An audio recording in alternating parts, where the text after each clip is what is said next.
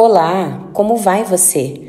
Eu sou Sheila Norberto e esse é o livro de John Bevere, A Isca de Satanás. Como livrar-se de uma armadilha mortal, a ofensa. Prefácio. O livro que você tem em mãos é possivelmente o mais importante confronto com a verdade que você encontrará em toda a sua vida. Posso dizer isso com confiança não porque eu escrevi, mas por causa do seu tema, a ofensa, a questão central de A Isca de Satanás, é, em geral, o obstáculo mais difícil que um indivíduo precisa enfrentar e vencer. Os discípulos de Jesus testemunharam muitos milagres grandes e notáveis. Eles observaram impressionados enquanto cegos passavam a ver e mortos eram ressuscitados. Ouviram Jesus ordenar que uma tempestade ameaçadora se acalmasse. Viram milhares serem alimentados pelo milagre da multiplicação de apenas alguns pães e peixes. A lista dos milagres e maravilhas de Jesus era tão inesgotável que, de acordo com a Bíblia, um universo de livros não poderia contê-la. Nunca antes a humanidade testemunhou a milagrosa mão de Deus de uma forma tão tangível e avassaladora. Contudo, por mais assombrados e impressionados que os discípulos estivessem, não foram esses milagres que os levaram a duvidar. Esse desafio viria mais tarde, próximo ao final do ministério de Jesus na terra. Jesus havia instruído seus discípulos: Se teu irmão pecar contra ti sete vezes no dia, e sete vezes no dia vier ter contigo dizendo: Estou arrependido, perdoa-lhe. Então disseram os apóstolos ao Senhor: Aumenta-nos a fé. Lucas 17, 3 a 5. Aquele clamor por mais fé não foi inspirado pelos milagres, nem pelos mortos ressuscitados, nem pelo mar acalmado, mas pela simples ordem de perdoarem aqueles que os haviam ofendido. Jesus disse: é inevitável que venham escândalos. Lucas 17:1. A expressão escândalos nas versões de língua inglesa aparece como offenses, palavra que pode ser traduzida como escândalo ou ofensa. A maioria das versões da Bíblia em língua portuguesa utiliza a tradução escândalos. Contudo, é importante considerar que a passagem de Lucas 17 se refere a ofensas que alguém pode cometer contra nós, bem como ofensas em geral, as quais geram escândalos. Por isso, nos versículos seguintes, Jesus fala sobre a importância de perdoar o nosso irmão, tenha ele pecado contra nós ou contra qualquer outra pessoa, gerando escândalo em nosso meio. O problema não são os momentos em que seremos ofendidos, mas qual será a nossa reação. É fato, infelizmente, que muitos e não poucos são ofendidos e se tornam cativos.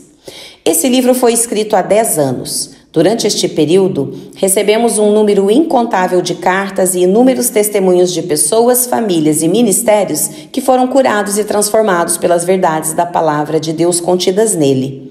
Compartilharei alguns aqui com o intuito de encorajá-lo. Por todos eles, nos alegramos e damos a Deus toda a glória. Certo líder nos disse: nossa igreja estava prestes a sofrer uma grande divisão. A situação parecia desesperadora. Dei uma cópia de A Isca de Satanás a cada membro do conselho. A divisão foi desviada e hoje somos um. Muitos casamentos foram salvos. Recentemente, após uma ministração na cidade de Nebraska, um casal aproximou-se de mim. A esposa confessou: Fui ofendida há 10 anos pelos líderes desta igreja. Tornei-me amarga e desconfiada e passei a me defender e a defender minha posição constantemente. Meu casamento sofria com a minha angústia e meu marido estava a ponto de se divorciar. Ele não era salvo e não queria nada com a igreja. Então alguém colocou uma cópia de A Isca de Satanás em minhas mãos. Eu o li e, dentro de pouco tempo, fui completamente liberta da ofensa e da amargura. Quando meu marido viu as mudanças em minha vida, entregou sua vida a Jesus Cristo e cancelou o processo de divórcio. O marido estava ao lado dela, sorrindo. Quando ela terminou, ele confirmou as mudanças maravilhosas em sua vida e em seu lar. O testemunho que mais me tocou o coração ocorreu quando ministrei em Naples, Flórida. Imediatamente antes de falar, um homem forte, de meia idade, colocou-se de pé diante da congregação e chorou enquanto contava sua história trágica. Toda a minha vida me senti como se houvesse um muro entre Deus e eu. Participava das reuniões onde os outros sentiam a presença de Deus, enquanto eu me sentia desligado e amortecido. Até mesmo quando orava, não havia libertação ou presença de Deus. Há várias semanas, alguém me deu o livro A Isca de Satanás. Eu o li na íntegra. Entendi que havia mordido a isca de Satanás havia vários anos. Eu odiava minha mãe por ter me abandonado quando eu tinha seis meses de idade. Percebi que tinha de procurá-la e perdoá-la. Telefonei e falei com ela pela segunda vez em 36 anos. Eu chorei. Mãe, durante toda a minha vida nunca liberei perdão a você por ter me abandonado. Ela começou a chorar e disse: Filho, tenho me odiado nesses últimos 36 anos por ter abandonado você. Ele prosseguiu: Eu a perdoei e ela se perdoou. Agora estamos reconciliados. Então veio a parte mais empolgante. Agora, o muro que me separava da presença de Deus foi derrubado. Ao dizer isso, ele se descontrolou totalmente e, chorando muito, esforçou-se para dizer estas últimas palavras: Agora choro como um bebê na presença de Deus. Conheço a força e a realidade desse cativeiro. Já fui refém de seu tormento por muitos anos. Por isso, este livro não é uma teoria, é a palavra de Deus em ação ele transborda de verdade pelas quais eu mesmo caminhei e creio que ele irá fortalecê-lo também. Ao lê-lo, peça ao Mestre para aumentar sua fé. À medida que você cresce na fé, ele receberá a glória e você será cheio de alegria. Que Deus o abençoe ricamente. Introdução. Qualquer pessoa que tenha preparado armadilhas para animais sabe que uma armadilha precisa de duas coisas para ter êxito. Ela precisa estar escondida para que o animal tropece nela sem vê-la e também precisa ter uma isca para atrair o animal para suas garras mortais. Satanás, o inimigo de nossas almas, usa essas duas estratégias quando prepara suas armadilhas mais enganosas e mortais. Elas estão ocultas e contêm iscas preparadas. As ações de Satanás, juntamente com suas legiões, não são tão evidentes como muitas pessoas pensam. Ele é sutil e tem prazer em enganar. Seu modo de agir é astuto, perspicaz e cheio de artimanhas. Não se esqueça que ele pode se disfarçar de mensageiro da luz. Se não formos treinados pela palavra de Deus para separar corretamente o bem e o mal, não reconheceremos as suas armadilhas. Um dos tipos de isca mais enganosos e traiçoeiros é algo que todo cristão já teve de enfrentar: a ofensa. Na verdade, a ofensa em si não é mortal, caso ela permaneça na armadilha. Mas se a pegarmos e a consumirmos e permitirmos que ela alimente nossos corações, então nos escandalizaremos e ficaremos ofendidos. Pessoas ofendidas geralmente produzem muitos frutos, como a dor, a ira, o escândalo, os ciúmes, o ressentimento, as disputas, a amargura, o ódio e a inveja. Quando damos importância a uma ofensa, algumas das consequências são os insultos, os ataques, as feridas, a divisão, a separação, os relacionamentos quebrados, a traição e o retorno ao pecado. Em geral, as pessoas que se sentem ofendidas sequer percebem que caíram em uma armadilha. Elas não são cientes de sua condição, porque estão muito concentradas no mal que alguém lhes fez. Permanecem em um estado de negação. A maneira mais eficaz do inimigo nos cegar é fazendo com que nos concentremos em nós mesmos. Este livro expõe esta armadilha mortal e revela como escapar de suas garras e permanecer livre dela. Ser livre da ofensa é essencial a todo cristão, porque Jesus disse que é impossível vivermos esta vida e não sermos ofendidos ao afirmar: é inevitável que venham escândalos. Lucas 17:1. Em muitas igrejas dos Estados Unidos e de outras nações onde preguei essa mensagem, mais de 50% das pessoas responderam ao apelo. Embora este seja um alto índice de resposta, ainda assim não foram todos. O orgulho impede algumas pessoas de responder. Vi pessoas sendo curadas, libertas, cheias do Espírito Santo, e vi outras receberem respostas às suas orações ao serem libertas desta armadilha. Geralmente elas relatam que haviam buscado por anos o que receberam naquele momento ao serem libertas. Na última metade do século XX, o conhecimento aumentou imensamente na igreja, mas apesar desse aumento, parece que temos tido mais divisão entre crentes, líderes e congregações. O motivo é um só a ofensa, adquire proporções desenfreadas quando falta o amor genuíno. O saber ensoberbece, mas o amor edifica. 1 Coríntios 8:1. Tantas pessoas estão enlaçadas nesta armadilha enganosa que quase chegamos a crer que este é um modo de vida normal. Antes da volta de Cristo, porém, os verdadeiros cristãos serão unidos de um modo que nunca se viu no passado. Creio que um número incontável de homens e mulheres será liberto da armadilha da ofensa. Esta será uma das principais molas propulsoras de um avivamento que varrerá nossa nação. Os incrédulos, que antes estavam cegos e não viam ver Jesus, o verão através de nosso amor uns pelos outros. Não acredito em escrever um livro apenas por escrever. Deus fez esta mensagem arder em meu coração e tenho visto seu fruto permanecer. Um pastor me disse após um culto onde preguei esta mensagem: Nunca vi tantas pessoas serem libertas de uma só vez.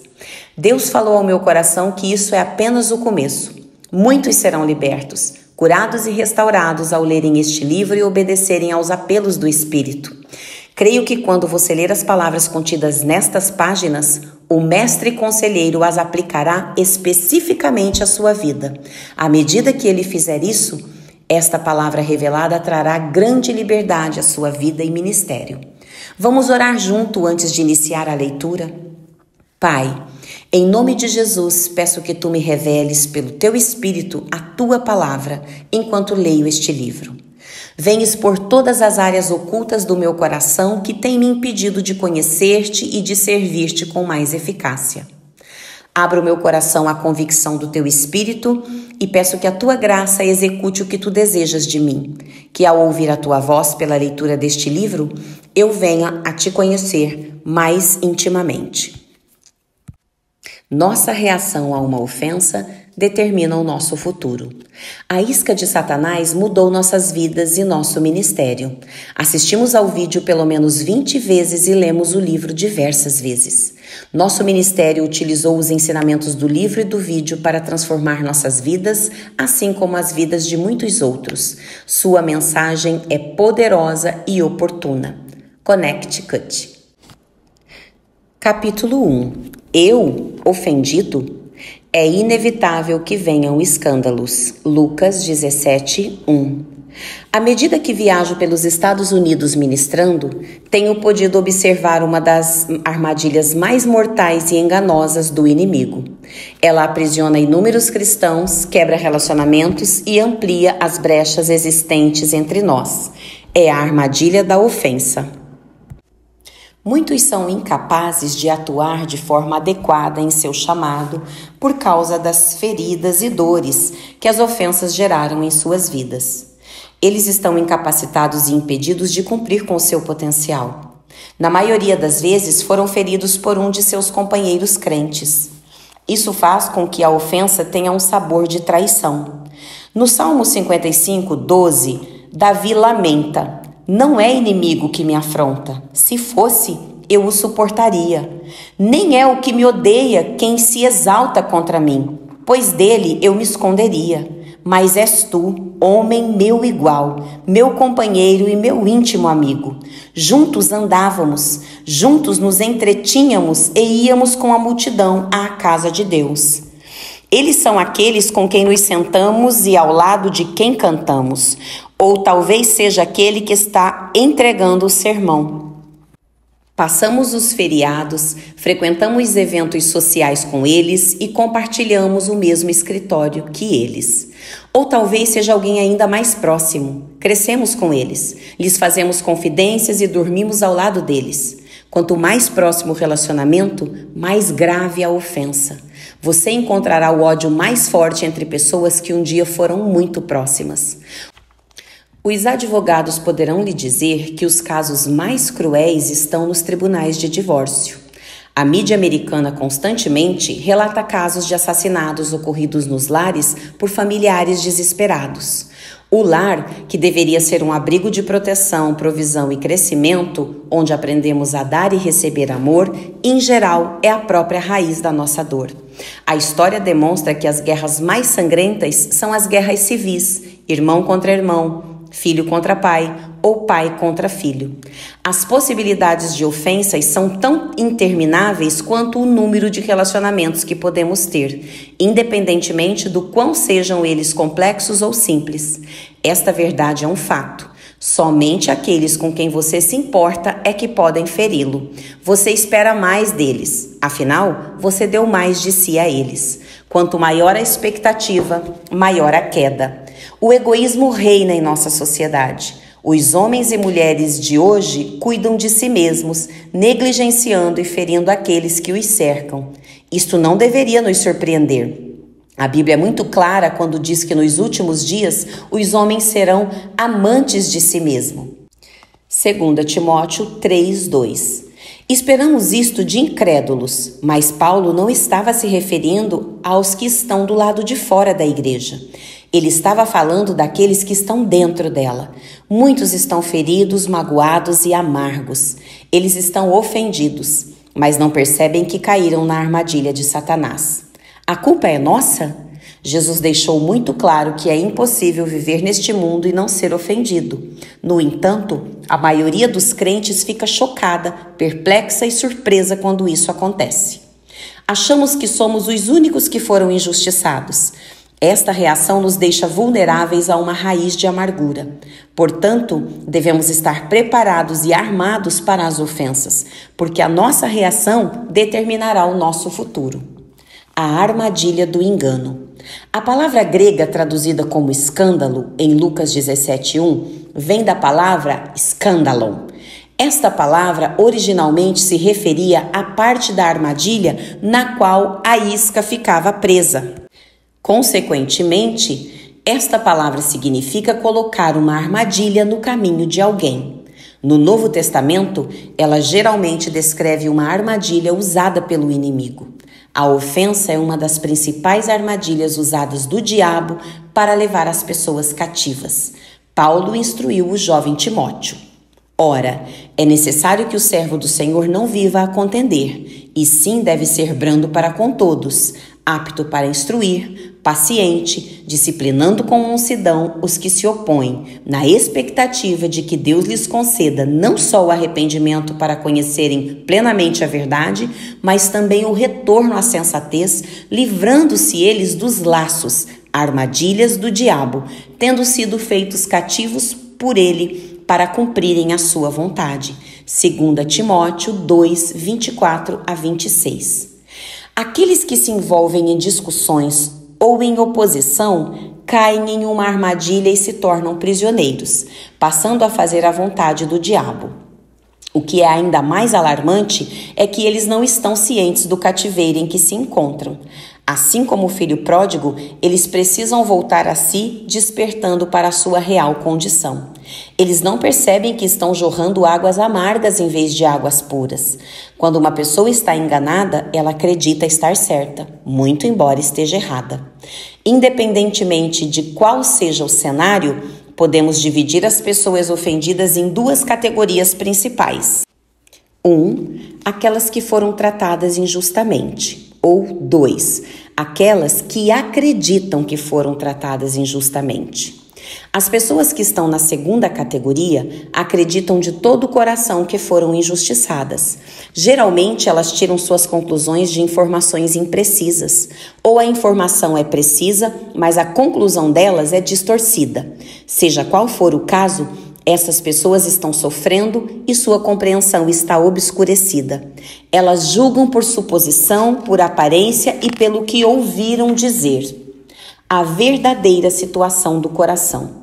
Uma forma usada pelo inimigo para manter as pessoas presas à ofensa é mantê-la oculta, encoberta pelo orgulho. O orgulho nos impede de admitir a nossa real condição. Certa vez fui muito ferido por alguns ministros. As pessoas diziam: Não acredito que fizeram isto com você. Você não está magoado? Eu respondia rapidamente: Não, estou bem, não estou magoado. Eu sabia que era errado ficar ofendido, então negava e reprimia aquele sentimento. Eu me convencia de que não estava magoado, mas na verdade estava. O orgulho mascarava a verdadeira condição do meu coração. O orgulho nos impede de lidar com a verdade. Ele distorce nossa visão. Você nunca muda quando pensa que tudo está bem. O orgulho endurece o coração e obscurece os olhos do entendimento. Ele nos impede de viver a mudança de coração que tem poder para nos libertar, o arrependimento. Ver 2 Timóteo 2, de 24 a 26. O orgulho faz com que você se veja como uma vítima. A atitude passa a ser: fui maltratado e julgado injustamente, por isso meu comportamento é justificado. Por acreditar que é inocente e que foi acusado injustamente, você retém o perdão. Embora a verdadeira condição do seu coração esteja oculta aos seus olhos, ela não está oculta aos olhos de Deus. Só porque você foi maltratado, não tem permissão para ficar preso a uma ofensa. Um erro não justifica outro a cura.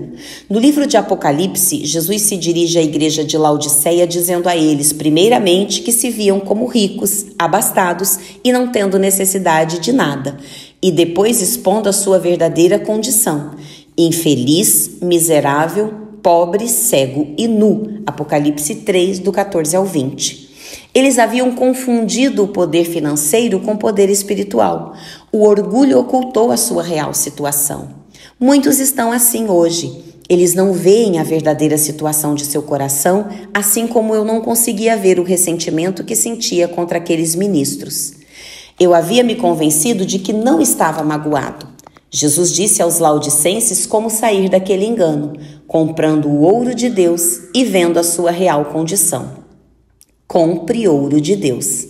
A primeira instrução de Jesus para se livrarem do engano foi: De mim compres ouro refinado pelo fogo. Apocalipse 3,18.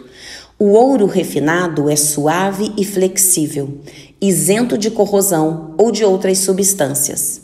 Somente quando o ouro é misturado a outros metais, cobre, ferro, níquel e daí por diante, é que ele se torna duro, menos flexível e mais corrosivo. Essa mistura é chamada de liga. Quanto maior a porcentagem de metais estranhos, mais duro o ouro se torna. Inversamente, quanto menor a porcentagem de liga, mais macio e mais flexível ele é. Podemos ver imediatamente o paralelo. Um coração puro é como ouro puro, macio, suave e flexível. Hebreus 3,13 declara que os corações são endurecidos pelo engano do pecado. Se não tratarmos uma ofensa, ela produzirá mais frutos de pecado, como a amargura, a ira e o ressentimento. Essas substâncias que são acrescentadas endurecem o nosso coração, assim como a liga endurece o ouro. Isso reduz ou retira a maciez, gerando uma perda de sensibilidade. Ficamos impedidos na nossa capacidade de ouvir a voz de Deus. A nossa visão apurada se torna obscurecida. Este é o cenário perfeito para o engano. O primeiro passo para refinar o ouro é triturá-lo até que ele vire pó e misturá-lo com uma substância chamada solvente. Em seguida, a mistura é colocada em um forno e derretida a altas temperaturas. As ligas e impurezas são atraídas pelo solvente e sobem para a superfície. O ouro, que é mais pesado, permanece no fundo. As impurezas ou sujeiras, como cobre, ferro e zinco combinados ao solvente, são então removidas, produzindo um metal mais puro. Agora vejamos o que Deus diz. Eis que te acrisolei, mas disso não resultou prata. Proveite na fornalha da aflição. Isaías 48, 10. E novamente, Nisso exultais, embora no presente, por breve tempo, se necessário, sejais contristados por várias provações, para que, uma vez confirmado o valor da vossa fé, muito mais preciosa do que o ouro perecível, mesmo quando apurado por fogo, redunde em louvor, glória e honra na revelação de Jesus Cristo. 1 Pedro 1, 6 e 7. Deus nos refina com aflições, provações e tribulações. Elas são o calor que separa impurezas como o perdão, as disputas, a amargura, a inveja e tantas outras do caráter de Deus em nossas vidas. O pecado se esconde facilmente onde não existe o calor das provações e aflições. Em tempos de prosperidade e sucesso, até um homem mau parecerá bondoso e generoso, mas sob o calor das provações, as impurezas sobem à tona. Houve um período em minha vida em que passei por grandes provações como nunca antes. Eu me tornei uma pessoa rude e áspera com os que eram mais chegados. Minha família e meus amigos começaram a me evitar. Clamei ao Senhor: De onde está vindo toda essa raiva? Ela não estava aqui antes. O Senhor respondeu: Filho, é que quando derretem o ouro no fogo, é que as impurezas aparecem. Então ele fez uma pergunta que mudou a minha vida. Você pode ver as impurezas do ouro antes dele ser colocado no fogo? Não, respondi. Mas isso não significa que elas não estejam ali, disse ele. Quando o fogo das provações o atingiu, essas impurezas vieram à tona. Embora estivessem escondidas para você, elas sempre estiveram visíveis para mim. Agora, você precisa fazer uma escolha que decidirá o seu futuro. Você pode continuar irado, culpando sua esposa, seus amigos, seu pastor e as pessoas com quem você trabalha, ou você pode ver esta sujeira do pecado como ela é e se arrepender, receber perdão, e eu pegarei a minha concha e removerei essas impurezas da sua vida. Seja a sua verdadeira condição. Jesus disse que a nossa capacidade de ver corretamente é outra chave para sermos libertos do engano. Em geral, quando somos ofendidos, nos vemos como vítimas e culpamos aqueles que nos feriram. Justificamos a nossa amargura, a nossa falta de perdão, a nossa ira, inveja e ressentimento quando elas vêm à tona. Às vezes nos ressentimos até contra aqueles que nos lembram dos que nos feriram. Por este motivo, Jesus aconselhou: compre escolírios para ungires os olhos, a fim de que vejas. Apocalipse 3,18. Ver o que? A sua verdadeira condição. Esta é a única maneira de sermos zelosos e nos arrependermos, como Jesus ordenou em seguida. Você só se arrepende quando para de culpar os outros. Quando culpamos os outros e defendemos a nossa posição, estamos cegos. Lutamos para retirar o argueiro do olho do nosso irmão quando há uma trave no nosso. É a revelação da verdade que nos liberta. Quando o Espírito de Deus nos mostra o nosso pecado, ele sempre o faz de tal maneira que ele parece separado de nós. Isto nos traz convicção e não condenação. Minha oração é que, ao ler este livro, a palavra de Deus ilumine os olhos do seu entendimento para que você veja a sua real condição e seja liberto de qualquer ofensa que esteja abrigando em seu coração. Não permita que o orgulho o impeça de ver e de se arrepender. Um cristão ofendido é alguém que recebe vida, mas por causa do medo não consegue liberar vida. Há 10 anos, depois de 20 anos de casados, meu marido foi embora porque não estava mais feliz. Fiquei totalmente arrasada. Há muito tempo venho tentando superar a dor, o abandono e a rejeição causada pela sua partida. Pedi a Deus que me ajudasse a perdoá-lo e realmente achei que o houvesse perdoado, mas ainda guardava em meu coração uma grande dor que não conseguia superar. Toda vez que precisava vê-lo era muito doloroso. Depois de ler a isca de Satanás, o Espírito Santo me moveu a falar com meu ex-marido e a pedir a ele que me perdoasse por guardar essa ofensa em meu coração. Conversamos pela primeira vez em 10 anos. Realmente creio que fui curada e liberta. Agradeço a Deus por me libertar desse jugo de escravidão que me manteve cativa por tanto tempo. DB, Nova York. Capítulo 2 Escândalo em massa. Neste tempo, muitos hão de se escandalizar, trair e odiar uns aos outros. Levantar-se-ão muitos falsos profetas e enganarão a muitos. E por se multiplicar a iniquidade, o amor se esfriará de quase todos. Aquele, porém, que perseverar até o fim, esse será salvo. Mateus 24, 10 a 13. Neste capítulo de Mateus, Jesus está dizendo quais serão os sinais do fim desta era. Seus discípulos perguntaram: Que sinal haverá da tua vinda? A maioria das pessoas concorda que estamos nos tempos da volta de Jesus. É inútil tentar precisar a data exata de sua volta. Somente o Pai o sabe. Mas Jesus disse que conheceríamos a época, e ela é agora. Nunca antes vimos um tamanho comprimento profético na igreja, em Israel e na natureza. Assim, podemos dizer com confiança que estamos no período que Jesus descreveu em Mateus 24. Observe os sinais de sua volta iminente. Muitos hão de se escandalizar. Não poucos, mas muitos. Primeiro precisamos perguntar: Quem são esses que se escandalizam e acabam se ofendendo? São eles os cristãos ou apenas a sociedade em geral? Encontramos a resposta ao prosseguirmos na leitura. E por se multiplicar a iniquidade, o amor se esfriará de quase todos. A palavra grega para amor nesse versículo é ágape. Há diversas palavras em grego para o amor no Novo Testamento, mas as duas mais comuns são ágape e filéu. Filéu define o amor que existe entre amigos. É um amor afetuoso e condicional. Filéu diz: Você coça as minhas costas e eu coço as suas. Ou Você me trata bem e eu farei o mesmo. Por outro lado, ágape é o amor que Deus derrama no coração de seus filhos. É o mesmo amor que Jesus nos dá liberalmente. Ele não se baseia no desempenho nem na retribuição. É um amor que dá mesmo quando é rejeitado. Sem Deus, podemos amar pessoas com um amor egoísta, um amor que não pode ser dado se não for recebido e retribuído. Entretanto, o amor ágape ama independente de retribuição. Este amor ágape é o amor que Jesus derramou quando nos perdoou ao ser pendurado na cruz. Assim, os muitos a quem Jesus se refere são os cristãos cujo amor ágape se esfriou. Houve um tempo em que eu fazia tudo o que podia para demonstrar o meu amor a uma determinada pessoa. Mas parecia que toda vez que eu tinha uma atitude de amor, a pessoa me esbofeteava em troca com críticas e um tratamento áspero. Isso continuou por meses. Um dia, fiquei cansado daquilo. Reclamei com Deus. Não aguento mais. Agora o Senhor vai ter de falar comigo a respeito disto.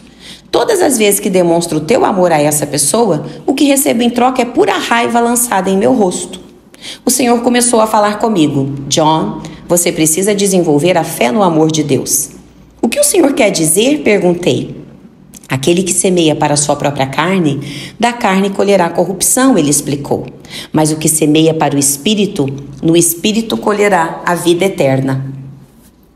E não nos cansemos de fazer o bem, porque a seu tempo ceifaremos, se não desfalecermos. Ver Gálatas 6, 8, 9. Você precisa entender que quando semeia o amor de Deus, colherá o amor de Deus. Você precisa desenvolver fé nesta lei espiritual. Muito embora não possa colher do mesmo campo onde semeou e nem tão rápido quanto gostaria. O Senhor continuou: Na minha hora de maior necessidade, meus amigos mais próximos me abandonaram. Judas me traiu, Pedro me negou e o restante deles fugiu para salvar sua vida.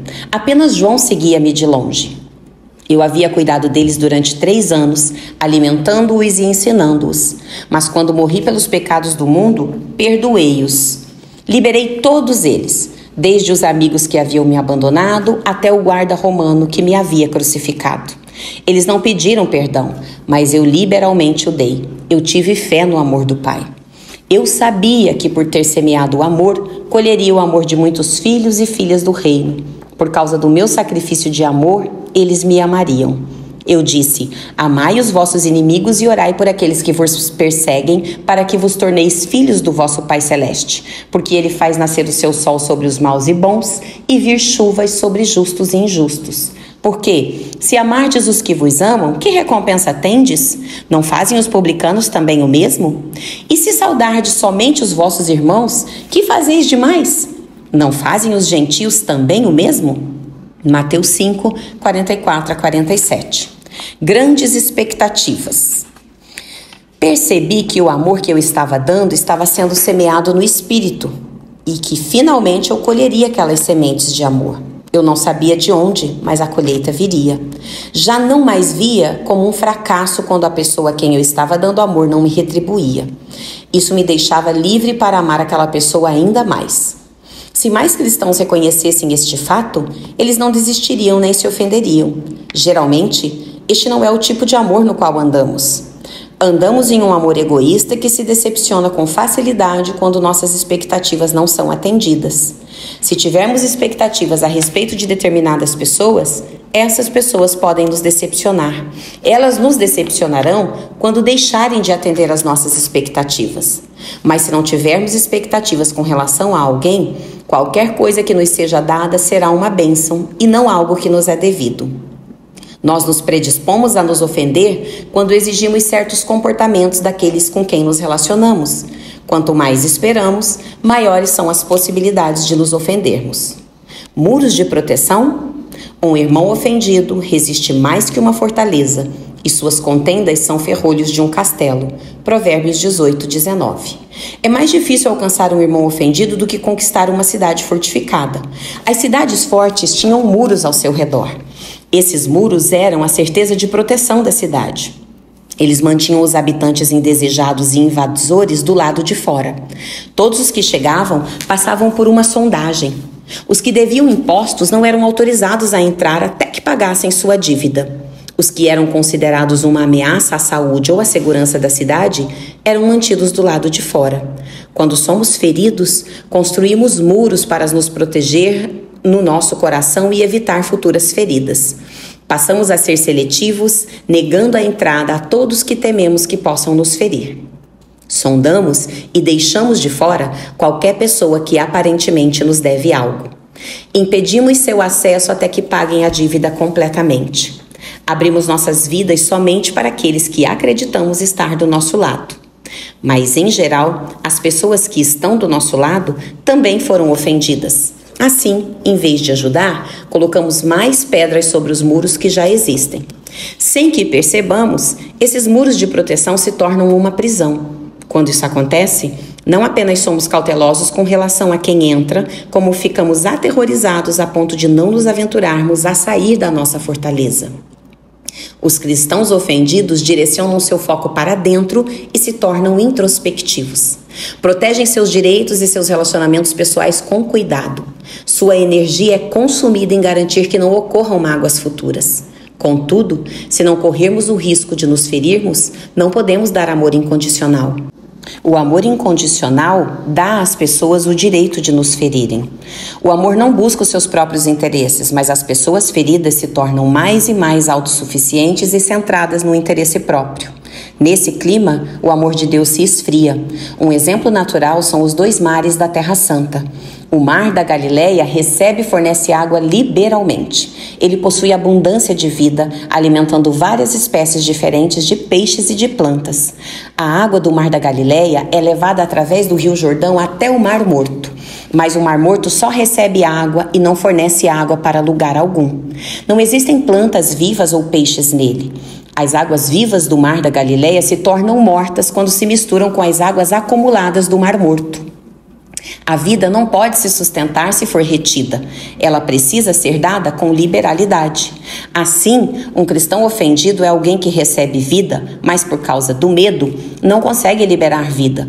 Consequentemente, até a vida que entra se torna estagnada dentro dos muros ou da prisão da ofensa.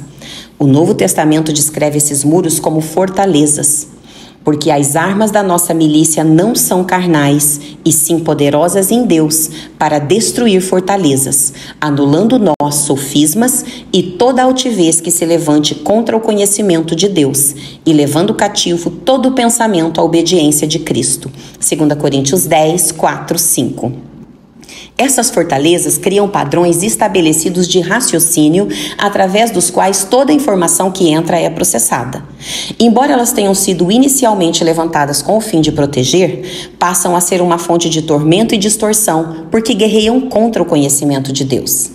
Quando filtramos tudo através das nossas mágoas, rejeições e experiências passadas, achamos impossível crer em Deus. Não conseguimos crer que Ele está falando sério quando diz o que diz.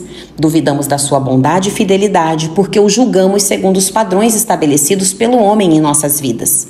Mas Deus não é um homem, ele não pode mentir. Números 23, 19. Os seus caminhos não são como os nossos caminhos e os seus pensamentos não são os nossos pensamentos. Isaías 55, 8, 9. As pessoas ofendidas são capazes de encontrar passagens nas Escrituras para sustentar sua posição, mas esta não é a forma correta de compartilhar a palavra de Deus. O conhecimento da palavra de Deus sem amor é uma fonte destrutiva, porque ela faz o homem inflar de orgulho e legalismo. 1 Coríntios 8, 1 a 3. Isto faz com que nos justifiquemos em vez de nos arrependermos por nossa falta de perdão, criando uma atmosfera na qual podemos ser enganados, porque o conhecimento sem o amor de Deus leva ao engano. Jesus nos adverte contra os falsos profetas imediatamente após a sua declaração de que muitos se escandalizarão. Levantar-se-ão muitos falsos profetas e enganarão a muitos. Mateus 24, 11. Quem são os muitos a quem eles enganarão? A resposta é: os que se escandalizaram e cujo amor se esfriou. Mateus 24, 12. Falsos profetas. Jesus chama os falsos profetas de lobos disfarçados em ovelhas, Mateus 7,15. Eles são homens que buscam os seus próprios interesses, que têm aparência de cristãos, roupas de ovelha, mas que possuem a natureza interior de lobos. Os lobos gostam de ficar em volta das ovelhas. Eles podem ser encontrados tanto na congregação quanto no púlpito. Foram enviados pelo inimigo para se infiltrar e enganar. Devem ser identificados pelos seus frutos e não por seus ensinos ou profecias. Em geral, o ensino pode parecer sadio, mas os frutos de suas vidas e ministérios não são. Um ministro ou cristão é o que ele vive e não o que ele prega. Os lobos sempre vão atrás das ovelhas feridas e jovens e não das saudáveis e fortes. Esses lobos dirão às pessoas o que elas querem ouvir e não o que elas precisam ouvir. Essas pessoas não querem uma doutrina sadia. Elas querem alguém para fazer cócegas em seus ouvidos. Vamos dar uma olhada no que Paulo diz sobre os últimos dias. Sabe, porém, isto nos últimos dias sobrevirão tempos difíceis, pois os homens serão implacáveis, tendo forma de piedade, negando-lhe entretanto o poder. Foge também destes, pois haverá tempo em que não suportarão a sã doutrina. Pelo contrário, cercar-se-ão de mestres segundo as suas próprias cobiças, como que sentindo coceira nos ouvidos, e se recusarão a dar ouvidos à verdade. 2 Timóteo 3, 1, 5, 4, 3, 4. Observe que eles terão forma de piedade ou de cristianismo, mas negarão o seu poder. Como eles negarão o poder? Negando que o cristianismo possa transformá-los de pessoas implacáveis em pessoas perdoadoras. Eles se gabarão de serem seguidores de Jesus e proclamarão a sua experiência de novo nascimento, mas não permitirão que aquilo de que se gabam penetre em seu coração e extraia o caráter de Cristo. Geração de informação. Paulo pôde ver profeticamente que esses homens e mulheres enganados teriam um zelo pelo conhecimento, mas permaneceriam imutáveis, já que nunca o aplicariam. Ele os descreveu como pessoas que aprendem sempre e jamais podem chegar ao conhecimento da verdade. 2 Timóteo 3:7. Se Paulo estivesse vivo hoje, lamentaria ao ver o que preveniu acontecendo em nossos dias. Ele veria uma multidão de homens e mulheres frequentando retiros, seminários e cultos de igreja, acumulando um conhecimento das Escrituras.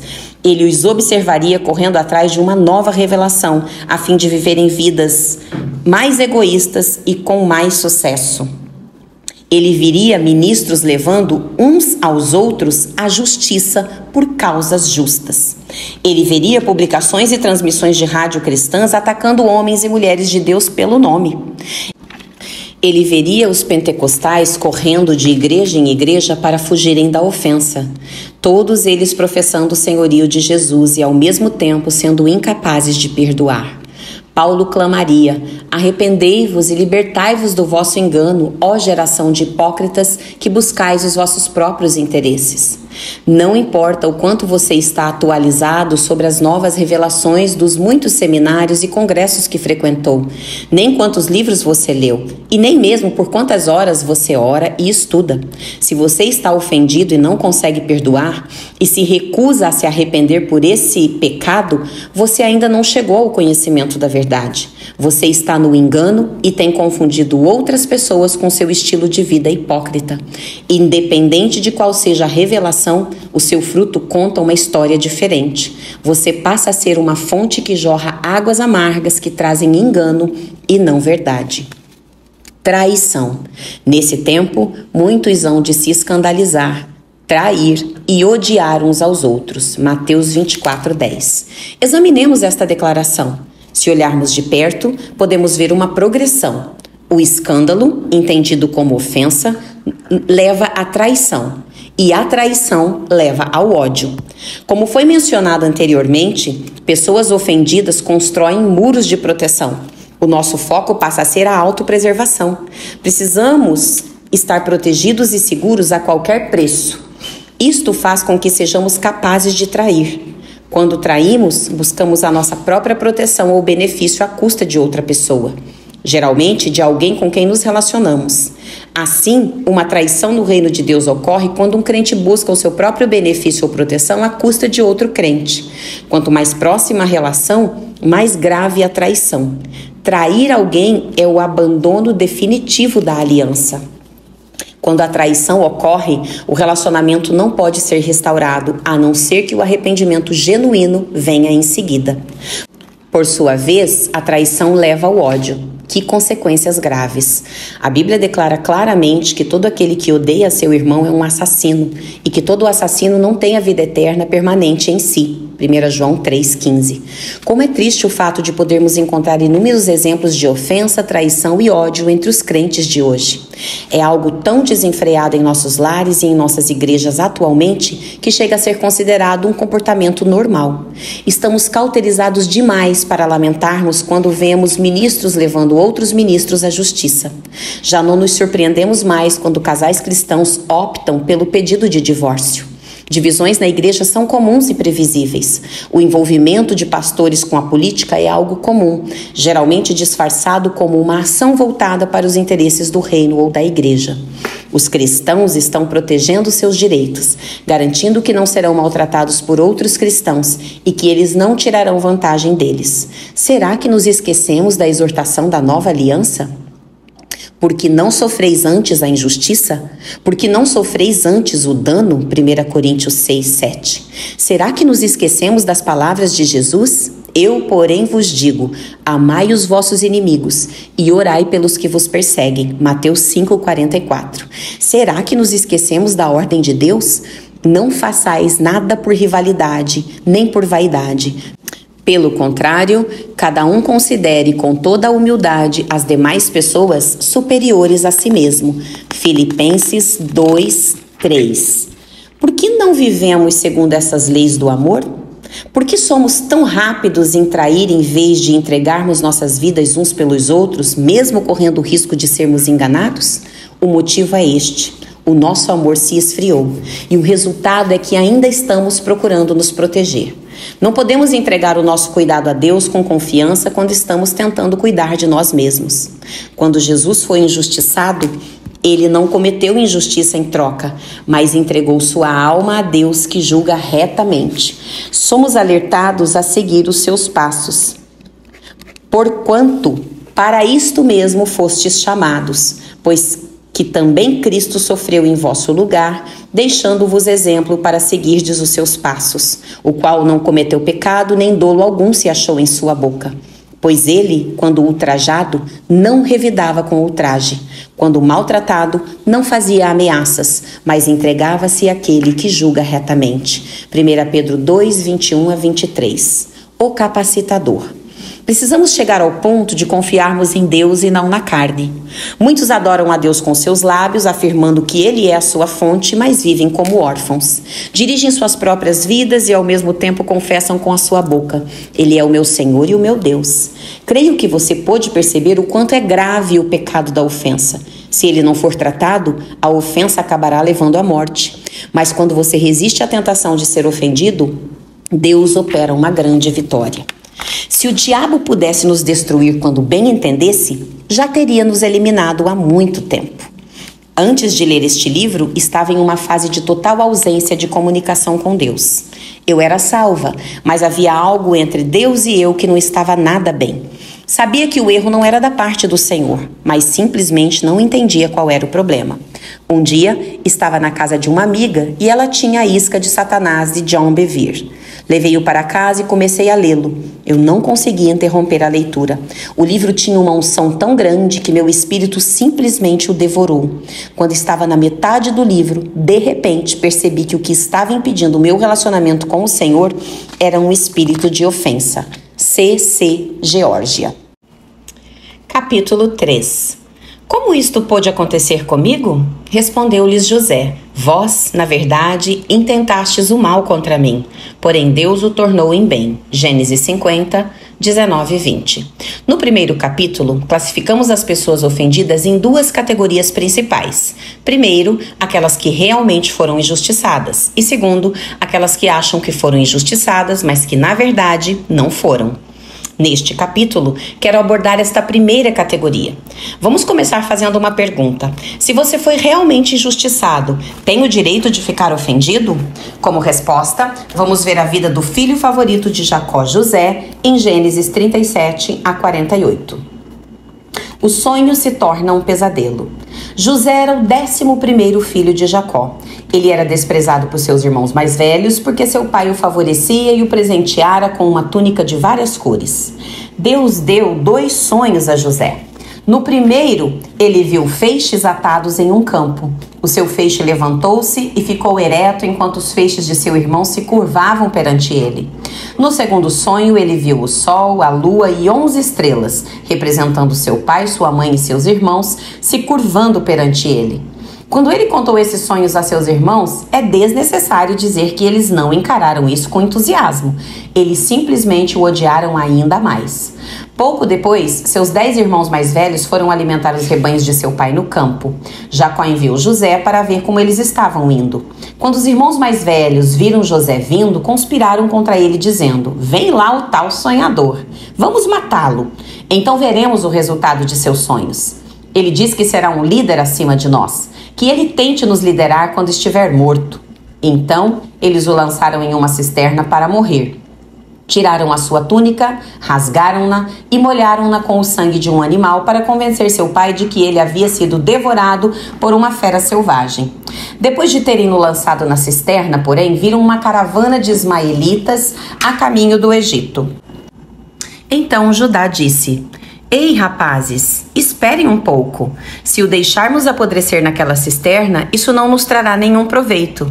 Vamos ganhar algum dinheiro e vendê-lo como escravo. Será como se estivesse morto. Ele nunca mais nos incomodará e dividiremos os despojos. Então eles o venderam por 20 ciclos de prata. José os havia ofendido. Então eles o traíram, tirando dele a sua herança e a sua família. Lembre que foram os irmãos dele que fizeram isto filhos do mesmo pai, que tinham a mesma carne e o mesmo sangue que ele. Ora, nós, cidadãos deste século, vivemos em uma cultura tão diferente que é difícil para nós entendermos a gravidade do que aqueles homens fizeram. Só matando José eles poderiam ter feito algo pior. Nos tempos bíblicos, era muito importante ter filhos. Os filhos de um homem levavam o seu nome e herdavam tudo o que ele possuía. Os irmãos de José o impediram de um dia receber o nome e a herança de seu pai. Eles apagaram o nome dele, despojando-o completamente de sua identidade. Tudo que era familiar para José se fora. Quando alguém era vendido como escravo para outro país, ele permanecia escravo até a morte. A mulher com quem ele se casasse seria uma escrava, e todos os seus filhos seriam escravos também. Era ruim nascer escravo, mas era indescritivelmente pior nascer herdeiro de riquezas e com um grande futuro pela frente para depois ter tudo isso arrancado das suas mãos. Teria sido mais fácil se José jamais tivesse conhecido a sua origem. Era como se ele fosse um morto-vivo. Tenho certeza de que ele foi tentado a desejar que seus irmãos o tivessem matado. De fato, o que os irmãos de José fizeram foi mau e cruel. Uma retrospectiva perfeita. Quando leu minha paráfrase da história de José, você provavelmente já conhecia o final. Esta é uma história muito inspiradora quando você conhece o final. Mas não foi assim que José passou por tudo isso. Parecia que ele jamais veria seu pai novamente, nem veria o sonho que Deus lhe havia dado se cumprir. Ele era um escravo em uma nação estrangeira. Ele não podia sair do Egito. Ele era propriedade de outro homem por toda a sua vida. José foi vendido a um homem chamado Potifar, um oficial de Faraó e capitão da guarda. Ele serviu a esse homem por cerca de 10 anos. Ele nunca ouviu falar de sua família e sabia que seu pai acreditava que ele estivesse morto. A vida deles havia prosseguido sem ele. José não tinha esperança de ser resgatado por seu pai. À medida que o tempo passou, José obteve o favor do seu senhor e era bem tratado. Potifar colocou José como administrador da sua casa e de tudo que ele tinha. Mas ao mesmo tempo em que a situação estava a favor de José, algo de muito errado estava sendo gerado no coração da mulher de seu amo. Ela havia começado a sentir um desejo ardente por José e queria cometer adultério com ele. Ela tentava seduzi-lo diariamente e ele se recusava. Um dia, ela estava a sós com ele na casa e encurralou-o, insistindo para que ele se deitasse com ela. Ele se recusou e correu, deixando a sua túnica na mão da mulher. Quando fez isso, ela ficou envergonhada e gritou: Estupro! Portifaz fez com que José fosse lançado na prisão de Faraó. Ora, a prisão de Faraó não era em nada semelhante às prisões que temos hoje nos Estados Unidos e em muitos países de primeiro mundo. Ministrei em muitas prisões e, por mais desagradáveis que sejam, elas poderiam ser consideradas clubes sociais se comparadas à masmorra de Faraó. Sem a luz do sol ou áreas para exercícios, havia apenas celas cavadas abaixo da superfície ou poços destituídos de luz e calor. As condições variavam de rudimentares a desumanas. Os prisioneiros eram colocados ali para apodrecerem enquanto sobreviviam do pão e água da aflição. 1 Reis 22, 27. Eles recebiam apenas o alimento suficiente para sobreviverem a fim de poderem sofrer. De acordo com o Salmo 105, 18, os pés de José estavam feridos pelas cadeias e ele havia sido colocado em ferros. Ele foi colocado naquela masmorra para morrer.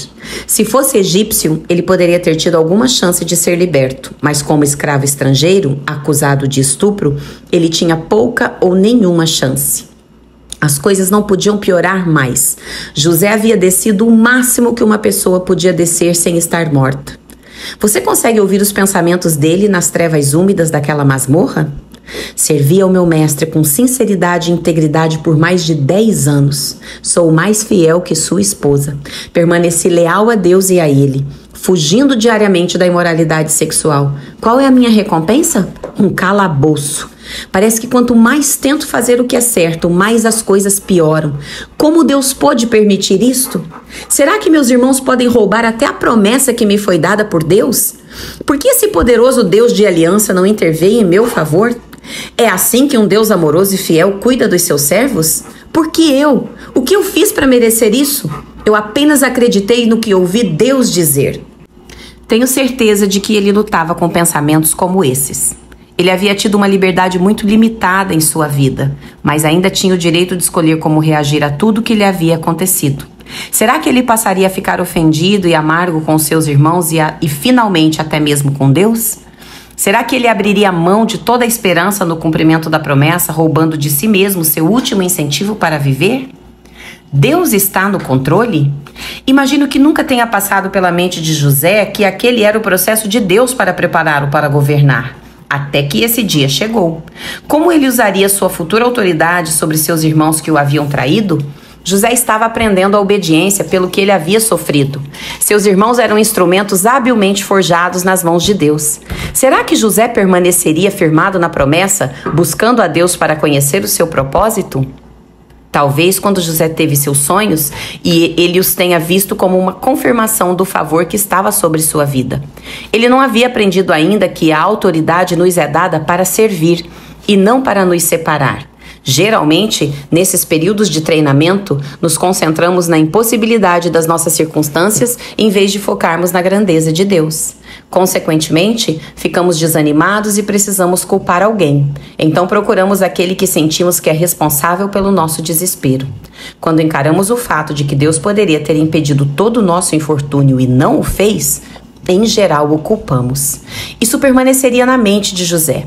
Vivi de acordo com o que sei a respeito de Deus. Não transgredi os seus estatutos nem a sua natureza. Eu só estava repetindo um sonho que o próprio Deus me deu. E qual foi o resultado? Meus irmãos me traem e sou vendido como escravo. Meu pai pensa que estou morto e nunca vem ao Egito para me procurar.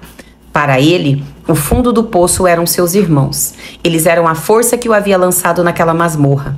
Talvez ele abrigasse pensamentos sobre as, como as coisas seriam diferentes quando ele estivesse no poder. Quando Deus o colocasse na posição de autoridade que ele havia visto em seus sonhos. Como tudo seria diferente se seus irmãos não tivessem abortado seu futuro. Com que frequência ouvimos nossos irmãos e irmãs caírem na mesma armadilha de culpar alguém?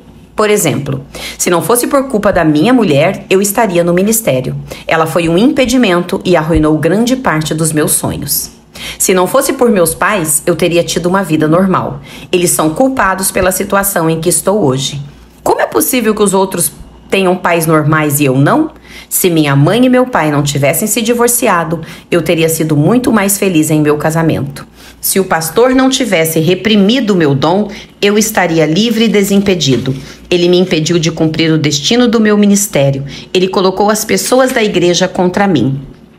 Se não fosse pelo meu ex-marido, meus filhos e eu não teríamos todo este problema financeiro. Se não fosse por aquela mulher na igreja, eu ainda contaria com o favor dos líderes. Com suas fofocas, ela me destruiu, assim como destruiu todas as minhas esperanças de ser respeitada. A lista é interminável. É fácil culpar os outros pelos problemas que você tem e imaginar como você estaria melhor se não fosse todas as pessoas ao seu redor.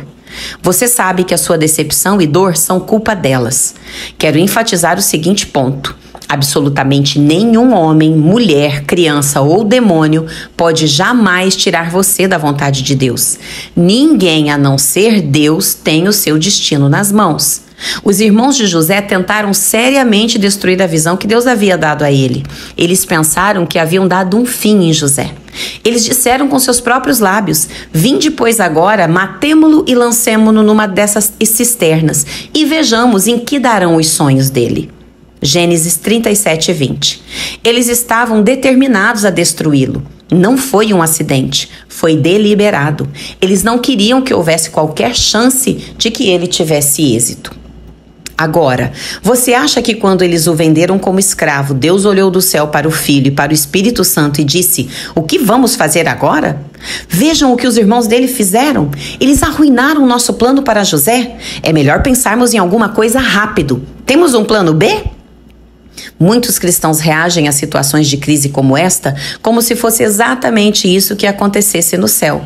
Você consegue ver o pai dizendo a Jesus: Jesus, João acaba de ser despedido porque um irmão em Cristo mentiu sobre ele. O que vamos fazer? Você tem algum emprego para ele lá embaixo? Ou, Jesus, Suelen tem 34 anos e ainda não se casou. Você tem algum rapaz disponível lá embaixo para ela?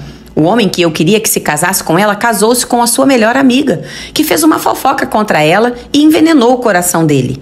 Essas frases soam como algo absurdo. No entanto, a forma como reagimos insinua que esta é a maneira como vemos Deus. Vejamos como José se sairia se vivesse em nossas igrejas de hoje. Se ele fosse como a maioria de nós, sabe o que ele estaria fazendo? Planejando a vingança. Ele se consolaria com pensamentos do tipo: quando eu colocar as minhas mãos neles, vou matá-los. Vou matá-los pelo que me fizeram. Eles vão pagar por isso. Mas se José realmente tivesse tomado esta atitude, Deus o teria deixado apodrecer naquela masmorra. Se ele tivesse saído da prisão com esta motivação, teria matado os cabeças de dez das doze tribos de Israel. Isso incluiria Judá, de cuja linhagem Cristo descenderia. Sim, aqueles que trataram José de forma tão cruel foram os patriarcas de Israel. E Deus havia prometido a Abraão que eles gerariam uma nação. Através deles, o Senhor Jesus finalmente viria. José permaneceu livre da ofensa e o plano de Deus foi estabelecido em sua vida e na vida de seus irmãos. Será que as coisas podiam piorar? A prisão foi um tempo de peneiramento para José, mas também foi um tempo de oportunidade. Havia dois prisioneiros com José e ambos tiveram sonhos vívidos e perturbadores. José interpretou o sonho de ambos com uma precisão impressionante. Um homem seria restaurado ao passo que o outro seria executado. José pediu ao que seria restaurado que se lembrasse dele quando recuperasse o favor de Faraó. O homem retornou ao serviço de Faraó, mas dois anos se passaram sem qualquer notícia dele. Foi mais uma decepção para José, outra oportunidade para se sentir ofendido. Deus sempre tem um plano. Chegou um momento em que Faraó teve um sonho muito alarmante. Nenhum dos seus feiticeiros ou sábios conseguia lhe dar uma explicação sobre o sonho. Foi então que o servo restaurado se lembrou de José. Ele explicou como José havia interpretado o seu sonho e o sonho do seu companheiro na prisão. José foi levado à presença de Faraó e ele lhe disse o que o sonho significava. Um tempo de fome estava a caminho e sabiamente instruiu-o sobre como se preparar para a crise. Faraó imediatamente promoveu José ao segundo lugar no comando sobre todo o Egito. José, através da sabedoria que Deus lhe havia dado, preparou-se para a grave fome que estava por vir. Mais tarde, quando esta fome chegou a todas as nações, os irmãos de José tiveram de ir ao Egito em busca de ajuda. Se José tivesse guardado qualquer coisa em seu coração contra seus irmãos, aquele seria o momento de executar o seu plano. Ele poderia tê-los atirado na prisão por toda a vida ou torturado e até tê-los matado sem ser culpado, uma vez que ele detinha o segundo lugar no comando do Egito. Seus irmãos eram indiferentes para Faraó. Mas José terminou dando-lhes grãos sem cobrar nada. Então eles receberam a melhor terra do Egito para suas famílias e comeram da gordura da terra. Resumindo, o melhor de toda a terra do Egito foi dado a eles. José acabou abençoando aqueles que o haviam amaldiçoado e fazendo o bem àqueles que o odiavam. Ver Mateus 5, 44. Deus sabia o que os irmãos de José fariam antes que eles o fizessem. Na verdade, o Senhor sabia que eles o fariam antes que ele desse o sonho a José, ou antes mesmo que qualquer daqueles rapazes nascesse. Indo um passo além, veja o que José disse a seus irmãos quando eles se reencontraram. Agora, pois, não vos entristeçais, nem vos irriteis contra vós mesmos por me haver desvendido para aqui, porque para a conservação da vida Deus me enviou adiante de vós. Porque já houve dois anos de fome na terra e ainda restam cinco anos em que não haverá lavoura nem colheita. Deus me enviou adiante de vós para conservar vossa sucessão na terra e para vos preservar a vida por um grande livramento. Assim, não fostes vós que me enviaste para cá, e sim Deus. Gênesis 45, do 5 ao 8. Veja o que o salmista disse. Deus fez vir fome sobre a terra e cortou os meios de se obter pão. Adiante deles enviou um homem, José, vendido como escravo. Salmo 105, 16 e 17. Quem enviou José? Seus irmãos ou Deus? Da boca de duas testemunhas, vemos que foi, foi Deus quem o enviou. José disse claramente aos seus irmãos: Não foram vocês que me enviaram. Ouça o que o Espírito está dizendo. Como já foi mencionado, nenhum homem mortal ou demônio pode substituir o plano de Deus para a sua vida. Se você tomar posse desta verdade, ela o libertará. Mas só há uma pessoa que pode tirar você da vontade de Deus, e essa pessoa é você. Pense nos filhos de Israel. Deus havia enviado um libertador, Moisés, para guiá-los para fora do cativeiro no Egito até a terra prometida. Depois de um ano no deserto, os líderes foram enviados para espiar a terra. Eles voltaram reclamando. Eles tiveram medo das nações naquela terra que eram maiores e mais fortes militarmente.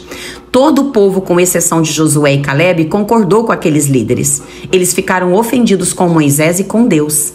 Este padrão estava se repetindo por mais de um ano.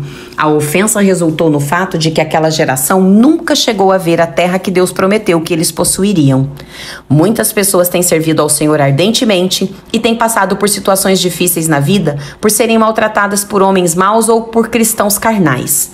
A verdade é que elas têm sido tratadas injustamente, mas se sentirem ofendidas só cumpriria o propósito do inimigo de tirá-las da vontade de Deus. Se você permanecer livre da ofensa, permanecerá na vontade de Deus. Se você se ofender e se escandalizar, será levado cativo pelo inimigo para cumprir o propósito e a vontade dele. Faça sua escolha. É muito mais benéfico ficar livre da ofensa. Precisamos nos lembrar que nada pode vir contra nós sem o conhecimento do Senhor. Se o diabo pudesse nos destruir quando quisesse, ele já teria nos exterminado há muito tempo, porque odeia o homem com todas as suas forças. Tenha sempre essa exortação diante de você. Não nos sobreveio tentação que não fosse humana, mas Deus é fiel e não permitirá que sejais tentados além das vossas forças. Pelo contrário, juntamente com a tentação, vos proverá livramento, de sorte que a possais suportar. 1 Coríntios 10, 13. Observe que a palavra diz livramento e não um livramento. Deus já viu cada circunstância adversa que encontraremos, independentemente do tamanho, e Ele tem o caminho planejado para nos livrar dela.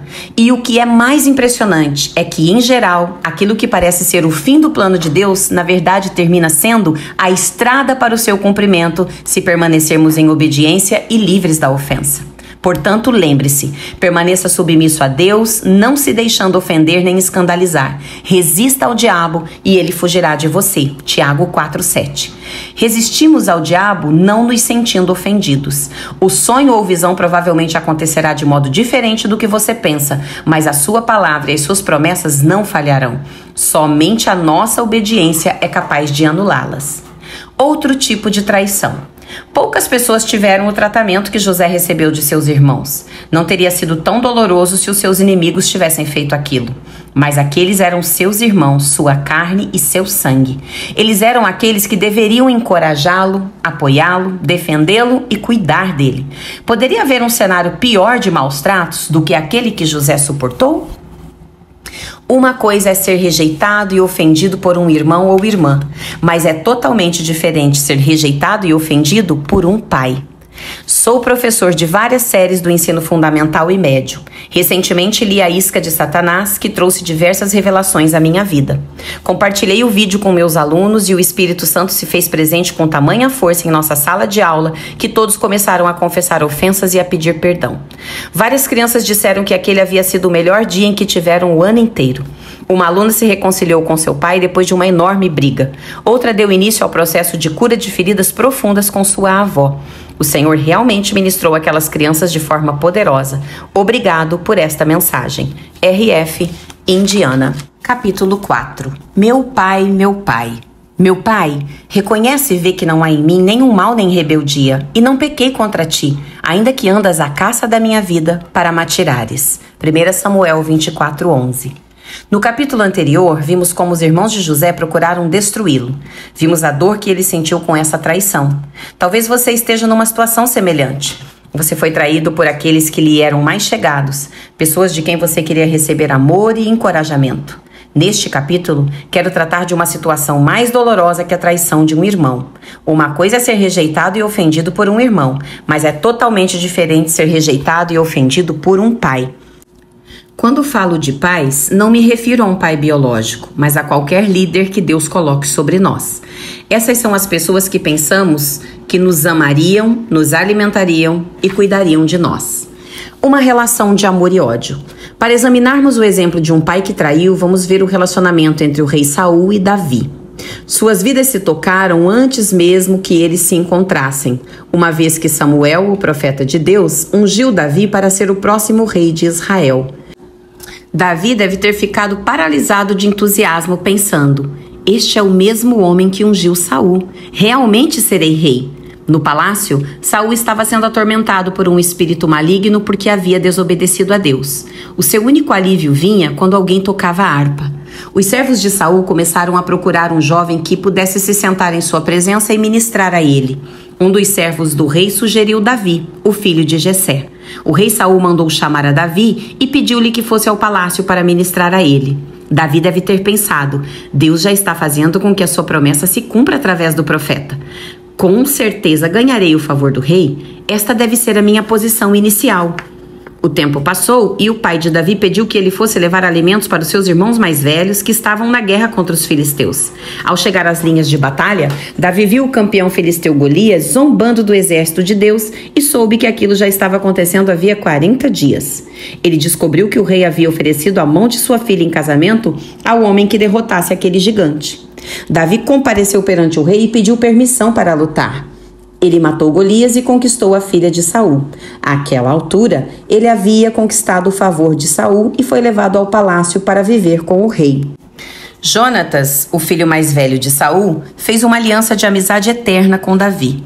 Em tudo que Saul dava a Davi para executar, a mão de Deus estava sobre ele e ele prosperava.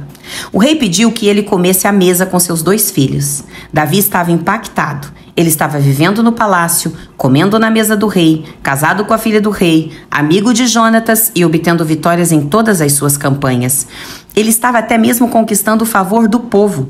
Ele podia ver a profecia se cumprindo diante dos seus olhos. Saul favorecia Davi sobre todos os seus outros servos. Ele havia se tornado um pai para ele. Davi estava certo de que Saul seria o seu mentor e que o treinaria e que um dia, com grande honra, o colocaria no trono. Davi estava se regozijando na fidelidade e na bondade de Deus. Mas em um único dia, tudo mudou. Quando Saul e Davi voltavam da batalha, lado a lado, as mulheres de todas as cidades de Israel saíram dançando e cantando. Saul matou seus milhares e Davi seus dez milhares. Isso enfureceu Saul, e daquele dia em diante ele passou a desprezar Davi. Por duas vezes, quando Davi tocava a harpa para ele, Saul tentou matá-lo. A Bíblia diz que Saul odiava Davi porque ele sabia que Deus era com Davi, mas não era com ele. Davi foi obrigado a fugir para salvar sua vida. Sem ter nenhum outro lugar para ir, ele fugiu para o deserto. O que está acontecendo? Davi se perguntou. A promessa estava se cumprindo e agora está destruída. O homem que é meu mentor está tentando me matar. O que posso fazer? Saul é o servo ungido de Deus. Com ele contra mim, que chances tenho? Ele é o rei, o homem de Deus que está sobre a nação de Deus. Por que Deus está permitindo isso? Saul perseguiu Davi de deserto em deserto e de caverna em caverna, acompanhado por três mil dos seus melhores guerreiros de Israel. Eles tinham um propósito: destruir Davi. A essa altura, a promessa não passava de uma sombra. Davi não vivia mais no palácio nem comia a mesa do rei. Ele habitava em cavernas úmidas e comia os restos das feras do deserto. Ele já não cavalgava mais ao lado do rei, mas era caçado pelos homens que um dia lutaram ao seu lado. Não havia uma cama quente, nem servos para assisti-lo, nem elogios na corte real. Sua esposa foi dada a outro homem. Ele conheceu a solidão de um homem que não tem pátria. Observe que foi Deus e não o diabo quem colocou Davi sob os cuidados de Saul. Por que Deus não apenas permitiria isto, como também o planejaria? Porque o favor do rei foi exibido diante dos olhos de Davi somente para ser abruptamente retirado? Aquela era uma oportunidade fundamental para Davi se ofender, não apenas com Saul, mas também com Deus. Todas as perguntas não respondidas aumentavam a tentação de questionar a sabedoria e o plano de Deus. Saul estava tão determinado a matar aquele jovem a qualquer preço que sua loucura aumentou. Ele tornou-se um homem desesperado. Os sacerdotes da cidade de Nob deram abrigo e alimento a Davi, dando-lhe também a espada de Golias. Eles não sabiam que Davi estava fugindo de Saul. Pensaram que eles tivessem uma missão para o rei. Eles consultaram o Senhor a favor de Davi e o enviaram para que seguisse seu caminho. Quando Saul descobriu isso, ficou furioso. Ele matou 85 sacerdotes inocentes do Senhor e passou toda a cidade de Nob à espada. Todos os homens, mulheres, crianças, bebês de colo, vacas, jumentos e ovelhas. Ele executou contra eles, os inocentes, o julgamento que deveria executar contra os Amalequitas. Ele era um assassino. Como Deus pôde um dia colocar o seu espírito sobre tal homem? A certa altura, Saul soube que Davi estava no deserto de Engedi e enviou três mil guerreiros atrás dele. Durante a jornada, eles pararam para descansar na entrada de uma caverna, sem saber que Davi se escondia nos fundos dela. Saul retirou a sua capa e deixou-a de lado. Davi silenciosamente esgueirou-se de seu esconderijo, cortou um pedaço da capa deixada de lado e saiu sem ser notado. Depois que Saul saiu da caverna, Davi prostrou-se até o chão e clamou por ele. Olha, pois, meu pai, vê aqui a orla do teu manto na minha mão. Reconhece e vê que não há em mim nem mal nem rebeldia, e não pequei contra ti, ainda que andas à caça da minha vida para matirares. O clamor de Davi a Saul foi: Meu pai, meu pai, falando claramente, ele estava dizendo: Veja o meu coração, Seja um pai para mim. Preciso de um líder para me treinar e não para me destruir. Até quando Saul estava tentando matá-lo, o coração de Davi ainda ardia de esperança.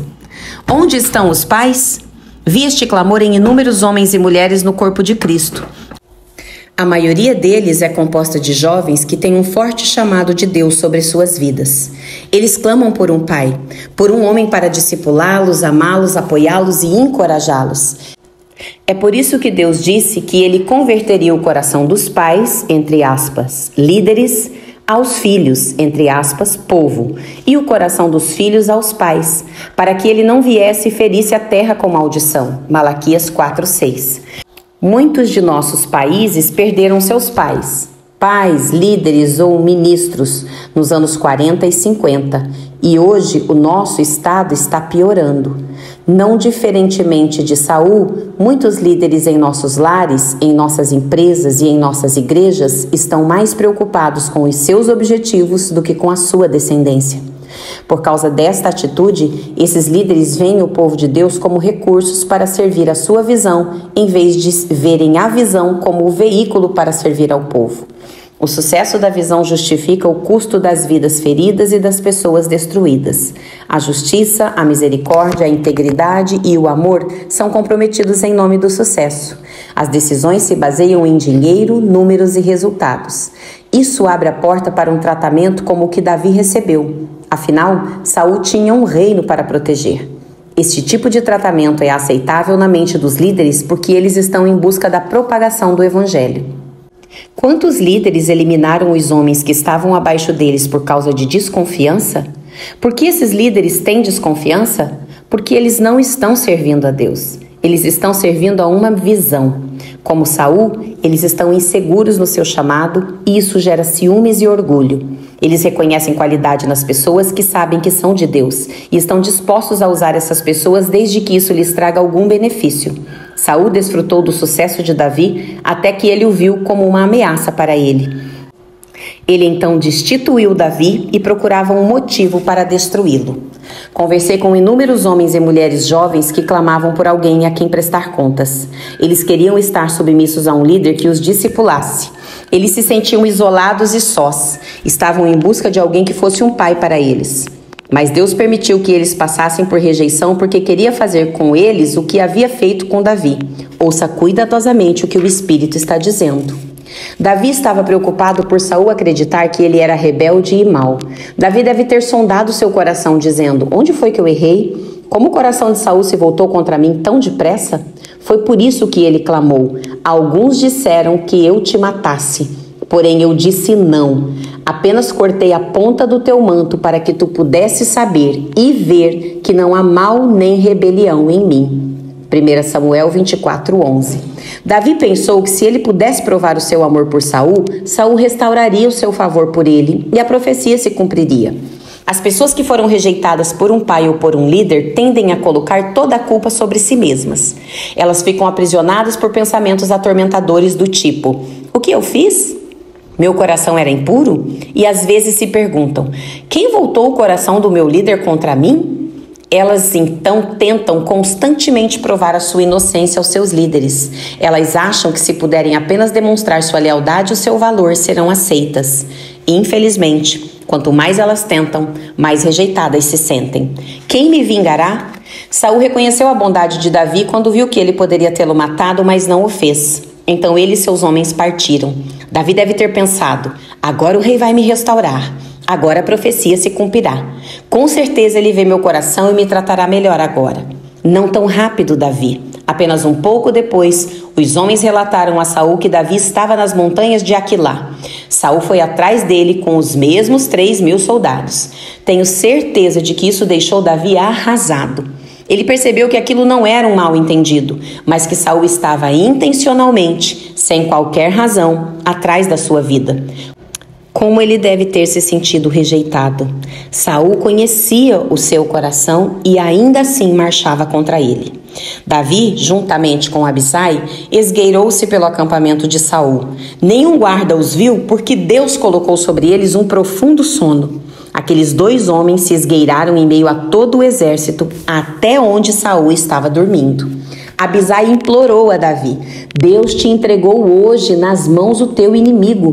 Deixa-me, pois, agora encravá-lo com a lança ao chão de um só golpe. Não será preciso o segundo. 1 Samuel 26, 8. Abisai tinha boas razões para achar que Davi devia permitir que ele matasse Saul. Em primeiro lugar, Saul havia assassinado 85 sacerdotes inocentes e suas famílias a sangue frio. Em segundo lugar, ele havia saído com um exército de 3 mil guerreiros para matar Davi e seus seguidores. Se você não matar o inimigo primeiro, pensou Abisai, ele certamente o matará. Isso é defesa própria. Qualquer tribunal concordará com isso.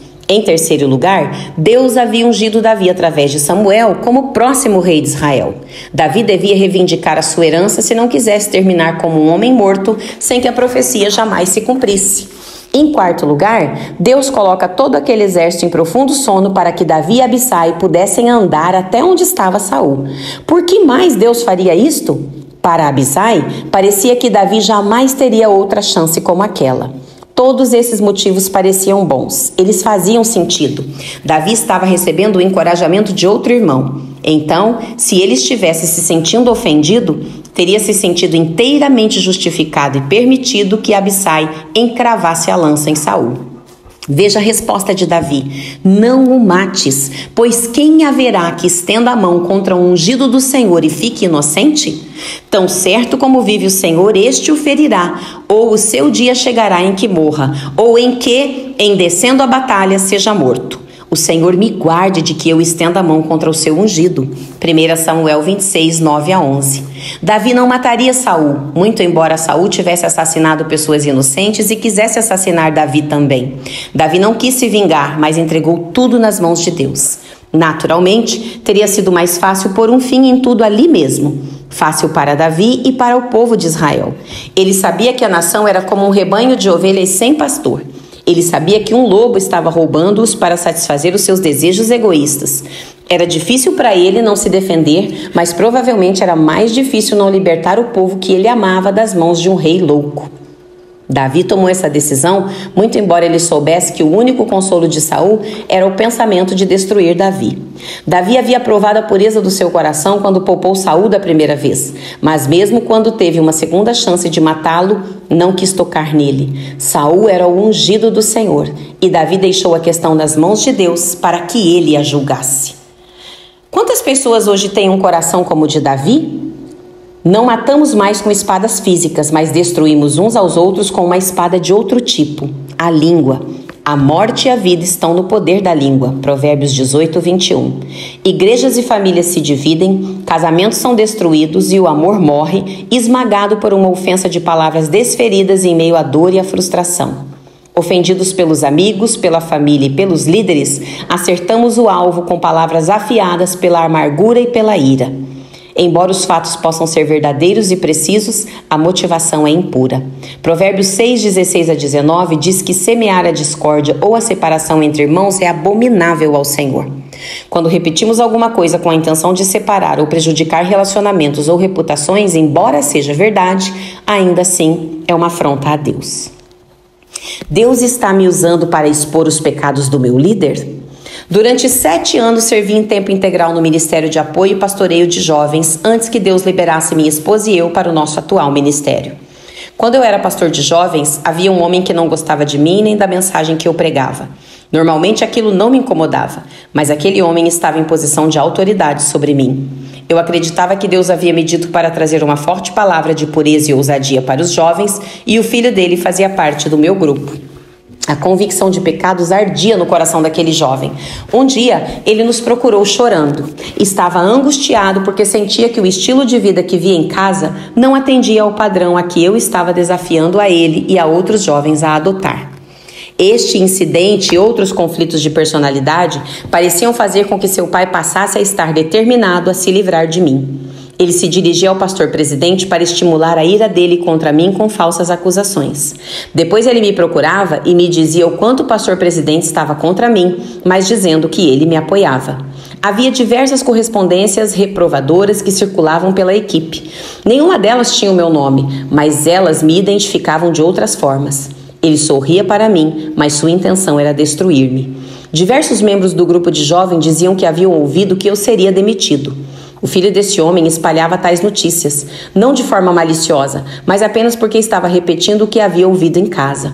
Eu estava zangado e confuso. Fui procurar aquele homem e ele admitiu ter dito isso, mas disse que estava apenas repetindo o pensamento do pastor presidente. Meses se passaram e parecia que nada conseguia aliviar a situação. Eu tinha até cortado todos o contato entre meu pastor presidente e eu. Isso não acontecia comigo somente, mas com todos os pastores que não agradavam aquele homem. Minha família estava sob pressão constante, sem nunca saber se permanecíamos na igreja ou se seríamos colocados para fora. Tínhamos comprado uma casa, minha esposa estava grávida e não tínhamos para onde ir. Eu não queria distribuir currículos. Sabia que Deus havia me levado para aquela igreja e permanecia ali sem ter um plano B.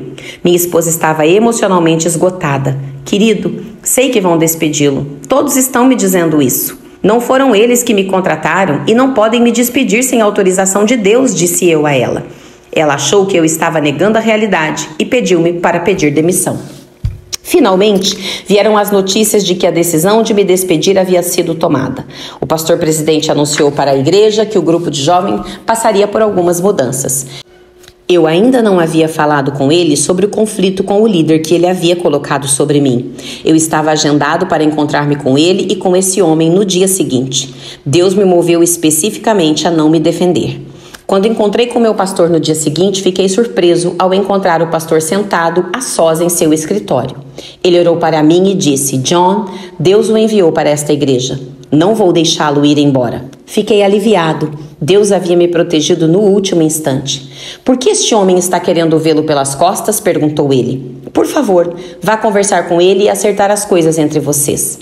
Pouco depois daquela reunião, recebi uma prova por escrito de uma decisão que o líder havia tomado com relação à minha área de responsabilidade. Ela expunha os verdadeiros motivos dele. Eu estava pronto para levá-la ao pastor presidente. Naquele dia, medi meus passos e orei por 45 minutos, tentando superar o sentimento de desconforto que tinha. Eu dizia: Deus, este homem tem sido desonesto e mau. Isto precisa ser exposto. Ele é uma força destrutiva neste ministério. Preciso dizer ao pastor como ele realmente é.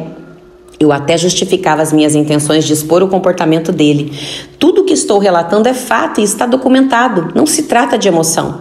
Se ele não for impedido, a sua maldade se infiltrará por toda esta igreja. Finalmente frustrado, disse: Deus, o Senhor não quer que eu exponha o comportamento deste homem, não é? Quando eu disse estas palavras, a paz de Deus inundou meu coração. Sacudi a cabeça impressionado. Eu sabia que Deus não queria que eu fizesse nada, então joguei a prova fora. Mais tarde, quando pude olhar para a situação de forma mais objetiva, percebi que eu queria me vingar mais do que proteger qualquer pessoa do ministério. Eu havia racionalizado a situação de forma a acreditar que meus motivos não eram egoístas. O tempo passou e um dia, quando eu estava orando fora da igreja antes do horário de culto, o homem entrou de carro no estacionamento da igreja. Deus me moveu a ir até ele e me humilhar. Imediatamente fiquei na defensiva. Não, Senhor, ele é que tem de vir até mim. Foi ele que causou todos os problemas. Continuei a orar, mas novamente o Senhor insistiu que eu fosse até ele imediatamente e me humilhasse. Eu sabia que era Deus. Liguei para ele do meu escritório e fui até a sua sala. Mas o que eu disse e a forma como disse foi muito diferente do que teria sido se Deus não tivesse tratado comigo. Com toda sinceridade, pedi que ele me perdoasse. Tenho sido crítico e julgador a seu respeito, confessei. Ele imediatamente amansou e conversamos por uma hora. Daquele dia em diante, seus ataques contra mim cessaram, embora ainda continuasse a existir um problema entre ele e os outros pastores. Seis meses depois, enquanto eu estava ministrando fora do país, todo o mal que aquele homem havia feito foi exposto para o pastor presidente. Não teve nada a ver comigo, mas com outras áreas do ministério. O que ele estava fazendo era muito pior do que eu sabia. Ele foi imediatamente demitido. O juízo havia chegado, mas não por minhas mãos. Exatamente aquilo que ele havia tentado fazer comigo aconteceu com ele. No entanto, quando aconteceu, não fiquei feliz. Lamentei por ele e por sua família. Eu entendi a sua dor. Eu mesmo havia passado por ela nas mãos dele. Por tê-lo perdoado seis meses antes, eu agora o amava e não queria aquilo para ele. Se ele tivesse sido despedido um ano, um ano antes, quando eu estava irado com ele, eu teria me alegrado. Eu não sabia que não estava realmente livre da ofensa que havia abrigado em meu coração. A humildade e a recusa em me vingar foram as chaves que me libertaram da prisão da ofensa. Um ano depois, eu o vi num aeroporto. Fui inundado pelo amor de Deus. Corri até onde ele estava e abracei-o. Fiquei sinceramente feliz quando ele me disse que as coisas iam bem com ele. Se eu nunca tivesse ido até ele me humilhado meses antes em seu escritório, eu não teria podido olhá-lo nos olhos naquele dia no aeroporto. Vários anos se passaram desde que o vi, mas só sinto amor e um desejo sincero de vê-lo dentro da vontade de Deus. Davi foi sábio quando decidiu deixar que Deus fosse o juiz de Saul. Você pergunta: quem Deus usou para julgar Saul? O seu servo? Os filisteus. Saul, juntamente com seus filhos, morreram lutando contra eles. Quando as notícias chegaram a Davi, ele não comemorou, ele chorou. O homem que havia matado Saul foi contar o que acontecera a Davi, gabando-se de ter matado seu inimigo. Ele esperava que a notícia fizesse com que ele ganhasse o favor de Davi, mas teve o efeito oposto. Como não temeste estender a mão para matares o ungido do Senhor? perguntou Davi, e ordenou que o homem fosse executado. 2 Samuel 1, 14 e 15. Então Davi compôs uma canção para o povo de Judá cantar em honra a Saul e a seus filhos. Ele pediu que o povo não a proclamasse nas ruas das cidades da Filístia, para que o inimigo não se alegrasse. Ele proclamou que não haveria chuva nem colheita no local onde Saul havia sido morto. Convocou todo Israel para chorar sobre Saul. Este não é o coração de um homem ofendido. Um homem ofendido teria dito: ele teve o que merecia. Davi foi ainda mais longe. Ele não matou a semente remanescente da casa de Saul. Em vez disso, demonstrou bondade para com eles. Deu terras e alimentos a eles e garantiu a um de seus descendentes um assento à mesa do rei. Isso lhe soa como uma atitude de um homem ofendido? Embora Davi tivesse sido rejeitado por aquele que deveria ter sido um pai para ele, ele permaneceu leal mesmo após a morte de Saul. É fácil ser leal a um líder ou um pai que ama, mas e quanto a alguém que está determinado a destruí-lo?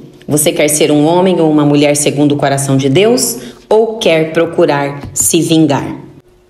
É justo Deus vingar os seus servos, mas é injusto os servos de Deus se vingarem. Senhor Bevir, acabo de ler o seu livro A Isca de Satanás hoje. Não consegui parar de ler. Este é certamente um dos melhores livros que já li. P.A. Missouri. Capítulo 5 Como nascem os errantes espirituais. O Senhor me guarde de que eu faça tal coisa a meu Senhor, isto é, que eu estenda a mão contra ele, pois é ungido do Senhor. Com estas palavras, Davi conteve os seus homens e não lhes permitiu que se levantassem contra Saul. 1 Samuel 24, 6 e 7. No capítulo anterior, vimos como Davi foi maltratado pelo homem que ele esperava ter como um pai. Davi continuou tentando entender o que havia feito de errado o que ele havia feito para voltar o coração de Saul contra ele e como poderia recuperá-lo. Ele provou a sua lealdade poupando a vida de Saul, embora ele buscasse agressivamente tirar a sua.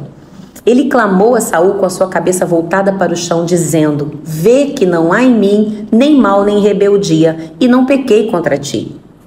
Quando Davi viu que havia demonstrado sua lealdade ao seu líder, sua mente foi aplacada. Mais tarde, ele soube de notícias ainda mais devastadoras.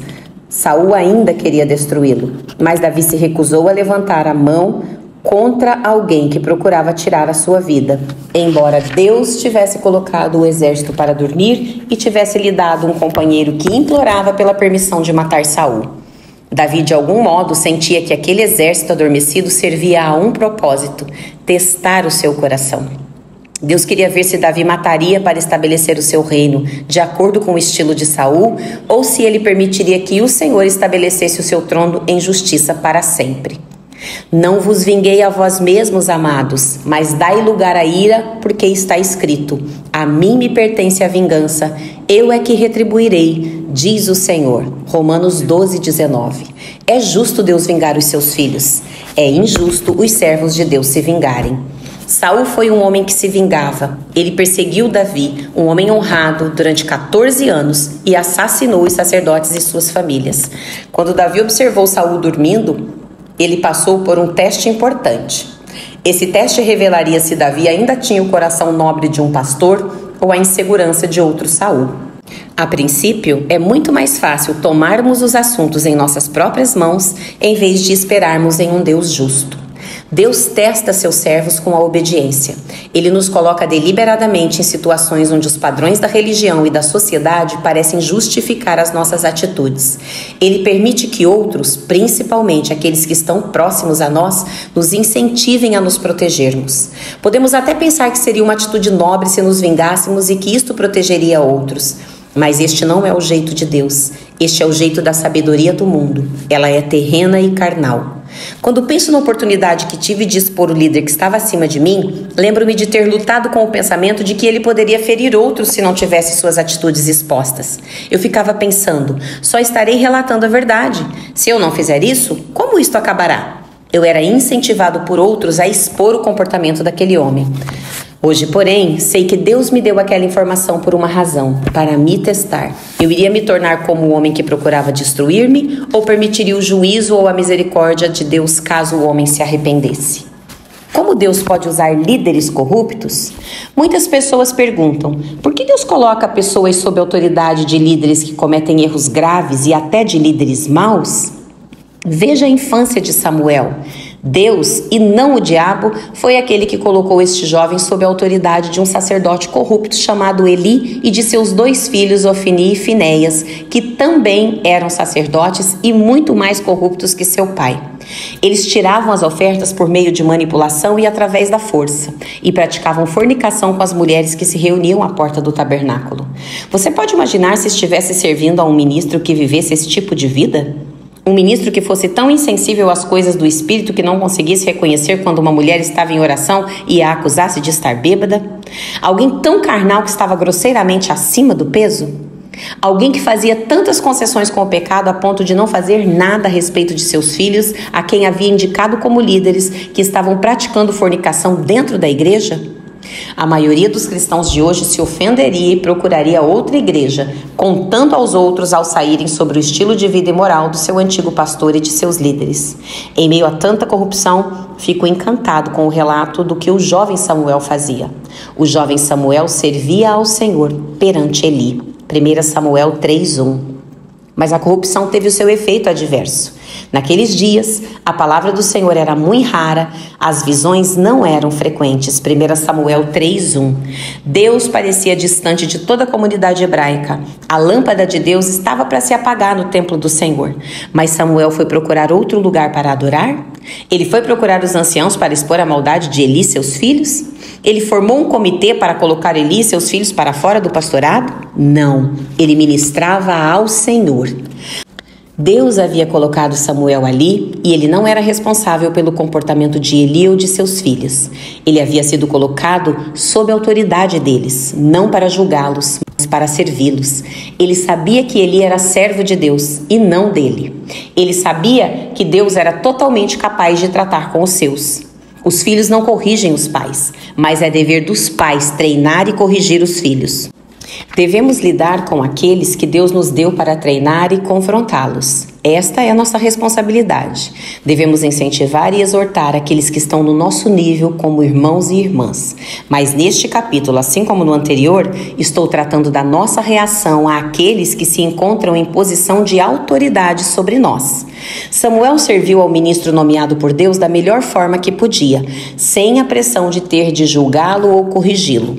A única vez que Samuel disse uma palavra de correção foi quando ele procurou por Samuel e lhe perguntou qual a profecia que Deus havia lhe dado na noite anterior.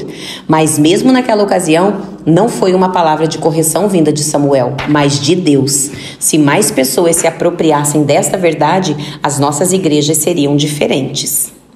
Igrejas não são lanchonetes. Hoje em dia, os homens e mulheres abandonam as igrejas imediatamente quando veem algo de errado com a liderança. Talvez seja a forma como o pastor tira ofertas, talvez seja a maneira como o dinheiro é gasto. Se não gostam do que o pastor prega, eles vão embora. Ou ele não é acessível, ou é íntimo demais. A lista é interminável. Em vez de enfrentarem as dificuldades e manterem a esperança, eles fogem para onde parece não haver conflitos. Vamos encarar a verdade. Jesus é o único pastor perfeito. Então, por que fugimos das dificuldades da igreja em vez de enfrentá-las e superá-las? Quando não atacamos esse conflito de frente, em geral saímos ofendidos. Às vezes dizemos que o nosso ministério profético não foi bem recebido. Então vamos de igreja em igreja procurando um lugar que tenha uma liderança impecável. Desde os últimos 14 anos até o dia de hoje em que escrevo este livro, fui membro de apenas duas igrejas em dois estados diferentes. Tive mais de duas oportunidades, na verdade, tive diversas, de me sentir ofendido com a liderança que estava acima de mim, a maioria das quais, devo acrescentar, foram causadas por minha própria culpa ou imaturidade. Tive a chance de me tornar crítico e julgador para com a liderança mas ir embora não era a solução.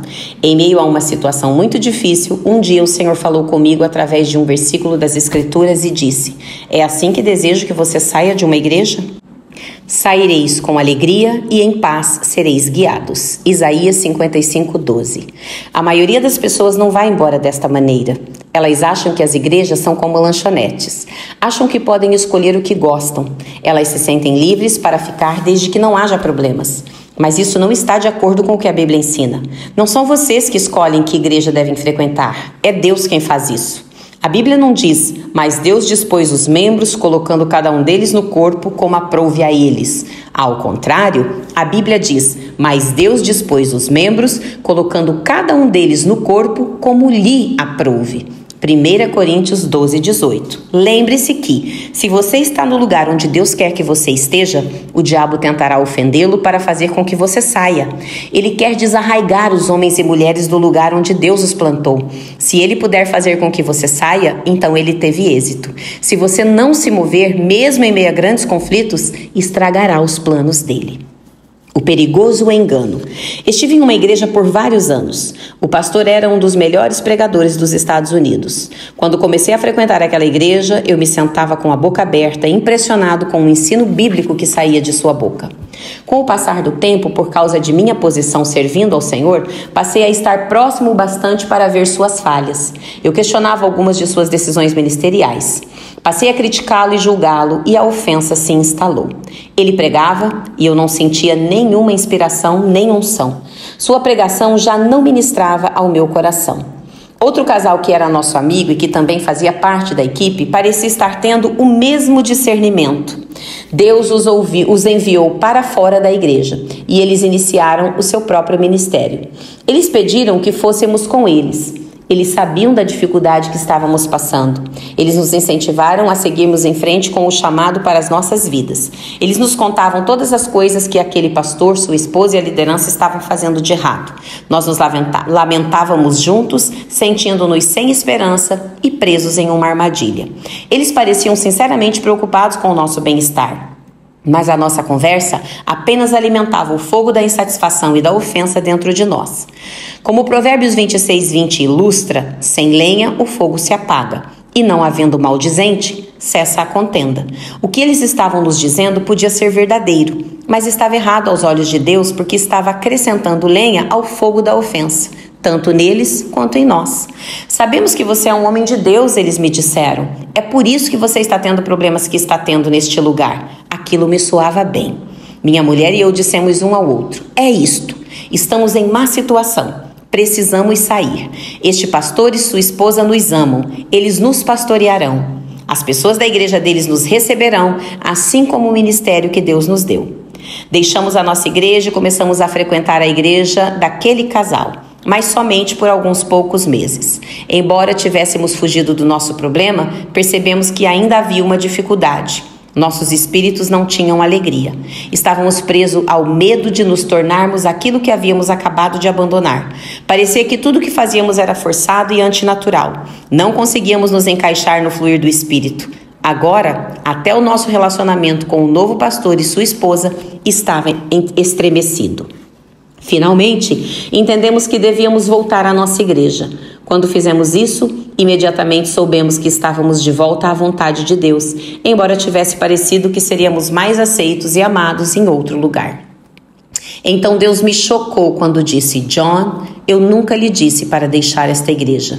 Você a deixou por estar ofendido. Não foi culpa do outro pastor nem da sua esposa, mas nossa. Eles entenderam a nossa frustração e estavam tentando solucionar os mesmos problemas no coração deles também. Quando você está fora da vontade de Deus, você não será uma bênção, nem será auxílio em nenhuma igreja. Quando você está fora da vontade de Deus, até os bons relacionamentos ficarão estremecidos. Nós estávamos fora da vontade de Deus. Pessoas ofendidas geralmente reagem à situação e fazem coisas que parecem certas, embora não sejam inspiradas por Deus. Não fomos chamados para reagir, mas para agir. Se somos obedientes a Deus e buscamos sua direção, mas ele parece não estar dizendo nada, você sabe qual é a resposta? Ele provavelmente está dizendo: fique onde está, não mude nada. Em geral, quando nos sentimos pressionados, buscamos uma palavra da parte de Deus que nos traga algum alívio. Contudo, Deus nos coloca nessas provas tão desconfortáveis para amadurecermos, para sermos refinados e para nos fortalecermos, e não para nos destruir. Após um mês, tive a oportunidade de me encontrar com o pastor de minha igreja antiga. Arrependi-me por ter sido crítico e rebelde. Ele graciosamente perdoou-me. O nosso relacionamento foi fortalecido e a alegria voltou ao meu coração. Imediatamente comecei a receber a ministração do pastor outra vez e permaneci naquela igreja por vários anos. Os que são plantados florescerão. A Bíblia diz no Salmo 92:13: Os que são plantados na casa do Senhor florescerão nos átrios do nosso Deus. Observe que aqueles que florescerão são plantados na casa do Senhor. O que acontece a uma planta se você mudá-la de vaso a cada três semanas? A maioria sabe que o sistema de raiz dela diminuirá e ela não irá florir nem crescer. Se você continuar mudando, a planta morrerá de choque. Muitas pessoas vão de igreja em igreja, de uma equipe ministerial a outra, tentando desenvolver o seu ministério. Se Deus as coloca em um lugar onde não são reconhecidas e encorajadas, elas ficam facilmente ofendidas. Se não concordam com o modo como alguma coisa é feita, elas se ofendem e vão embora, culpando a liderança. Estão cegas para as suas próprias falhas de caráter e não percebem que Deus queria refiná-las e amadurecê-las por meio da pressão sob a qual estavam. Vamos aprender com o exemplo que Deus nos dá com as plantas e as árvores. Quando uma árvore frutífera é colocada no solo, ela precisa enfrentar tempestades, sol quente e vento. Se uma árvore jovem pudesse falar, ela diria: Por favor, tire-me daqui. Coloque-me em um lugar onde não haja um calor intenso nem tempestades de vento. Se o jardineiro desse ouvidos à árvore, ele na verdade a prejudicaria. As árvores suportam o sol quente e as tempestades aprofundando suas raízes. A adversidade que enfrentam acaba se tornando a fonte de uma maior estabilidade. A dureza dos elementos que a cerca faz com que elas procurem outra fonte de vida. Um dia elas chegarão ao ponto em que até mesmo a maior das tempestades não poderá afetar a sua capacidade de dar frutos. Há muitos anos morei na Flórida, a capital das frutas cítricas. A maioria dos habitantes da Flórida sabe que quanto mais frio for o inverno, mais doces serão as laranjas. Se não fugíssemos tão rápido da resistência espiritual, nosso sistema de raízes teria uma chance de se tornar mais forte e mais profundo, e os nossos frutos seriam mais numerosos e mais doces aos olhos de Deus e mais agradável ao paladar do seu povo. Seríamos árvores maduras nas quais o Senhor tem prazer, em vez de de sermos árvores desarraigadas pela falta de frutos. Lucas 13, Lucas 13, de 6 a 9. Não devemos resistir àquilo que Deus nos enviou exatamente para nos fazer amadurecer. O salmista Davi, inspirado pelo Espírito Santo, fez uma relação poderosa entre a ofensa e a lei de Deus e o nosso crescimento espiritual. Ele escreveu no Salmo 1: Bem-aventurado o homem cujo prazer está na lei do Senhor e na sua lei medita de dia e de noite. No Salmo 119, 165, ele nos dá mais um discernimento sobre as pessoas que amam a lei de Deus. Grande paz tem os que amam ou têm prazer em tua lei, e nada os ofende. O versículo 3 do Salmo 1 finalmente descreve o destino dessa pessoa. Ele é como árvore plantada junto à corrente de águas, que no devido tempo dá seu fruto e cuja folhagem não murcha, e tudo quanto ele faz será bem sucedido. Em outras palavras, um crente que opta por ter prazer na palavra de Deus em meio à adversidade evitará ofender-se. Essa pessoa será como uma árvore cujas raízes se aprofundam para onde o Espírito fornece força e alimento. Ela os extrairá do poço de Deus cavado nas profundezas do seu espírito. Isso fará com que amadureça até o ponto em que a adversidade será o catalisador para a geração de frutos. Aleluia! Agora, chegamos ao discernimento da interpretação de Jesus para a parábola do semeador. Assim também ocorre com a que foi semeada em solo pedregoso. São as pessoas que, ao ouvirem a palavra, logo a recebem com alegria. Entretanto, visto que não têm raízes em si mesmas, são de pouca perseverança. Ao surgir alguma tribulação ou perseguição por causa da palavra, rapidamente sucumbem, se escandalizam. Marcos 4, 16 e 17. Quando deixa o lugar que Deus escolheu para você, o seu sistema de raízes começa a definhar. Na próxima vez, será mais fácil fugir da adversidade porque você não criou raízes profundas. Você termina chegando ao ponto em que tem pouca força ou nenhuma para suportar as dificuldades ou a perseguição. Então você se torna um errante espiritual, perambulando de um lugar para o outro, desconfiado e com medo de que os outros o maltratem. Aleijado, Com sua capacidade de produzir verdadeiros frutos espirituais impedida, você se debate em uma vida centrada em si mesmo, comendo os restos dos frutos dos outros. Veja Caim e Abel, os primeiros filhos de Adão.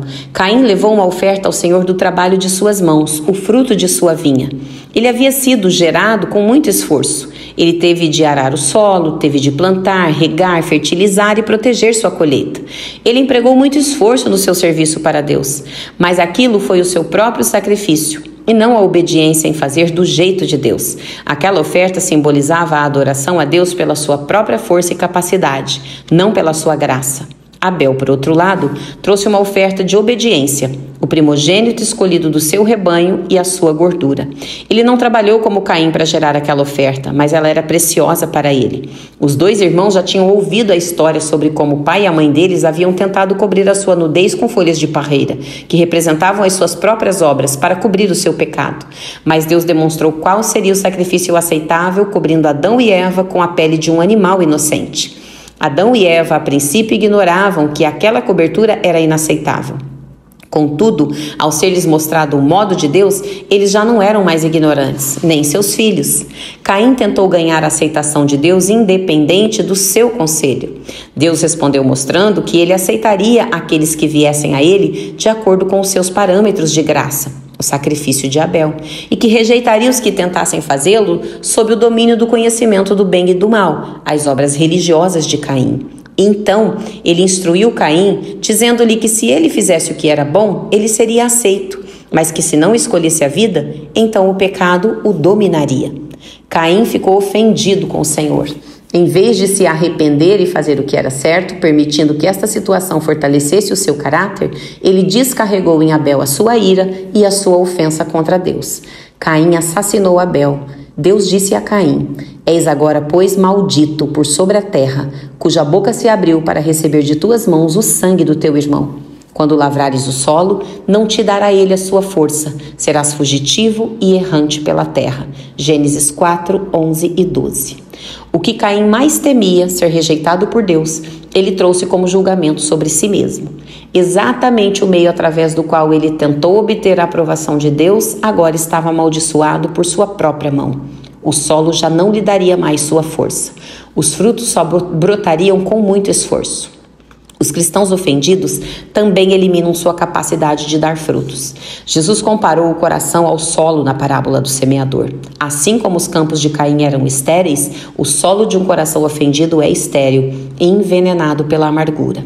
As pessoas ofendidas ainda podem ter experiências milagrosas, palavras de conhecimento, pregações fortes e cura em suas vidas, mas esses são dons do Espírito e não frutos. Seremos julgados de acordo com os nossos frutos e não de acordo com os nossos dons.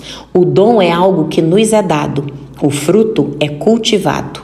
Observe que Deus disse a Caim que se tornaria um fugitivo e errante em consequência de seus atos. Existem inúmeros fugitivos e errantes espirituais em nossas igrejas atualmente. Seus dons de canto, pregação, profecia e daí por diante não são recebidos pela liderança da sua igreja anterior e assim lavam eles em busca de outro lugar. Correm sem rumo e carregam consigo uma ofensa, procurando aquela igreja perfeita que receberá seus dons e curará suas feridas. Eles se sentem esgotados e perseguidos, sentem-se como se fossem Jeremias dos dias atuais. Trata-se de só eles e Deus, com todos os outros contra eles. Tornam-se pessoas impossíveis de receber ensinamento. Passam a ter o que chamo de complexo de perseguição. Todos estão contra mim. Eles se consolam dizendo que são um santo ou um profeta de Deus que é vítima de perseguição. Desconfiam de todos e foi exatamente isso que aconteceu com Caim. Veja o que ele diz: Serei fugitivo e errante pela terra. Quem comigo se encontrar me matará. Gênesis 4:14. Veja que Caim tinha complexo de perseguição.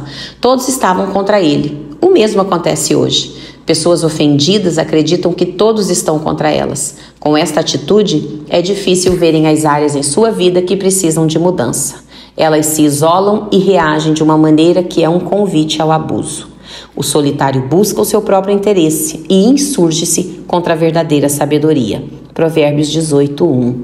Deus não nos criou para vivermos separados e independentes uns dos outros. Ele gosta quando seus filhos cuidam e sustentam uns aos outros. Ele fica frustrado quando ficamos de mau humor e sentimos pena de nós mesmos, achando que todos os outros são responsáveis pela nossa felicidade. Ele quer que sejamos membros ativos da família. Ele quer que extraiamos a nossa vida dele. Uma pessoa isolada procura satisfazer somente os seus próprios desejos e não a vontade de Deus. Ela não recebe conselho e se coloca em uma situação propícia ao engano. Não estou falando de ocasiões em que Deus separa alguns indivíduos para equipá-los e para restaurá-los. Estou falando daqueles que se colocaram em uma prisão. Eles perambulam de igreja em igreja, de relacionamento em relacionamento e se isolam no seu próprio mundo. Acham que todos que não concordam com eles estão errados e contra eles. Por isso se protegem no isolamento e sentem-se seguros no ambiente controlado que prepararam para si mesmos. Não precisam mais confrontar as suas próprias falas de caráter. Em vez de enfrentar as dificuldades, eles tentam fugir do teste. O desenvolvimento do caráter, que só acontece quando superamos os conflitos com os outros, é perdido enquanto o ciclo da ofensa começa mais uma vez. Aceitar uma ofensa nos impede de ver as nossas próprias falhas de caráter, porque a culpa é transferida para outra pessoa. Eu e minha esposa abrigamos muita falta de perdão e feridas por muitos anos. Chegamos ao ponto em que tínhamos poucos amigos e eu me sentia isolado e não amado, embora frequentasse fielmente uma excelente igreja. Então li o seu livro A Isca de Satanás e tudo mudou. Fiquei face a face com minhas ofensas e minha falta de perdão, e com a ajuda de Deus fui liberto. CG Belfast, Irlanda. Fugindo da realidade. Aprendem sempre e jamais podem chegar ao conhecimento da verdade. 2 Timóteo 3:7. Geralmente as pessoas me perguntam: quando devemos deixar uma igreja ou uma equipe ministerial? Até que ponto as coisas precisam chegar? Respondo: quem foi que o enviou para a igreja onde você congrega hoje? Na maioria das vezes elas respondem: Foi Deus quem me enviou. Se Deus o enviou, respondo: Não saia até que Deus o libere. Se o Senhor está em silêncio, em geral ele está dizendo: Não mude nada, não saia, fique onde eu o coloquei. Quando Deus o instruir a sair, você sairá em paz, independentemente da situação do ministério. Saireis com alegria e em paz sereis guiados. Isaías 55, 12. Portanto, a sua partida não deve se basear nas atitudes ou no comportamento dos outros, mas sim na direção do Espírito. Deixar um ministério não se baseia no quanto as coisas vão mal. Sair com um espírito ofendido ou crítico não é o plano de Deus. Isso é reagir em lugar de agir segundo a sua direção. Romanos 8,14 diz: Pois todos os que são guiados pelo Espírito de Deus são filhos de Deus. Observe que a palavra não diz: Pois todos os que reagem a situações difíceis são filhos de Deus. Quase todas as vezes que a palavra filho é usada no Novo Testamento, ela vem das duas palavras gregas teknon e ruios. Uma boa definição para a palavra teknon é alguém que é filho pelo simples fato do nascimento. Quando meu primeiro filho, Edson, nasceu, ele era filho de John Bevere pelo simples fato de ter vindo de minha esposa e de mim. Quando ele estava no berçário em meio a todos os outros recém-nascidos, não se podia reconhecê-lo como meu filho pela personalidade. Quando os amigos e a família vieram visitá-lo, eles não podiam identificá-lo a não ser pela etiqueta com o nome em cima do seu berço. Ele não possuía nada que o diferenciasse. Edson seria considerado um tecnon de John Elisa Bevere. Encontramos a palavra tecnon usada em Romanos 8, 15 e 16. Ali lemos que, porque recebemos o espírito de adoção, o próprio espírito testifica com o nosso espírito que somos filhos, tecnon, de Deus. Quando uma pessoa recebe Jesus Cristo como Senhor, ele é um filho de Deus pelo fato da experiência do novo nascimento. Ver João 1,12. A outra palavra grega traduzida como filhos no Novo Testamento é ruios. Ela é usada muitas vezes no Novo Testamento para descrever alguém que pode ser identificado como filho porque exibe o caráter ou as características de seus pais. À medida que meu filho Edson cresceu, ele começou a se, a se parecer com seu pai e a agir como ele. Quando Edson tinha seis anos, Lisa e eu fizemos uma viagem e o deixamos com meus pais. Minha mãe disse à minha esposa que Edson era quase uma cópia carbono de seu papai. A sua personalidade era como a minha quando eu tinha sua idade. À medida que ele foi crescendo, tornou-se mais semelhante a seu pai. Agora ele pode ser reconhecido como filho de John Bevere, não somente pelo fato de seu nascimento, mas também pelas características e por uma personalidade que se assemelha à de seu pai. Então, para simplificar, a palavra grega teknon significa bebês ou filhos imaturos, e a palavra grega ruios é usada com mais frequência para descrever filhos maduros. Voltando ao livro de Romanos 8,14, lemos o seguinte: Pois todos os que são guiados pelo Espírito de Deus são filhos ruios de Deus. Podemos ver claramente que são os filhos maduros que são guiados pelo Espírito de Deus. É menos provável que os cristãos imaturos sigam a direção do Espírito de Deus. Eles frequentemente reagem ou respondem emocionalmente ou intelectualmente às circunstâncias que enfrentam. Eles ainda não aprenderam a agir somente de acordo com a direção do Espírito de Deus. À medida que Edson cresce, ele avançará no desenvolvimento de seu caráter. Quanto mais maduro ele se tornar, mais responsabilidades confiarei a ele. É errado ele permanecer imaturo. Não é da vontade de Deus que permaneçamos bebês. Uma das formas de desenvolvimento do caráter de meu filho Edson foi enfrentar situações difíceis. Quando ele entrou para a escola, encontrou alguns valentões. Ouvi algumas coisas que esses garotos agressivos estavam fazendo e dizendo ao meu filho e quis ir até lá e resolver o assunto. Mas eu sabia que isto seria errado. Se eu intervisse, estaria impedindo o crescimento de Edson. Então minha esposa e eu continuamos a aconselhá-lo em casa, preparando-o para enfrentar as perseguições na escola. Ele cresceu em caráter ao obedecer aos nossos conselhos em meio ao seu sofrimento. Isso é semelhante ao que Deus faz conosco. A Bíblia diz: embora sendo filho, Ruiós aprendeu a obediência pelas coisas que sofreu. Hebreus 5:8. O crescimento físico é produto do tempo. Nenhuma criança de dois anos de idade mede 1,80 de altura. O crescimento intelectual é produto do aprendizado. Mas o crescimento espiritual não é produto do tempo nem do aprendizado, mas da obediência. Vejamos o que Pedro diz. Ora, tendo Cristo sofrido na carne, armai-vos também vós do mesmo pensamento, pois aquele que sofreu na carne deixou o pecado. 1 Pedro 4, 1. Uma pessoa que deixou o pecado é um filho de Deus perfeitamente obediente. Ele é maduro. Ele escolheu os caminhos de Deus e não os seus próprios caminhos. Assim como Jesus aprendeu a obediência pelas coisas que sofreu, aprendemos a obediência pelas circunstâncias difíceis que enfrentamos. Quando obedecermos à palavra de Deus que é dita pelo Espírito Santo, cresceremos e amadureceremos nos tempos de conflito e sofrimento. O nosso conhecimento das Escrituras não é a chave, a obediência, sim. Agora entendemos a razão porque temos pessoas na igreja que são cristãs há 20 anos, que podem citar versículos e capítulos da Bíblia, que ouviram milhares de sermões e que leram muitos livros, mas que ainda usam fraldas espirituais. Todas as vezes que elas se deparam com uma situação com situações difíceis, em vez de reagirem pelo espírito de Deus, procuram se proteger do seu próprio modo. Elas aprendem sempre e jamais podem chegar ao conhecimento da verdade. 2 Timóteo 3:7. Elas nunca chegam ao conhecimento da verdade porque não a aplicam. Se quisermos crescer e amadurecer, precisamos permitir que a verdade faça o que é preciso em nossas vidas. Não basta concordar mentalmente com ela sem obedecer. Embora continuemos aprendendo, jamais amadureceremos por causa da desobediência. A autopreservação. A ofensa é uma desculpa comum para a autopreservação através da desobediência. Há um falso senso de autoproteção ao abrigarmos uma ofensa no coração. Ela nos impede de ver as nossas próprias falhas de caráter porque a culpa é transferida para outra pessoa. Você nunca precisa enfrentar o seu papel, a sua imaturidade ou o seu pecado porque só vê as falhas do ofensor. Portanto, a tentativa de Deus de desenvolver o seu caráter através da oposição é desfeita.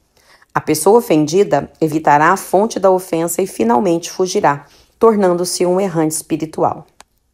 Recentemente, uma mulher contou-me a respeito de uma amiga que deixou uma igreja e começou a frequentar outra. Ela convidou o novo pastor para jantar. No curso da conversa, o pastor perguntou por que ela havia abandonado a primeira igreja. A mulher contou a ele todos os problemas da liderança de sua igreja anterior. O pastor ouviu e tentou consolá-la. Pela experiência, sei que teria sido sábio aquele pastor encorajar a mulher, com base na palavra de Deus, a lidar com a sua dor e com a sua atitude crítica. Se necessário, ele deveria ter sugerido que ela voltasse para sua igreja antiga até que Deus a liberasse em paz. Quando Deus o libera em paz, você não se sentirá pressionado a justificar a sua saída para os outros. Você não se sentirá pressionado a julgar ou expor de forma crítica os problemas de sua antiga igreja. Sei que era apenas questão de tempo até que ela reagisse àquele novo pastor e à sua liderança da mesma forma que havia feito com o primeiro. Quando retemos uma ofensa no coração, filtramos todas as coisas através dela. Existe uma antiga parábola que se encaixa nesta situação.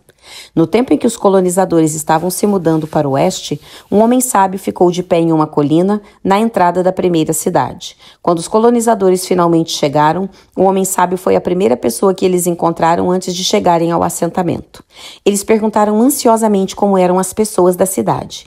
Ele respondeu com uma pergunta: Como eram as pessoas na cidade de onde vocês vieram? Alguns disseram: A cidade de onde viemos era má. As pessoas eram fofoqueiras, rudes e tiravam vantagem de pessoas inocentes. Estava cheia de ladrões e mentirosos. O sábio respondeu: Esta cidade é igual àquela de onde vocês vieram. Eles agradeceram o homem por poupá-los do problema de onde eles haviam acabado de sair. Então mudaram-se mais para o oeste. Então, outro grupo de colonizadores chegou e fez a mesma pergunta: Como é esta cidade? O sábio perguntou novamente: Como era a cidade de onde vocês vieram? E eles responderam: Era maravilhosa. Tínhamos amigos queridos, todos cuidavam dos interesses uns dos outros, nunca houve falta de nada, porque todos cuidavam uns dos outros. Se alguém tivesse um grande projeto, toda a comunidade se reunia para ajudar. Foi uma decisão difícil partir, mas nos sentimos impelidos a abrir caminho para as futuras gerações, vindo para o oeste como pioneiros. O sábio disse a eles exatamente o que havia dito ao outro grupo. Esta cidade é igual àquela de onde vocês vieram.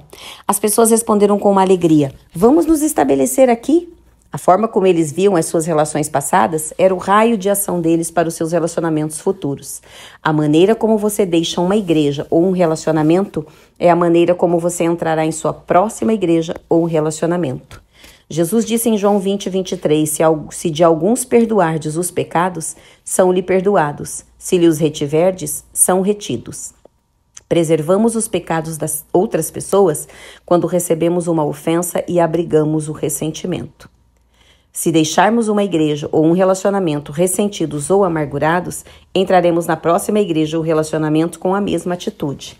Logo, será mais fácil deixar o nosso próximo relacionamento quando os problemas surgirem, pois estaremos lidando não apenas com as mágoas que ocorreram no novo relacionamento, mas também com as mágoas do nosso relacionamento anterior.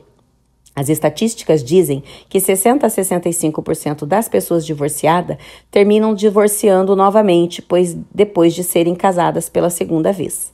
A forma como uma pessoa deixa o seu primeiro casamento determina o caminho para o seu segundo casamento. A falta de perdão que ela guarda contra o seu primeiro parceiro é um obstáculo para o seu futuro com o segundo.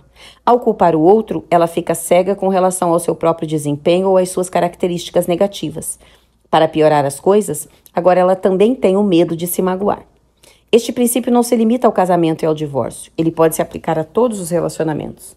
Um homem que havia trabalhado anteriormente para outro ministro veio trabalhar para nossa equipe ministerial. Ele havia sido magoado por seu antigo líder, mas o tempo havia passado e senti que o Senhor estava me dirigindo a chamá-lo para vir trabalhar conosco. Acreditei que ele estava no processo de superar aquela mágoa. Telefonei para o seu antigo empregador e compartilhei com ele os meus planos de trazê-lo para a nossa equipe. Ele me encorajou e achou que aquela era uma boa iniciativa porque ele sabia que eu me importava com ambos. Ele acreditava que a cura poderia ser concluída enquanto ele trabalhasse para nós. Eu disse a ambos que minha oração era em prol da restauração e da cura do relacionamento deles.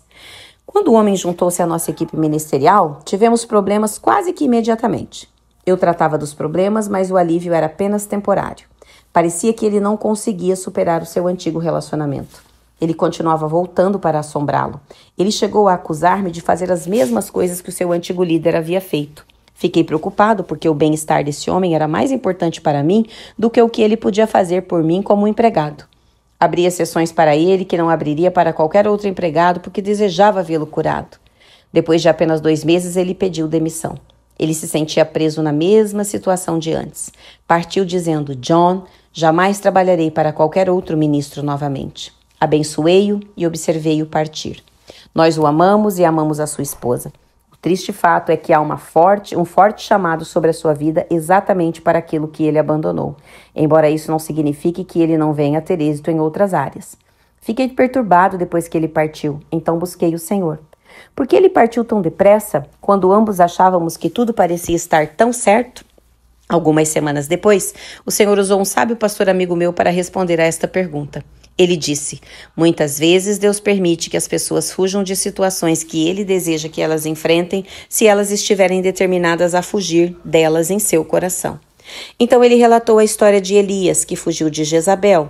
Ver 1 Reis 18, 19. Ele havia acabado de executar os profetas de Baal e de Azera. Eles eram homens que haviam levado a nação à idolatria e que haviam comido a mesa de Jezabel. Quando Jezabel ouviu isto, ela ameaçou matar Elias dentro de 24 horas. Deus queria que Elias a confrontasse, mas em vez disso ele fugiu. Ele estava tão desanimado que orou pedindo para morrer. Ele não estava em condições de cumprir a sua tarefa. Deus enviou um anjo para alimentá-lo com dois bolos e permitiu que ele fugisse por 40 dias e 40 noites até o Monte Horebe. Quando ele chegou, a primeira coisa que Deus perguntou foi: O que fazes aqui, Elias? Aquela parecia uma pergunta estranha. O Senhor havia lhe dado a comida para a jornada, permitindo que ele fosse somente para perguntar-lhe quando chegasse: O que fazes aqui? Deus sabia que Elias estava determinado a fugir daquela situação difícil, então ele o permitiu, embora fique óbvio, de acordo com a sua pergunta, que aquele não era o seu plano inicial. Então ele disse a Elias: Vai, volta o teu caminho para o deserto de Damasco, e em chegando lá, a Jeú, filho de Níncia, ungirás rei sobre Israel, e também Eliseu, filho de Cefate, de Abel Meolá, ungirás profeta em teu lugar. 1 Reis 19, 15 e 16. Sob o ministério de Eliseu e de Jeú, esta rainha cruel e o seu sistema maligno foram destruídos. 2 Reis 9 e 10. Esta atribuição não foi concluída por Elias, mas pelos sucessores que Deus o mandou ungir em seu lugar. O pastor me disse: se estivermos tão determinados em nosso coração a não enfrentarmos as situações difíceis, Deus realmente nos liberará, embora esta não seja a sua perfeita vontade. Mais tarde, lembrei-me de um incidente em Números 22 que ilustra este mesmo ponto. Balaão queria amaldiçoar Israel porque queria receber grandes recompensas se o fizesse. Ele perguntou ao Senhor da primeira vez se poderia ir, e Deus lhe disse, Deus lhe mostrou que a sua vontade era que Balaão não fosse. Quando os príncipes de Moabe retornaram com mais dinheiro e honras, Balaão foi buscar a Deus novamente. É ridículo pensar que Deus mudaria de ideia agora porque havia mais dinheiro e mais honras para Balaão envolvidos. Mas desta vez, Deus lhes disse para ir com eles. Ora, por que Deus mudou de ideia? A resposta é que Deus não mudou de ideia. Balaão estava tão determinado a ir que Deus deixou-o ir. Foi por isso que a sua ira levantou-se contra Balaão quando ele foi. Podemos amolar o Senhor com relação a, algo, a alguma coisa quanto a qual ele já nos mostrou qual é a sua vontade. Então, ele permitirá que façamos o que queremos, mesmo quando isto for contra o seu plano original, mesmo quando não for para o nosso bem.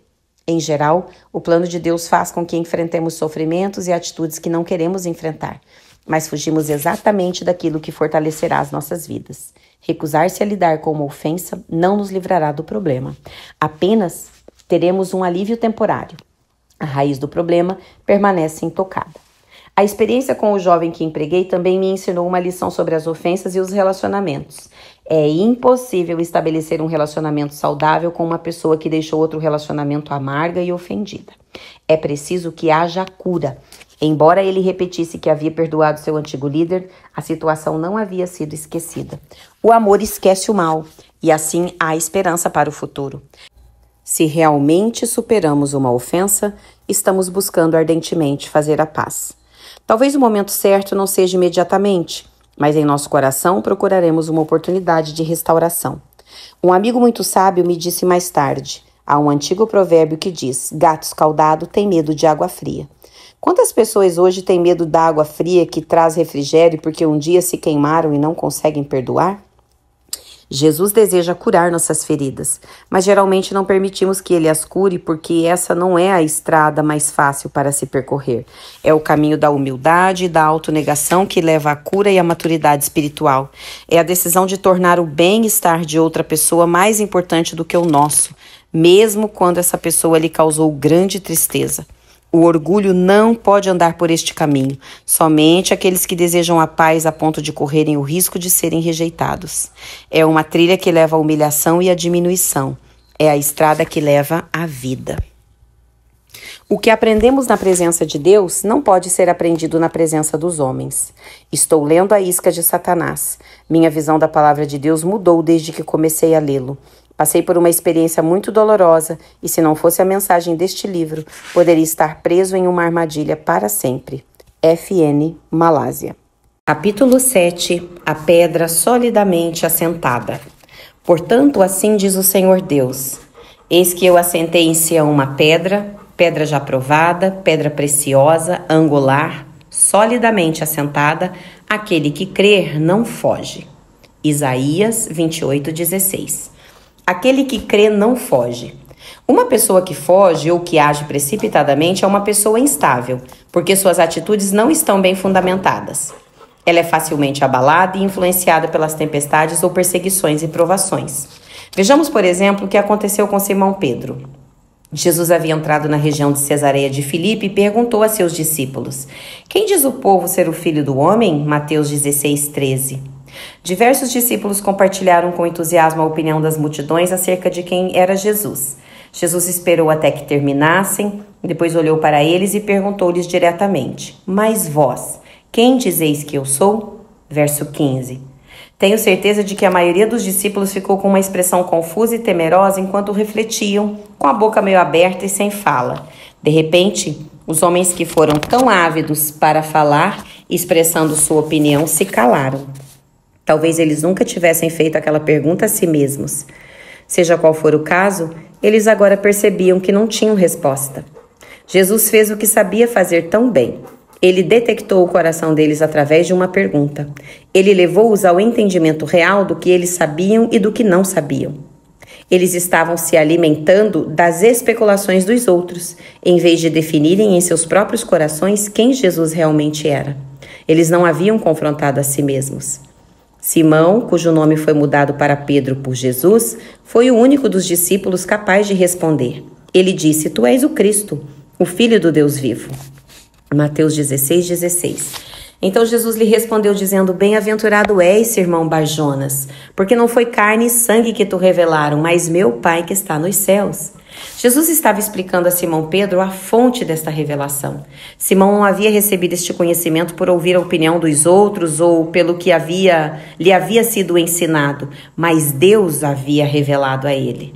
Simão Pedro tinha muita fome pelas coisas de Deus.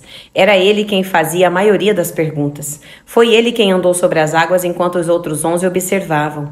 Era ele um homem que não se contentava com a opinião dos outros. Ele queria ouvir diretamente da boca de Deus. Este conhecimento revelado de Jesus não veio por meio dos seus sentidos, mas foi um dom, iluminado em seu coração em resposta à sua fome. Muitos haviam visto e testemunhado que Simão Pedro viu e testemunhou, mas seus corações não tinham tanta fome de conhecer a vontade de Deus quanto o de Pedro. 1 João 2,27 diz: A unção que dele recebestes permanece em vós, e não tendes necessidade de que alguém vos ensine, mas com a sua unção vos ensina a respeito de todas as coisas, e é verdadeira, e não é falsa, como também ela vos ensinou. Essa unção estava ensinando a Simão Pedro. Ele ouviu o que todos os outros tinham a dizer e depois olhou para dentro de si para ver o que Deus lhe havia revelado. Quando você recebe conhecimento revelado de Deus, ninguém pode lhe influenciar. Quando Deus revela algo a você, não importa o que o mundo inteiro diga, ninguém pode mudar o seu coração. Então Jesus disse a Simão Pedro e ao resto dos discípulos: Sobre esta pedra de conhecimento revelado por Deus, edificarei a minha igreja, e as portas do inferno não prevalecerão contra ela. Assim, vemos claramente que existe uma pedra solidamente assentada na palavra de Deus revelada. Neste caso, foi a compreensão de Pedro de que Jesus era o Filho de Deus. A palavra é iluminada. Com frequência, digo às congregações e às pessoas quando estou pregando que ouçam a voz de Deus dentro da minha voz. Frequentemente estamos tão ocupados fazendo anotações que só registramos aquilo que é dito. Isso produz um entendimento mental das, das escrituras e da sua interpretação. Repito, um conhecimento mental. Quando possuímos apenas conhecimento mental, duas coisas podem acontecer. Uma, nos tornamos facilmente suscetíveis ao exagero ou ao emocionalismo. Ou dois, ficamos presos ao nosso intelecto. Mas este não é o firme fundamento sobre o qual Jesus edifica a sua igreja. Ele disse que ela seria edificada sobre a palavra revelada e não apenas sobre versículos decorados. Quando ouvimos ministros ungidos pregarem, ou quando lemos um livro, devemos procurar as palavras ou frases que explodem em nosso espírito. Esta é a palavra que Deus está revelando a nós. Ela transmite luz e entendimento espiritual. Como disse o salmista, a revelação da tua palavra esclarece e dá entendimento ao simples. Salmo 119, 130. É a sua palavra em nossos corações e não em nossas mentes que ilumina e esclarece. Geralmente, um ministro pode estar falando de um assunto, mas Deus pode estar iluminando algo inteiramente diferente em meu coração. Por outro lado, Deus pode ungir exatamente as palavras daquele ministro e as explodirem dentro de mim. De uma forma ou de outra, ela é a palavra de Deus revelada a mim. É isto que nos transforma de simples, vazios de entendimento, a maduros, cheios de entendimento. Esta palavra iluminada em nossos corações é a pedra sobre a qual Jesus disse que a sua igreja seria edificada. Jesus comparou a palavra de Deus revelada a uma pedra a pedra fala de estabilidade e força. Lembramos da parábola das duas casas, uma construída sobre a rocha e a outra sobre a areia. Quando as adversidades, como perseguição, tribulação e aflição, vieram contra as duas casas, a casa construída sobre areia foi destruída, enquanto a casa construída sobre a rocha permaneceu de pé. Algumas coisas que precisamos ouvir de Deus não podem ser encontradas na Bíblia. Por exemplo, com quem devemos nos casar? Onde devemos trabalhar? Em que igreja devemos congregar? E a lista continua. Precisamos ter a palavra de Deus revelada para essas decisões também. Sem ela, as nossas decisões estarão fundamentadas em terreno instável. O que Deus revela pelo seu Espírito não pode ser tirado de nós. Este deve ser o fundamento de tudo o que fazemos. Sem ele, ficaremos facilmente escandalizados pelas provações e tribulações que nos pegam de surpresa. Lembre-se novamente do que Jesus disse sobre a palavra ser ouvida e recebida com entusiasmo, mas sem criar raízes em nosso coração. Ela foi recebida com alegria na mente e nas emoções. São as pessoas que, ao ouvirem a palavra, logo a recebem com alegria. Entretanto, visto que não têm raízes em si mesmas, são de pouca perseverança. Ao surgir alguma tribulação ou perseguição por causa da palavra, rapidamente sucumbem. Marcos 4, 16, 17. Podemos facilmente trocar a palavra raízes por fundamentos, pois ambas indicam o estabilizador e a fonte de força de uma planta ou estrutura. Uma pessoa que não está estabilizada ou fundamentada na palavra de Deus revelada é um candidato em potencial a se deixar levar pela tempestade da ofensa. Quantas pessoas são exatamente como os discípulos que Jesus confrontou? Elas vivem do que ouviram outras pessoas pregarem ou dizerem. As opiniões ou declarações dos outros são tomadas como verdadeiras, sem buscarem o conselho ou testemunho do Espírito. Só podemos viver e proclamar o que nos é revelado por Deus. É sobre isto que Jesus edifica a sua igreja. Certa vez, tive uma secretária solteira que estava namorando um jovem que também trabalhava para a igreja. Eles estavam se tornando mais próximos a cada dia. Todos podiam ver que aquele relacionamento ia terminar em casamento. Eles já estavam discutindo o assunto seriamente. Em uma noite de sábado, o pastor presidente os chamou e disse: Assim diz o Senhor, vocês dois vão se casar. Na manhã seguinte, minha secretária entrou no escritório andando nas nuvens. Ela estava muito entusiasmada. Ela me perguntou se eu faria a cerimônia de casamento deles, e eu disse que ficaria muito honrada em fazê-lo. Marquei uma data para reunir-me com eles para aconselhamento. Mas eu estava inquieto. Quando eles entraram em meu escritório, meu espírito se perturbou. Olhei para minha secretária e perguntei se ela sabia que aquele jovem era a pessoa que Deus havia escolhido para ela. Ela respondeu um sim, entusiasmado e definitivo. Então olhei para ele e perguntei: Você acredita que é a vontade de Deus que você se case com esta moça? Ele olhou então para mim, com a boca entreaberta por um instante, depois baixou a cabeça e sacudiu-a como se dissesse: Não, não estou seguro. Olhei para ambos e depois disse ao jovem: Não vou casar vocês. Não importa quem profetizou sobre a vida de vocês, nem o que foi dito. Não importa quantas pessoas possam ter dito, vocês formam um lindo casal. Se Deus não revelou isso em seu coração, não faz sentido prosseguir com este casamento. Se você se casar sem que Deus tenha revelado que esta é a sua perfeita vontade, prosseguir. Quando as tempestades vierem, e elas virão, você terá dúvidas. E se eu tivesse me casado com outra garota, será que teria os mesmos problemas? Eu deveria ter tido certeza de que era a vontade de Deus. Sinto-me preso em uma armadilha. Então, o seu coração ficará esgotado e você não conseguirá lutar contra as adversidades que atacarão o seu casamento. Você será um homem indeciso e instável em todos os seus caminhos. Eu me despedi deles e disse que não havia motivo para nos reunirmos novamente. Ele ficou aliviado. Ela ficou muito desapontada. Durante a semana seguinte, as coisas ficaram muito desconfortáveis em nosso escritório, mas eu sabia que havia falado a verdade. Aquele foi um tempo de teste para ela. Se Deus tivesse realmente dito a ela que aquele homem era seu marido, ela teria de confiar que o Senhor revelaria isso a ele, sem se ofender comigo nem com Deus. Eu disse a ela para dar um tempo a ele e para permitir que ele tivesse espaço para ouvir Deus. Ela obedeceu. Três semanas se passaram e eles pediram outra reunião. Imediatamente tive um sentimento de alegria.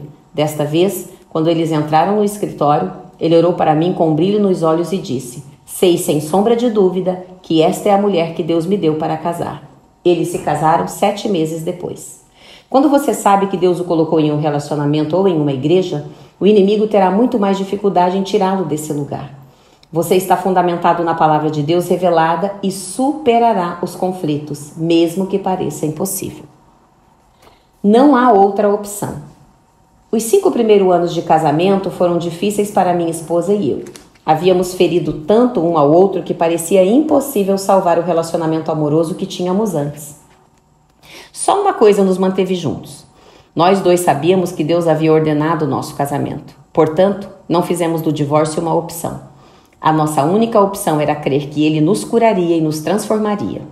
Ambos nos comprometemos com este processo, independentemente do quanto ele fosse doloroso. Quando pensava em desistir, eu me lembrava das promessas que Deus havia me dado com relação ao nosso casamento. Eu não estava pronto para anular o que Deus havia projetado e decretado para a nossa união. Uma das promessas era de que minha esposa e eu ministraríamos juntos. Nessa época em que ele fez essa promessa, pensei: posso ver isso facilmente. A sua mão está sobre nós dois para o ministério. Contudo, em meio às nossas tempestades matrimoniais, não conseguia mais ver a promessa claramente, mas me recusava a desistir dela.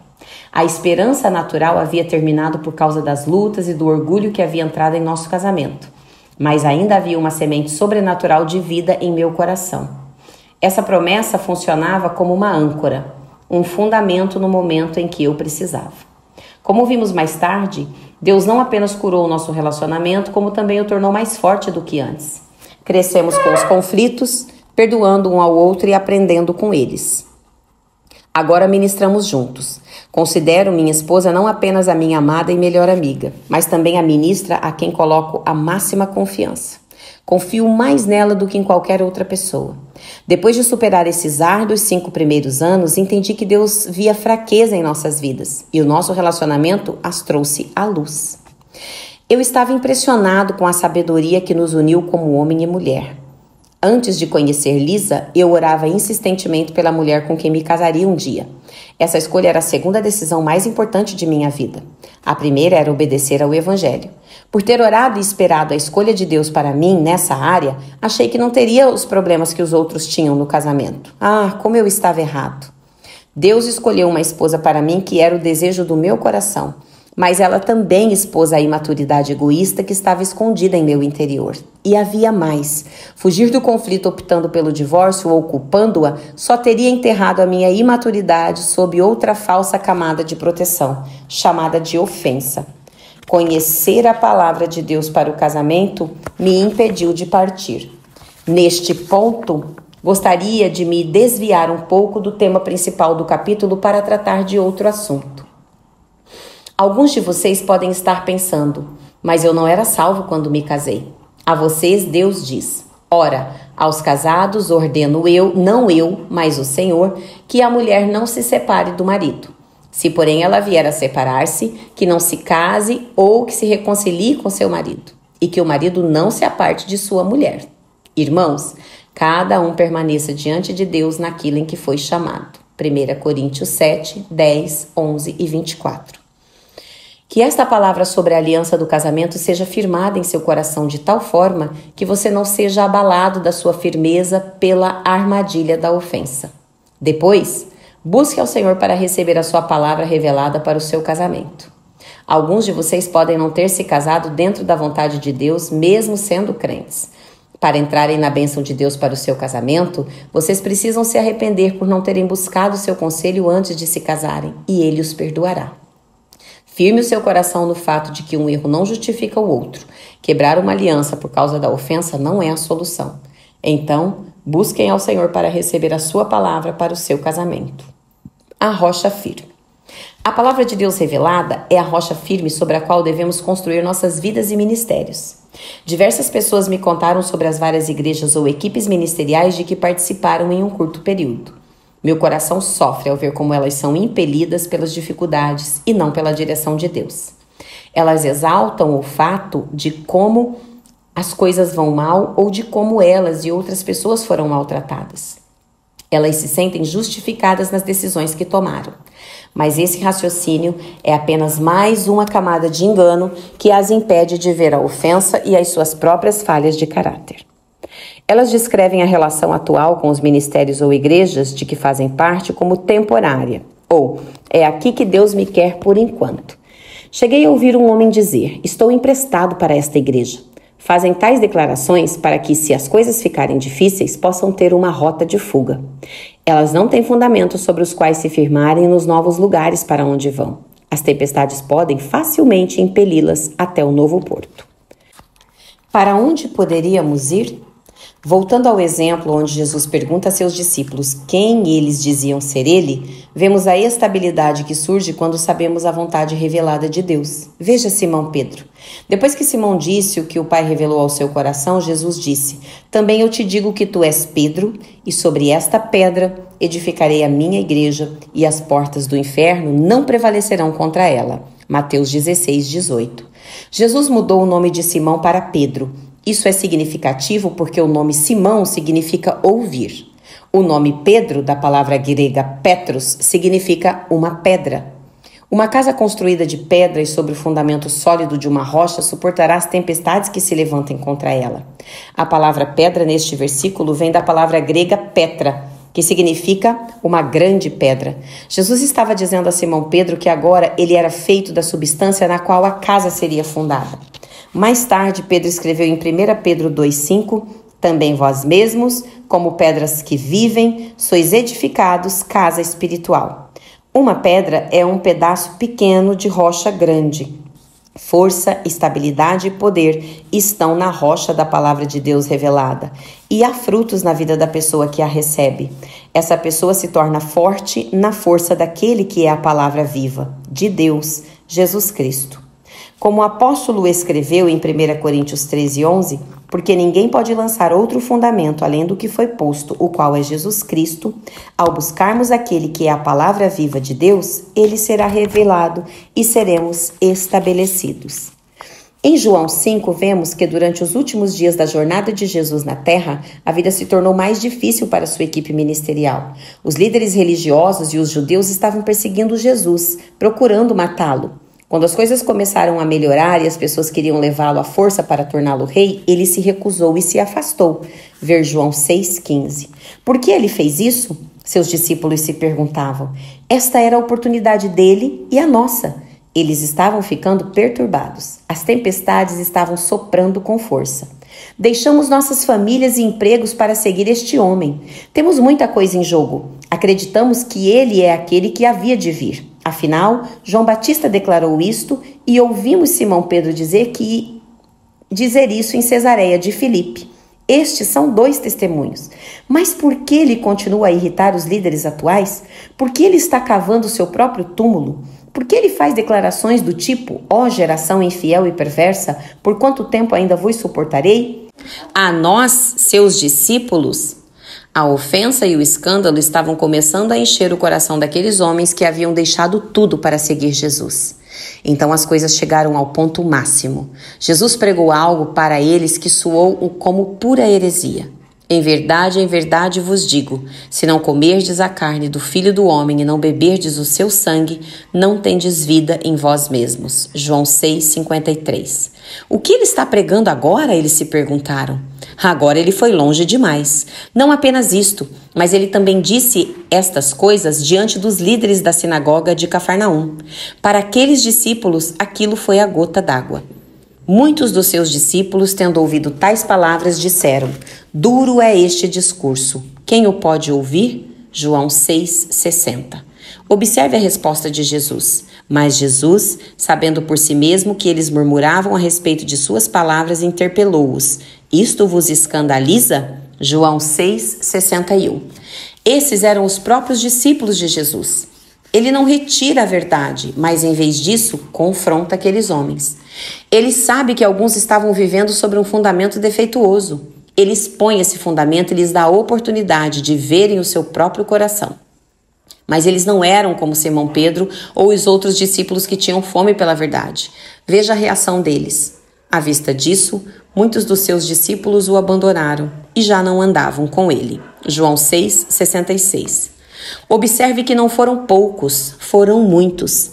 Alguns, sem dúvida, eram os mesmos que foram tão rápidos em dizer antes em Cesareia de Filipe. Uns dizem João Batista, outros Elias e outros Jeremias ou algum dos profetas. Mateus 16, 14. Eles não estavam fundamentados na palavra de Deus revelada. O escândalo cresceu a ponto deles fazerem o que muitos fazem hoje: fugir. Eles acharam que haviam sido enganados e maltratados, mas isso não era verdade. Eles não enxergaram a verdade porque seus olhos estavam focados nos seus próprios desejos egoístas. Agora, vejamos o que acontece com Simão Pedro quando Jesus confronta os doze. Então Jesus perguntou aos doze: Porventura quereis vós também vos retirar-vos? Respondeu-lhe Simão Pedro: Senhor, para quem iremos? Tu tens as palavras de vida eterna, e nós temos crido e conhecido que tu és o Santo de Deus. João 6, 67 a 69. Jesus não implorou aqueles homens, por favor, não vão embora. Acabo de perder muito da minha equipe. Como eu poderia ir em frente sem vocês? Não. Ele os confrontou. Vocês também querem partir? Observe como Simão responde, embora ele estivesse lutando com a oportunidade de se escandalizar tanto quanto os outros. Senhor, a quem iremos? O que ele ouviu deve tê-lo confundido, mas havia um conhecimento nele que os outros não possuíam.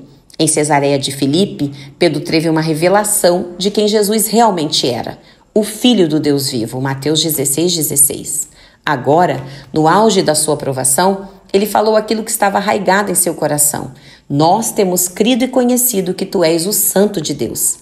Essas são as mesmas palavras que ele disse em Cesareia de Filipe. Ele era uma pedra firmada na rocha firme da palavra viva de Deus.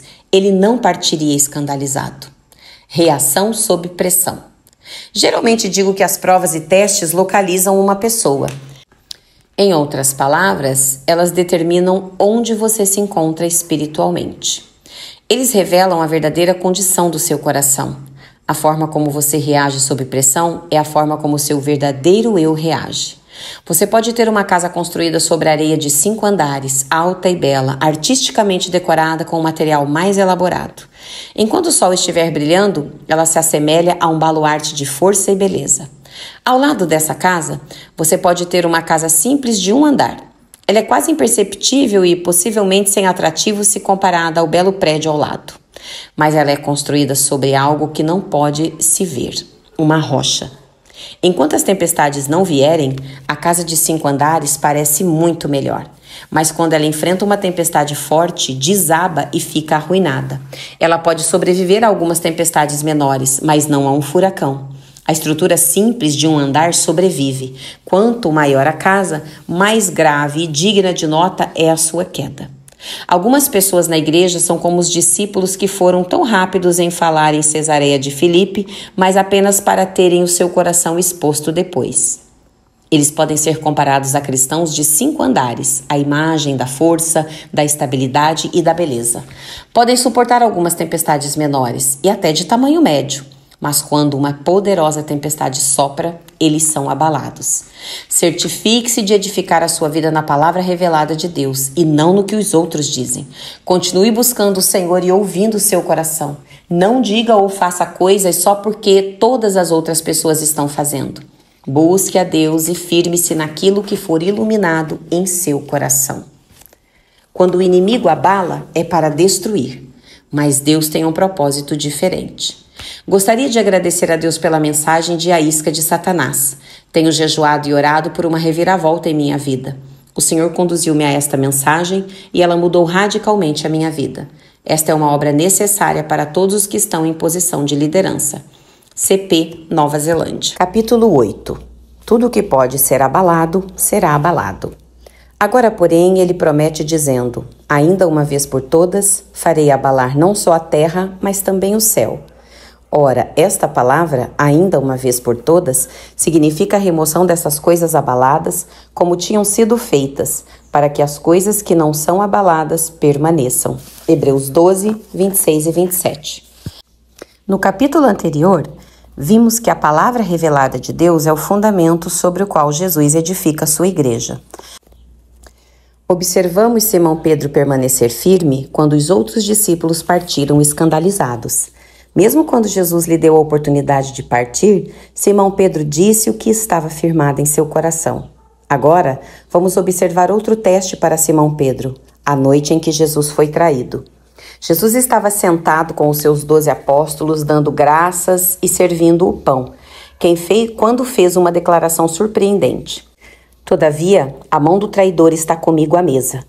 Porque o filho do homem, na verdade, vai segundo o que está determinado, mas ai daquele por intermédio de quem ele está sendo traído. Lucas 22, 21 e 22. Que pronunciamento! Hoje diríamos que com essas palavras Jesus soltou uma bomba. Embora Jesus soubesse desde o princípio que ele seria traído, aquela era a primeira vez que seus discípulos ouviram aquilo. Você pode imaginar o terrível sentimento que se espalhou por aquela sala quando ele disse que um deles, que havia estado com ele desde o princípio, um aliado próximo, iria traí-lo? O resultado foi que eles começaram a indagar entre si quem seria dentre deles o que estava para fazer isto. Verso 23. Eles estavam estupefatos pelo choque de saber que um deles seria capaz de cometer uma coisa tão terrível. Mas a motivação deles para tal investigação não era pura. Sabemos isso pela forma como a conversa deles terminou. O motivo deles para esta indagação era egoísta e cheio de orgulho. Veja o versículo seguinte das Escrituras. Suscitaram também entre si uma discussão sobre qual deles parecia ser o maior. Lucas 22, 24. Imagine isto. Jesus disse a eles que estava para ser entregue aos chefes dos sacerdotes para ser condenado à morte e levado aos romanos para ser ridicularizado, escarnecido e morto. Aquele que faria isso estava sentado com ele à mesa. Os discípulos questionaram quem era, e aquilo terminou em uma discussão, quase como filhos discutindo por causa de uma herança. Não houve preocupação por Jesus, mas uma corrida por poder e posição. Que egoísmo inimaginável! Se eu estivesse na posição de Jesus, talvez perguntasse se eles tinham ouvido o que eu havia dito ou se eles ao menos se importavam. Vemos a partir desse incidente um exemplo de como o Mestre andava em amor e paciência. A maioria de nós, se estivesse no lugar de Jesus, teria dito: Todos vocês, saiam! Eu estou em meu momento de maior necessidade e vocês estão pensando em si mesmos. Que oportunidade para ficar ofendido. Podemos quase imaginar quem iniciou a discussão entre os discípulos: Simão Pedro, uma vez que ele tinha a personalidade mais dominadora do grupo e geralmente era ele que falava primeiro. Provavelmente ele rapidamente lembrou aos outros como havia sido o único a andar sobre as águas, ou talvez ele tenha refrescado a memória deles sobre o fato de que havia tido a primeira revelação de quem Jesus realmente era. Então, ele pode ter mencionado novamente a sua experiência no Monte da Transfiguração com Jesus, Moisés e Elias. Pedro estava bastante confiante de que ele era o maior dos doze, mas esta confiança não estava enraizada no amor, mas ancorada no orgulho. Jesus olhou para todos eles e disse-lhes que eles estavam agindo como meros homens e não como filhos do reino. Os reis dos povos dominam sobre eles. Os que exercem autoridade são chamados benfeitores. Mas vós não sois assim. Pelo contrário, o maior entre vós seja como o menor, e aquele que dirige seja como o que serve. Pois qual é o maior? Quem está à mesa ou quem serve? Porventura não é o que está à mesa? Pois no meio de vós eu sou como quem serve. Lucas 22, 25 a 27. O propósito do peneiramento. Embora Simão Pedro tivesse recebido muitas revelações de quem Jesus era, ainda não estava andando no caráter e na humildade de Cristo. Ele estava edificando a sua vida e ministério sobre as vitórias passadas e o orgulho. Paulo nos advertiu em 1 Coríntios 3,10 para tomarmos cuidado em como construímos nosso fundamento em Cristo. Simão Pedro não estava construindo com os materiais necessários ao reino de Deus, mas com recursos tais como força de vontade e confiança em si mesmo. Embora não estivesse consciente disso, ele ainda estava aguardando a transformação do seu caráter. A sua referência vinha da soberba da vida, 1 João 2,16. O orgulho jamais seria forte o suficiente para equipá-lo para cumprir o seu destino em Cristo. Se não fosse retirado, esse orgulho acabaria por destruí-lo. Em Ezequiel 28, do 11 ao 19, vemos que o orgulho foi a mesma falha de caráter encontrada em Lúcifer, o querubim ungido de Deus, e que causou a sua queda. Agora vejamos o que Jesus disse a Simão Pedro: Simão, Simão, eis que Satanás vos reclamou para vos peneirar como trigo. Lucas 22, 31. O orgulho abriu a porta para que o inimigo entrasse e peneirasse Simão Pedro. A palavra peneirar é tradução da palavra grega siniazo, que significa peneirar, sacudir em peneira, provar a fé de alguém por meio da agitação interior até as margens da destruição. Ora, se Jesus tivesse a mentalidade que muitos na igreja possuem, ele teria dito: Vamos orar, rapazes, e amarrar este ataque do diabo. Não vamos permitir que Satanás faça isto com o nosso amado Simão. Mas veja o que ele diz: Eu, porém, roguei por ti, para que a tua fé não desfaleça. Tu, pois, quando te converteres, fortalece os teus irmãos. Lucas 22, 32. Jesus não orou para que Simão Pedro escapasse desse abalo intenso que o levaria às margens da destruição. Ele orou para que a fé dele não fraquejasse no processo. Jesus sabia que dessa prova um novo caráter surgiria. O caráter que Simão Pedro precisava para cumprir seu destino e fortalecer seus irmãos. Satanás havia pedido permissão para abalar Simão Pedro de uma forma tão grave que ele perderia sua fé. A intenção do inimigo era destruir aquele homem de grande potencial que havia recebido tantas revelações. Mas Deus tinha um propósito diferente com esse abalo. E, como sempre, Deus está muito à frente do diabo. Ele permitiu que o inimigo fizesse aquilo a fim de abalar tudo em Simão Pedro que precisava ser abalado. Deus mostrou à minha esposa Lisa cinco propósitos de sacudir alguma coisa. Primeiro, para levá-la para mais perto dos seus fundamentos. Segundo, para retirar o que está morto. Terceiro, para colher o que está maduro. Quarto, para despertar. E quinto, para unificar ou misturar de modo que não possa mais ser separada. Qualquer pensamento ou atitude do coração que esteja arraigado no egoísmo ou no orgulho será refinado. O resultado deste abalo tremendo foi que toda a confiança de Simão Pedro terminaria, e tudo o que restaria seria o firme fundamento de Deus. Ele seria despertado para sua verdadeira condição.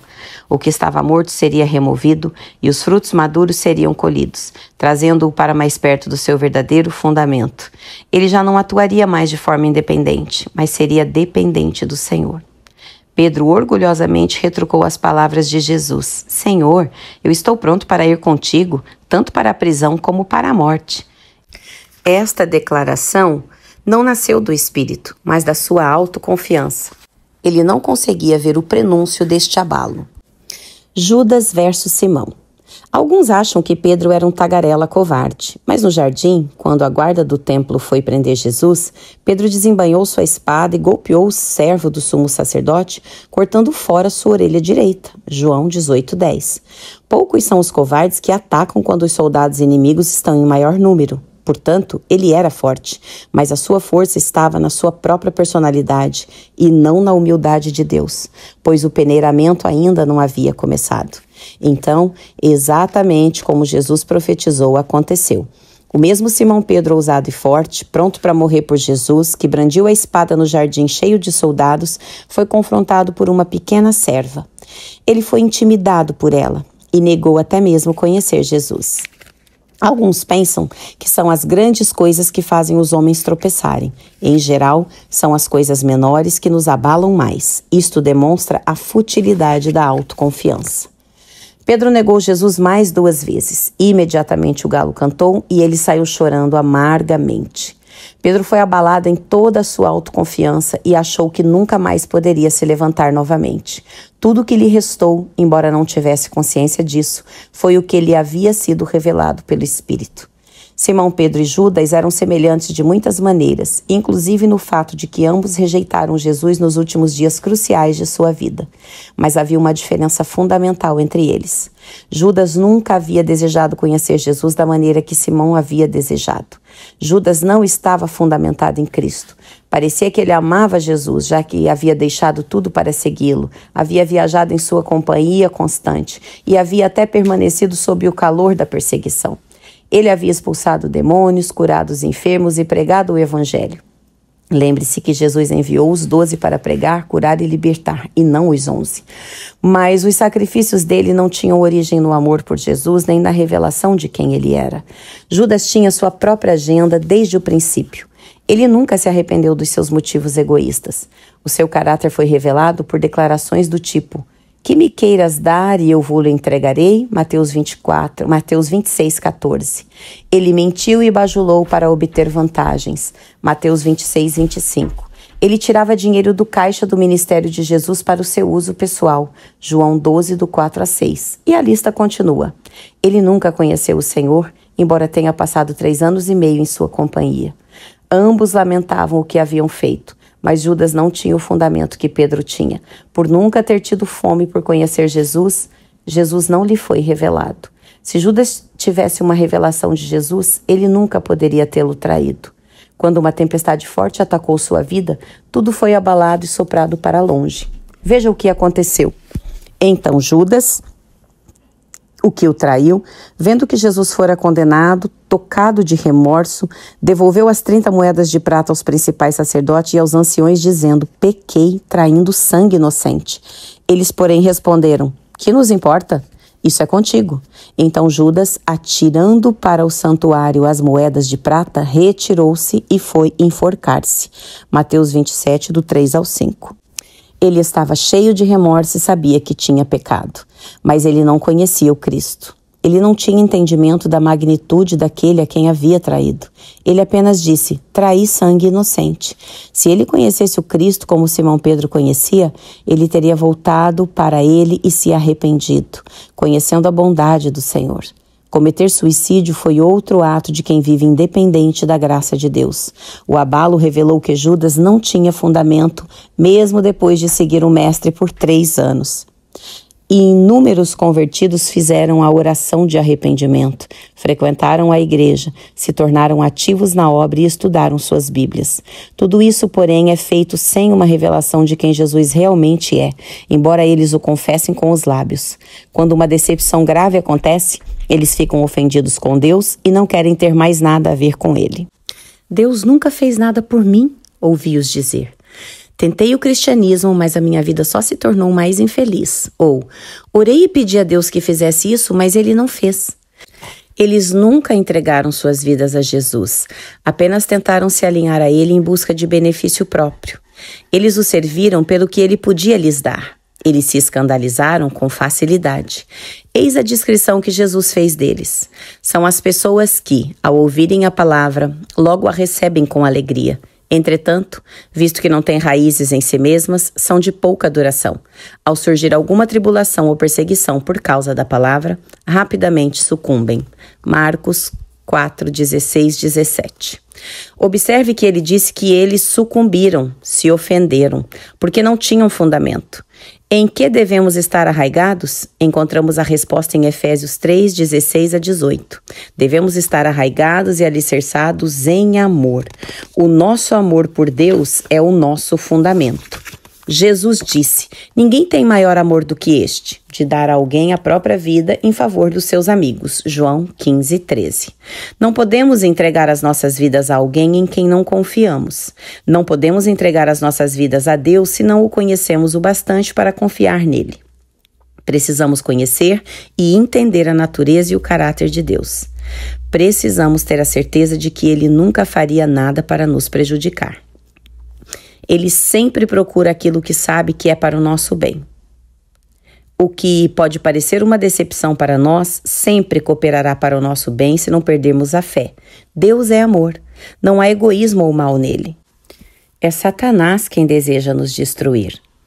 Em geral, vemos situações em nossas vidas através de óculos de curto alcance. Isso distorce a imagem real. Deus olha o aspecto eterno daquilo que nos acontece. Se olharmos as situações somente a partir do nosso ponto de vista limitado, duas coisas podem acontecer. Primeiramente, em meio ao processo de purificação de Deus, ainda seremos uma presa fácil para a ofensa, quer seja nos ofendendo com Deus ou com algum de seus servos. Em segundo lugar, podemos ser facilmente enganados pelo inimigo. Satanás usará algo que parece certo no momento, mas o seu plano final é usar isso para a sua destruição ou morte.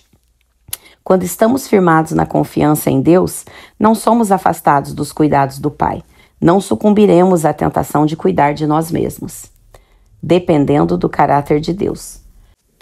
Uma das estratégias do inimigo para tentar nos afastar da confiança em Deus é perverter a nossa percepção do seu caráter. Ele fez isso no jardim com Eva ao perguntar a ela: É assim que Deus disse: Não comereis de toda árvore do jardim? Gênesis 3:1. Ele torceu a ordem de Deus a fim de atacar e distorcer o seu caráter.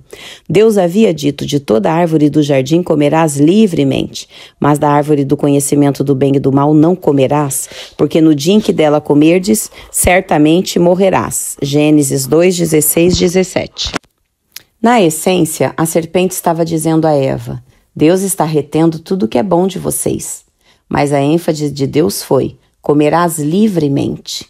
Deus havia dado à humanidade todo o jardim para desfrutar e todos os frutos para comer, exceto um.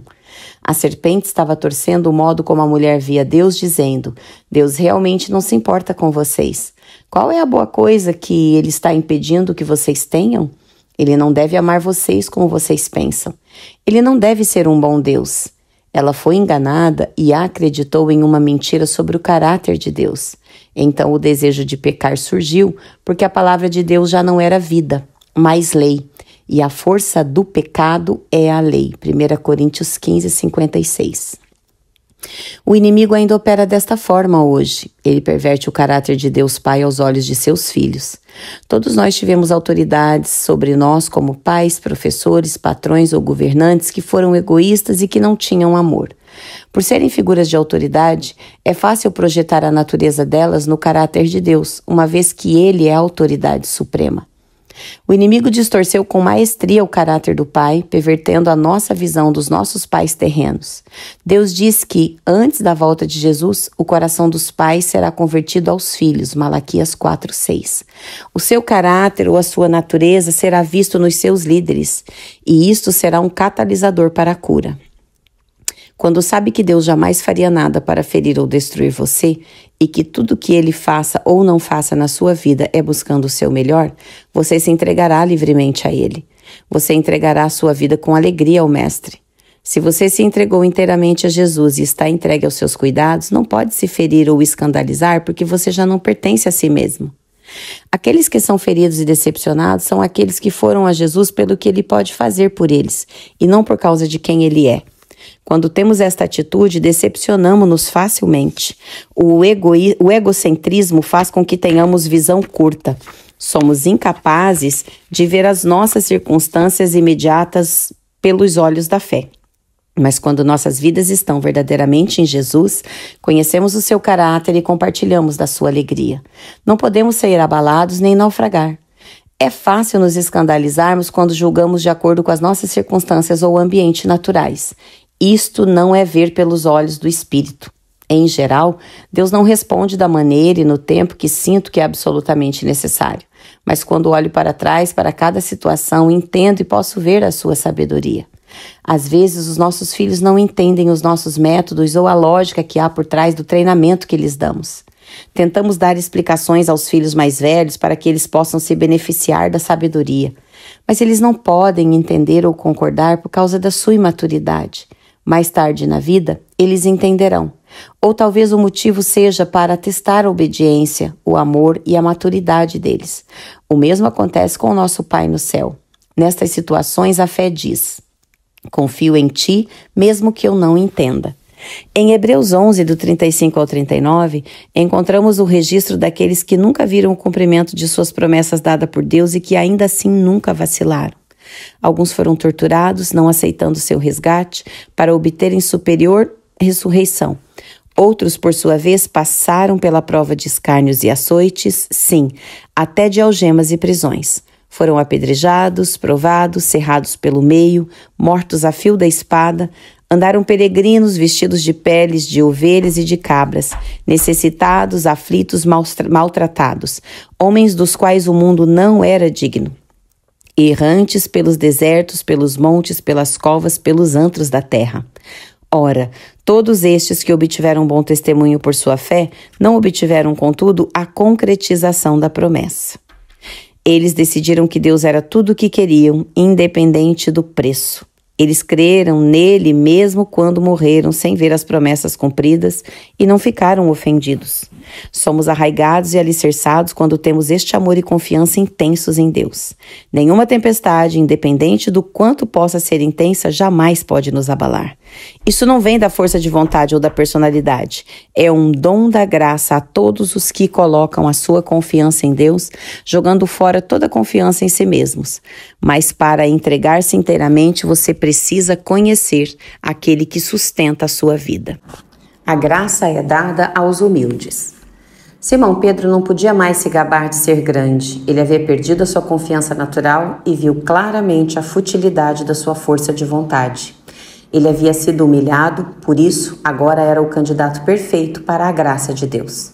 Deus dá a sua graça aos humildes. A humildade é um pré-requisito.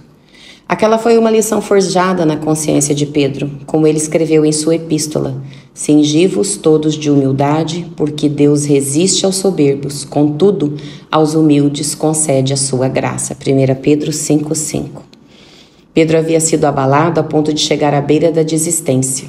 Sabemos disso pela mensagem que o anjo do Senhor deu a Maria Madalena no túmulo, mas ide, dizei a seus discípulos e a Pedro, que ele vai adiante de vós para a Galiléia Lá o vereis, como ele vos disse. Marcos 16, 7.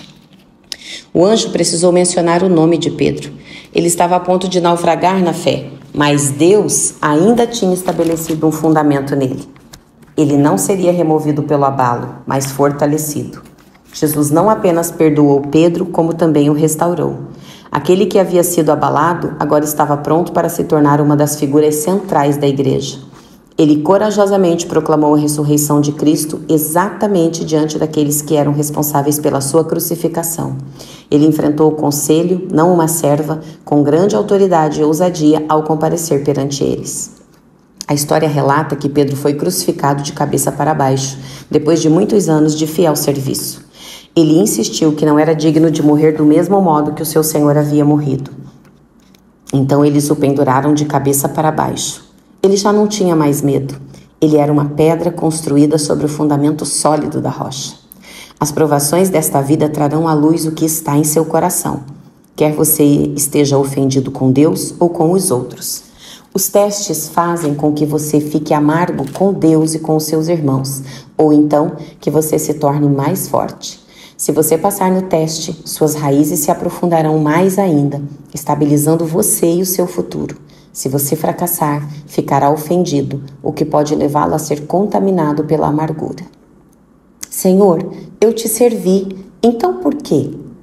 Quando eu era pastor, um impetuoso jovem de 14 anos, que era muito respeitado por seus amigos e líderes, estava no grupo de jovem. Ele era um bom aluno e um atleta de talento. Zeloso pelas coisas de Deus, o jovem servia fielmente e era voluntário para todos os projetos. Ele fez uma viagem missionária conosco, testemunhando a quase todos que encontrava. A certa altura de sua vida, ele passava quatro horas diárias em oração. Ele ouvia muitas coisas do Senhor e as compartilhava com os outros. O que ele compartilhava era sempre uma bênção. Ele reconhecia o seu chamado para o ministério e queria ser pastor antes dos 20 anos. Ele parecia uma rocha inabalável. Eu amava aquele jovem, reconhecia o chamado de Deus para a sua vida e investia meu tempo nele. Eu só tinha uma preocupação. Ele parecia ter confiança demais em si mesmo. Eu queria dizer algo a ele, mas não tinha liberdade para fazer isso. Eu sabia que uma mudança aconteceria. Ele passou por algumas tempestades difíceis, mas ainda assim permaneceu firme. Às vezes, eu questionava o meu discernimento enquanto o via passar por graves provações. Alguns anos se passaram. Ele se mudou, eu comecei a viajar em tempo integral, mas mantinha contato com ele. Sabia que passaria por um processo de quebrantamento. Isso precisaria acontecer e, embora eu não tivesse ideia de como seria, percebi que era necessário para que ele cumprisse o seu destino. Seria um processo semelhante ao peneiramento que aconteceu com Simão Pedro. Quando esse jovem tinha 18 anos, seu pai contraiu um câncer incurável ele e sua mãe jejuaram e oraram, crendo que seu pai seria curado. Outras pessoas se uniram a eles. Apenas alguns meses antes, seu pai havia entregado sua vida ao senhorio de Jesus. O estado de seu pai piorou. Eu estava ministrando em outra cidade no Alabama quando minha esposa me telefonou, encorajando-me a ligar para o jovem. Falei com ele e pude ver que ele precisava de alguém que o encorajasse. Dirigi durante toda aquela noite, depois do meu último culto, chegando à sua casa às quatro da manhã. O estado de seu pai estava tão grave que os médicos haviam lhe dado apenas alguns dias de vida. Ele não podia sequer se comunicar. O jovem estava confiante de que seu pai se levantaria curado. Ministrei a família e parti várias horas depois. Na manhã seguinte, recebemos um telefonema dizendo que as coisas haviam mudado para pior. Lisa e eu oramos imediatamente. Quando fizemos isso, Deus deu à minha esposa uma visão de Jesus de pé ao lado da cama daquele homem, pronto para levá-lo para casa. Trinta minutos depois, o jovem telefonou e nos disse que seu pai havia falecido. Ele parecia ser o mesmo jovem forte, mas aquele era apenas o começo. Naquela noite, ele ligou para alguns de seus amigos mais chegados para dizer que seu pai havia morrido. Quando eles atenderam ao telefone, estavam chorando. Ele se perguntou como eles já sabiam da notícia, mas eles não sabiam. Eles estavam chorando porque um de seus melhores amigos havia acabado de falecer em um acidente. Em um dia, ele havia perdido seu pai e um amigo muito querido. O abalo havia começado. Ele ficou confuso, frustrado e chocado. A presença de Deus parecia tê-lo abandonado. Um mês depois, dirigindo para casa, o jovem se deparou com um acidente que havia acabado de ocorrer. Ele possuía treinamento médico em emergências e parou. Todas as pessoas em ambos os carros eram amigos próximos dele. Dois morreram em seus braços enquanto ele tentava ajudá-los. Meu amigo jovem havia chegado ao seu limite. Ele passou três horas na floresta orando e clamando a Deus: Onde está você?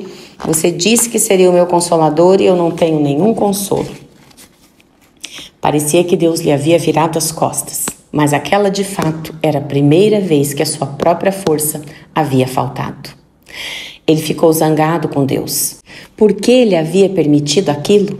Ele não estava zangado com seu pastor, com sua família ou comigo. A sua ofensa era com Deus.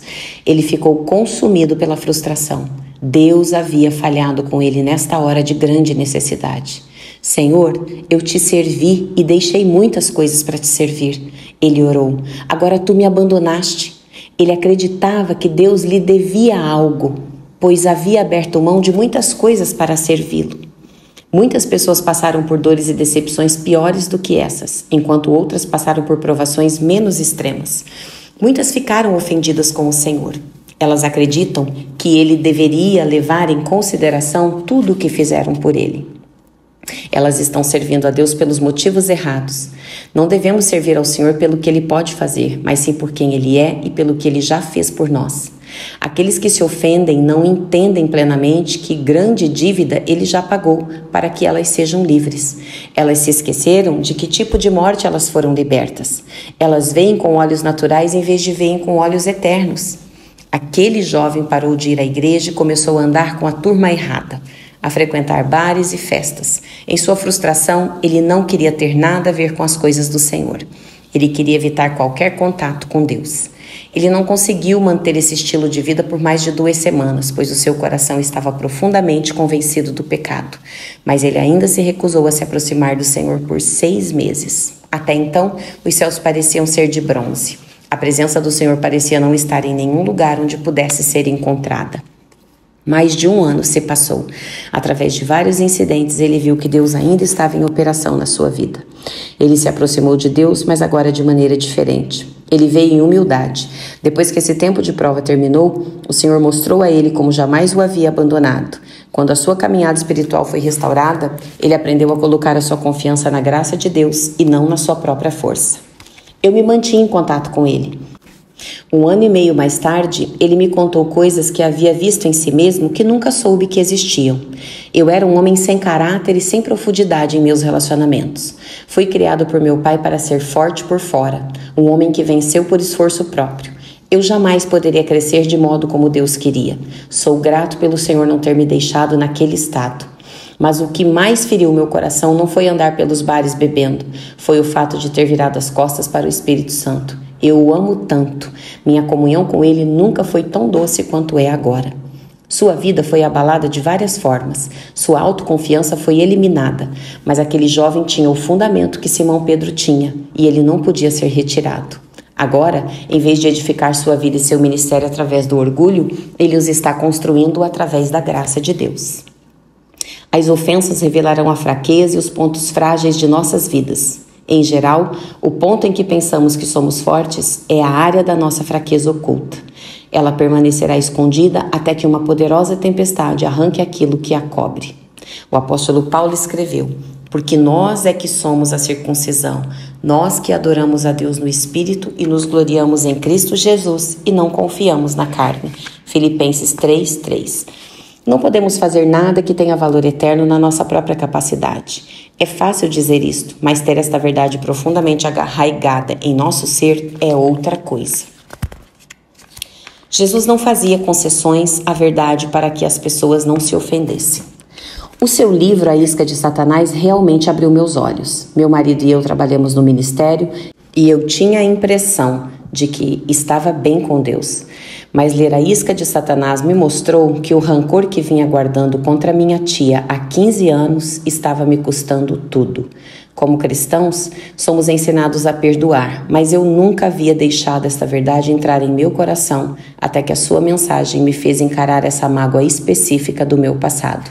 RM, Tennessee. Capítulo 9 A Rocha de Ofensa. Eis que põe em Sião uma pedra angular, eleita e preciosa e quem nela crer não será de modo algum envergonhado.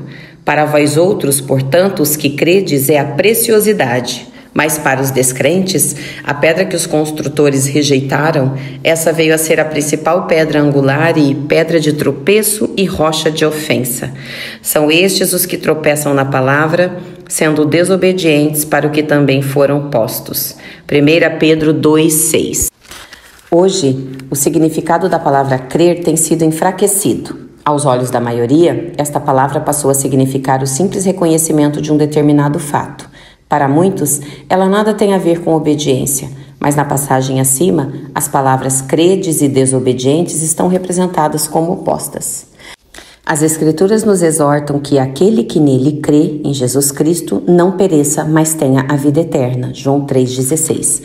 Como resultado da forma como não vemos a palavra crer, muitos pensam que tudo o que lhes é exigido é crer que Jesus existiu e morreu no Calvário e assim estaria tudo acertado entre elas e Deus. Se este fosse o único requisito, os demônios também estariam acertados com Deus. As Escrituras dizem: Crês tu que Deus é um só? Fazes bem. Até os demônios creem e estremecem. Tiago 2,19 no entanto, não há salvação para eles. A palavra crer tem mais significado nas Escrituras do que reconhecer a existência ou apenas admitir um fato mentalmente. Permanecendo fiéis ao contexto do versículo acima, podemos dizer que o principal elemento do crer é a obediência. Poderíamos ler o versículo deste modo: Portanto, para vocês que obedecem, ele é precioso, mas para aqueles que são desobedientes, a pedra que os construtores rejeitaram veio a ser pedra angular e pedra de tropeço e rocha de ofensa. Não é difícil obedecer quando você conhece o caráter e o amor daquele a quem está se submetendo. O amor é o fator decisivo no nosso relacionamento com o Senhor. Não o amor aos princípios ou ao ensino, mas o amor pela pessoa de Jesus Cristo. Se esse amor não estiver firmemente posicionado, estaremos suscetíveis a sermos ofendidos e a tropeçarmos. Os israelitas, a quem o Senhor chamou de construtores, rejeitaram a pedra angular de Deus, Jesus. Eles amavam os ensinos do Antigo Testamento, estavam satisfeitos com suas interpretações porque elas podiam ser empregadas em seu próprio benefício e usadas para controlar os outros. Jesus, por outro lado, desafiou todo o legalismo que eles tanto apreciavam e lhes disse: Examinais as Escrituras, porque julgais ter nelas a vida eterna, e são elas mesmas que testificam de mim. João 5,39. Eles não conseguiam entender a ideia de que desde o princípio Deus havia desejado ter filhos e filhas com quem ele pudesse ter um relacionamento. Eles queriam governar e reinar. Aos olhos deles, a lei havia adquirido uma posição superior ao relacionamento. Eles rejeitaram aquilo que lhes foi dado gratuitamente. Eles preferiam conquistá-lo por merecimento.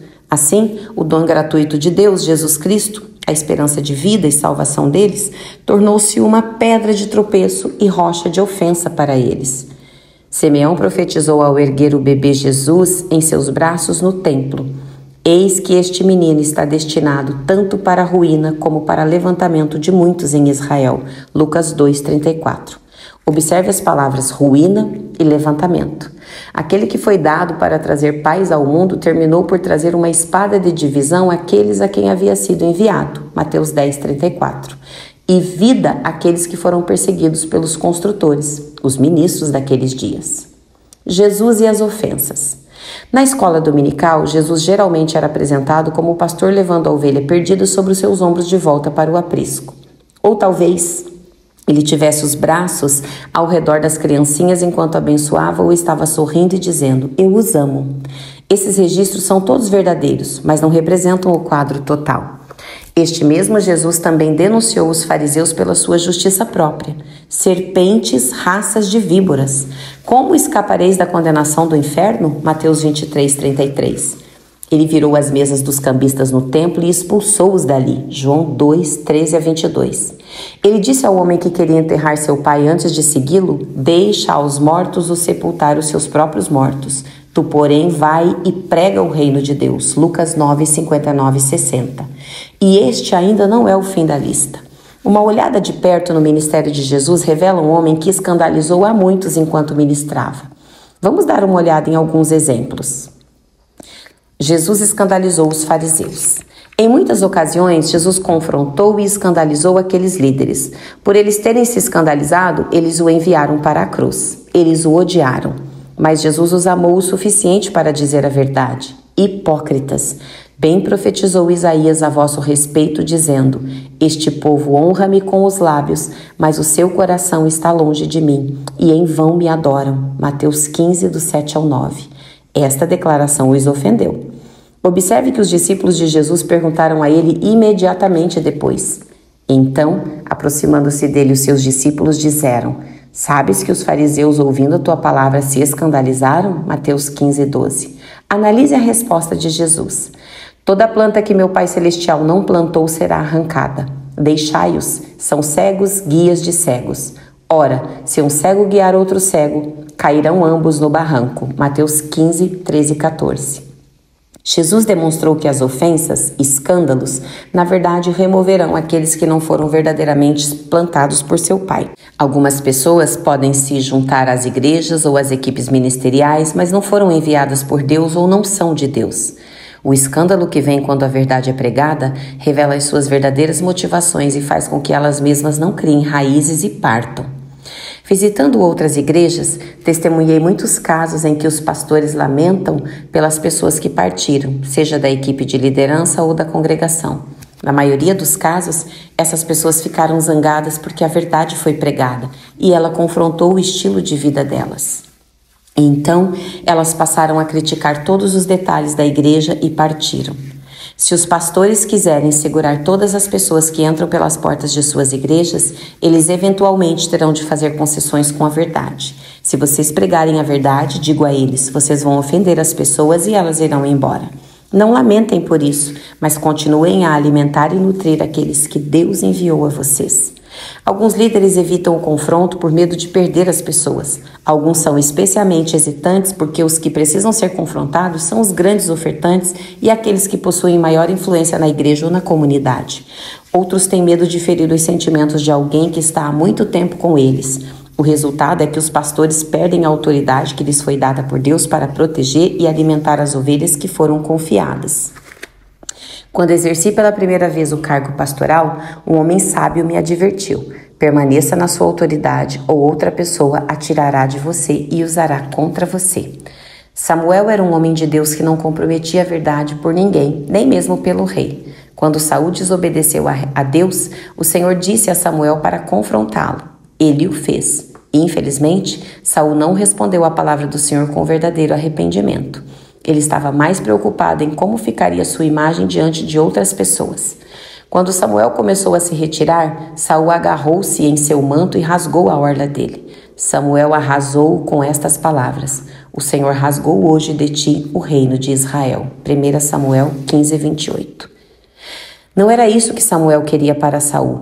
Ele lamentava por ele. Ele havia ungido Saul rei, havia o treinado para governar e havia conduzido a sua coroação. Ele era amigo pessoal de Saul, mas veja como Deus reagiu ao fato de Samuel sofrer por Saul. Até quando terás penas de Saul, havendo-o eu rejeitado, para que não reine mais sobre Israel?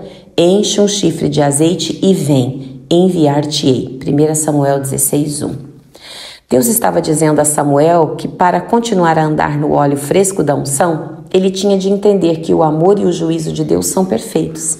Se Samuel se voltasse para Saul quando Deus o havia rejeitado, ele não teria óleo fresco. Se continuasse se lamentando, ele não iria a lugar algum. Os pastores que lamentam e choram pelas pessoas que deixam a igreja ou que se recusam a confrontar os membros por serem seus amigos, terminam por ver o óleo da unção em suas vidas secar. Alguns ministros morrem, enquanto outros simplesmente vivem uma vida de imitação. Inconscientemente, eles escolheram o seu relacionamento com os homens ao seu relacionamento com Deus.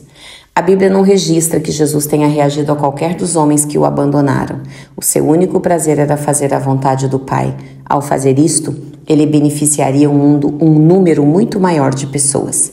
Jamais me esquecerei do tempo em que eu estava pregando em uma igreja denominacional cheia do Espírito. Havíamos estado na estrada por cerca de um ano. No primeiro domingo pela manhã, preguei uma mensagem simples de arrependimento e de volta ao primeiro amor. Sentia resistência, mas sabia que aquela era a mensagem que eu deveria entregar. Depois do culto, o pastor disse: Deus me mostrou aquilo que você pregou esta manhã, mas não creio que o meu povo estivesse pronto para receber. Minha esposa sentiu-se impelida pelo Espírito Santo para perguntar a ele: Quem é o pastor da igreja, você ou Jesus? O pastor baixou a cabeça. Foi exatamente isso que o Senhor me disse há cerca de um mês atrás. Ele me disse que sabia o que essas pessoas podem suportar. Ele nos disse que um terço de sua igreja era formado de pessoas conservadoras que não queriam nenhuma mudança na ordem do culto, na música ou na pregação. Nós encorajamos o pastor a ser forte e a obedecer ao Senhor. Fizemos mais quatro cultos naquela igreja. Cada um deles foi mais difícil. Quando deixamos a cidade, senti como se tivesse um saco de areia no estômago. Eu não conseguia entender. Ficava cada vez mais pesado e desconfortável. Em geral, quando saio de uma igreja, meu coração se enche de alegria. Eu não sabia o que estava errado. Quando finalmente fiquei a sós com o Senhor, perguntei: Pai, o que fiz de errado? Por que tenho este peso tão grande em meu espírito? Será que usurpei a autoridade do pastor? Ele simplesmente disse: Sacode a poeira debaixo dos teus pés. Lucas 9,15. Fiquei chocado ao ouvi-lo dizer isto. Continuei orando e interrogando-o apenas para ouvir as mesmas palavras: Sacode a poeira debaixo dos teus pés. Finalmente obedeci. Quando a minha mão saiu da sola do meu segundo sapato, aquele peso foi tirado e a alegria entrou em meu coração. Mais uma vez disse impressionado: Senhor, eles não me atacaram, nem me expulsaram da cidade. Por que precisava fazer isso? Ele me mostrou que a liderança e muitas das pessoas haviam rejeitado a sua palavra para eles. Dê mais tempo a eles, Senhor, pedi. Se eu desse a eles mais 50 anos, eles não mudariam. Eles já se decidiram em seus corações. Eu sabia que aquele líder havia decidido manter a paz, comprometendo a verdade em vez de obedecer a Deus. O chifre dele não estava cheio de óleo fresco. Ele tinha a forma sem a substância. Em outras palavras, ele tinha a aparência de ser cheio do Espírito Santo, mas faltava-lhe o poder e a presença de Deus. Mais tarde, ouvi a notícia de que ele renunciou ao seu cargo de pastor e que a igreja hoje é apenas uma fração do que era antes. Jesus não se permitia ser controlado pelos outros. Ele falava a verdade, mesmo que isso significasse o confronto e finalmente o escândalo. Se você deseja a aprovação dos homens, a unção de Deus não pode cair sobre você. Você precisa se propor em seu coração a falar a palavra de Deus e a fazer a sua vontade, mesmo correndo o risco de ofender e escandalizar as pessoas. Jesus escandalizou as pessoas da sua própria cidade natal. Jesus havia ido à sua cidade natal para ministrar, mas ele não pôde levar a ela a libertação e a cura que havia levado a tantos outros lugares. Veja o que ele disse: Não é este o filho do carpinteiro? Não se chama sua mãe Maria e seus irmãos Tiago, José, Simão e Judas? Não vivem entre nós todas as suas irmãs? De onde lhe vem, pois, tudo isto? E escandalizaram-se nele. Jesus, porém, lhes disse: Não há profeta sem honra, senão na sua terra e na sua casa. Mateus 3,55. Você consegue ouvir esses homens e mulheres de Nazaré dizendo: Quem ele pensa que é, ensinando com essa autoridade? Sabemos quem ele é. Ele cresceu aqui. Somos mais importantes aqui. Ele não passa do filho de um carpinteiro. Ele não teve nenhuma educação formal. Mais uma vez, Jesus não comprometeu a verdade para impedir que eles se escandalizassem e ofendessem. As pessoas da cidade estavam tão furiosas que tentaram matá-lo empurrando-o de um penhasco. Lucas 4, 28 ao 30.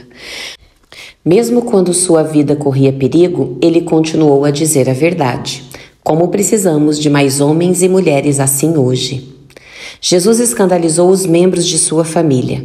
Até as pessoas da sua própria casa se escandalizaram com ele. Elas não estavam nada satisfeitas com a pressão que era colocada sobre elas pelas coisas que Jesus fazia. Elas achavam difícil acreditar que ele estivesse se comportando daquele jeito. Vejamos. E quando os parentes de Jesus ouviram isto, saíram para o prender, porque diziam: está fora de si. Nisto chegaram a sua mãe e seus irmãos, e tendo ficado do lado de fora, mandaram chamá-lo. Muita gente estava sentada ao redor dele e lhe disseram: Olha, tua mãe e teus irmãos estão lá fora à tua procura. Então ele lhes respondeu, dizendo: Quem é minha mãe e meus irmãos? E correndo olhar pelos que estavam assentados ao redor, disse: Eis minha mãe e meus irmãos. Portanto, qualquer que fizer a vontade de Deus, esse é meu irmão, irmã e mãe.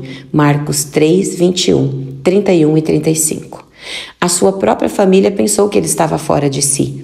Observe que as Escrituras dizem que a família de Jesus foi até lá para detê-lo. Marcos identifica esses parentes como a própria mãe de Jesus e seus irmãos, que mais tarde o encontraram pregando na casa de alguém. Até o Evangelho de João diz: Pois nem mesmo seus irmãos criam nele. João 7,5. Muitos não entenderam que Jesus foi rejeitado por aqueles que lhe eram próximos. Mas não era a aceitação da sua casa que ele buscava. Ele não seria controlado pelos desejos deles. Ele cumpriria o plano do Pai, quer eles aprovassem ou não. Vi muitas pessoas, principalmente casais, que não seguiam Jesus por medo de ofenderem seus cônjuges ou os membros de sua família. O resultado foi que eles se desviaram ou nunca atingiram o pleno potencial de seu chamado. Quando nasci de novo, todos os membros de minha família eram católicos e não compartilhavam do entusiasmo da minha fé recente. Minha mãe, principalmente, ficou muito insatisfeita com a minha decisão de abandonar a igreja onde ela havia me criado. Certamente existem católicos preciosos que amam a Deus, mas eu sabia que Deus estava me chamando para fora. O segundo golpe veio quando anunciei minha decisão de entrar para o ministério. Eu havia acabado de receber meu diploma em engenharia mecânica da Purdue University e meus pais tinham grandes esperanças para mim. Eu sabia o que o Senhor desejava de mim e sabia que ofenderia aqueles que me eram próximos. Durante anos senti-me desconfortável. Havia muitos desentendimentos, mas eu havia decidido que, por mais zangado que eles ficassem, eu seguiria Jesus. No começo, tentei atropelá-los com o Evangelho. Disse a eles que não eram salvos apenas porque assistiam à missa. Levei-os até o limite. Não agi com sabedoria. Então, Deus me ensinou a viver a vida cristã diante deles e a deixar que eles vissem as minhas boas obras. Mesmo assim, não fiz concessões com a verdade para agradá-los. Hoje, meus pais me dão muito apoio e meu avô, aquele que mais me combatia, foi gloriosamente salvo aos 89 anos, dois anos antes de sua morte. A mãe de Jesus e seus irmãos podem ter achado que ele estava fora de si, mas por causa da sua obediência ao Pai, todos eles terminaram sendo salvos e estavam no aposento alto no dia de Pentecostes. Tiago, o meio-irmão de Jesus, tornou-se um dos líderes da igreja de Jerusalém. Se fizermos concessões com o que Deus nos diz para agradar a nossa família, perderemos o óleo fresco em nossas vidas e os impediremos de serem libertos. Jesus escandalizou a sua própria equipe. Em um capítulo anterior, discutimos em detalhe o ponto de vista dos discípulos quando Jesus os escandalizou. Vamos rever isso da perspectiva de Jesus. Muitos dos seus discípulos, tendo ouvido tais palavras, disseram: Dura este discurso, quem o pode ouvir? Mas Jesus, sabendo por si mesmo que eles murmuravam a respeito de suas palavras, interpelou-os: Isto vos escandaliza? À vista disso, muitos dos seus discípulos o abandonaram e já não andavam com ele. João 6,60. As coisas já estavam difíceis do jeito que estavam. Os líderes religiosos estavam tramando a sua morte e a sua própria cidade natal o havia rejeitado. Sua família achava que ele estava fora de si. Para acrescentar um pouco mais de pressão, muitos dos membros da sua própria equipe partiram ofendidos. Mas Jesus ainda assim não fez concessões. Ele apenas disse aos que restaram que também estavam livres para partir se quisessem. A única coisa que importava para Jesus era cumprir o plano do Pai. Se ele tivesse sido deixado sozinho naquele dia, isso não teria alterado seu coração. Ele estava determinado a obedecer a seu Pai. Jesus escandalizou alguns de seus amigos mais próximos. Estava enfermo Lázaro de Betânia, da aldeia de Maria e de sua irmã Marta. Esta Maria, cujo irmão Lázaro estava enfermo, era a mesma que ungiu com bálsamo o Senhor e lhe enxugou os pés com seus cabelos. Mandaram, pois, as irmãs de Lázaro dizer a Jesus: Senhor, está enfermo aquele a quem amas. João 11, 1 a 3. Jesus amava Marta, Maria e Lázaro. Eles eram bastante chegados. Ele passava muito tempo com eles. Observe a sua reação quando a notícia de que Lázaro estava doente chegou. Quando, pois, soube que Lázaro estava doente, ainda se demorou dois dias no lugar onde estava. João 11,6. Jesus sabia por revelação que a enfermidade de Lázaro o levaria à morte. Era um caso muito grave, mas ele permaneceu onde estava por mais dois dias. Quando finalmente chegou a Betânia, Lázaro já estava morto. Marta e Maria lhe disseram: Senhor, se estiveras aqui, não teria morrido meu irmão. João 11, 21 a 32. Em outras palavras, por que não veio imediatamente? O Senhor poderia tê-lo salvo. É bem provável que ambas as irmãs estivessem um pouco ofendidas. Elas enviaram uma mensagem sobre o caso e ele demorou por dois dias. Jesus não reagiu como elas esperavam. Ele não deixou tudo de lado, em vez disso, ele seguiu a direção do Espírito Santo. Aquilo era o melhor para todos. No entanto, naquele instante parecia que Jesus estava indiferente, como se não se importasse. É muito comum os ministros serem controlados pelas pessoas. Eles acreditam que têm de fazer tudo o que elas lhe pedem. Um membro do conselho de uma igreja cheia do espírito que havia perdido seu pastor, certa vez me disse: Queremos um pastor que atenda às nossas necessidades, alguém que possa vir à minha casa às oito da manhã para tomar café comigo. Pensei, você encontrará um homem social a quem possa controlar e não alguém controlado pelo Espírito Santo. Mais tarde descobri que aquela igreja havia passado por quatro pastores em um ano e meio. Quando eu era pastor de jovens, um jovem procurou-me depois que eu estava pastoreando por seis meses. Você vai ser meu companheiro? perguntou ele. O meu antigo pastor de jovens era meu companheiro. Pastor de jovens anterior a mim era muito sociável com os jovens. Eles faziam muitas atividades juntos. Eu sabia o que ele estava me pedindo. Era basicamente o que o membro do conselho desejava de seu pastor. Citei Mateus 10,41 para ele, onde Jesus disse: Quem recebe um profeta no caráter de profeta, receberá o galardão de profeta. Quem recebe um justo no caráter de justo, receberá o galardão de justo. Você tem muitos companheiros, não tem? Perguntei. Sim, ele respondeu. Mas você só tem um pastor de jovens, não é? Sim. Você quer o galardão de pastor ou o galardão de um companheiro? Porque a forma como você me receber determinará o que você receberá de Deus. Ele entendeu meu ponto de vista. Quero o galardão de pastor. Muitos ministros têm medo de que, se não atenderem às expectativas do seu povo, possam ferir os sentimentos deles e perder o seu apoio. Eles ficam presos na armadilha por medo de ofender as pessoas.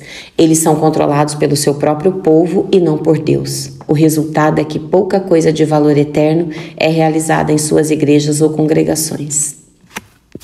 Jesus escandalizou João Batista.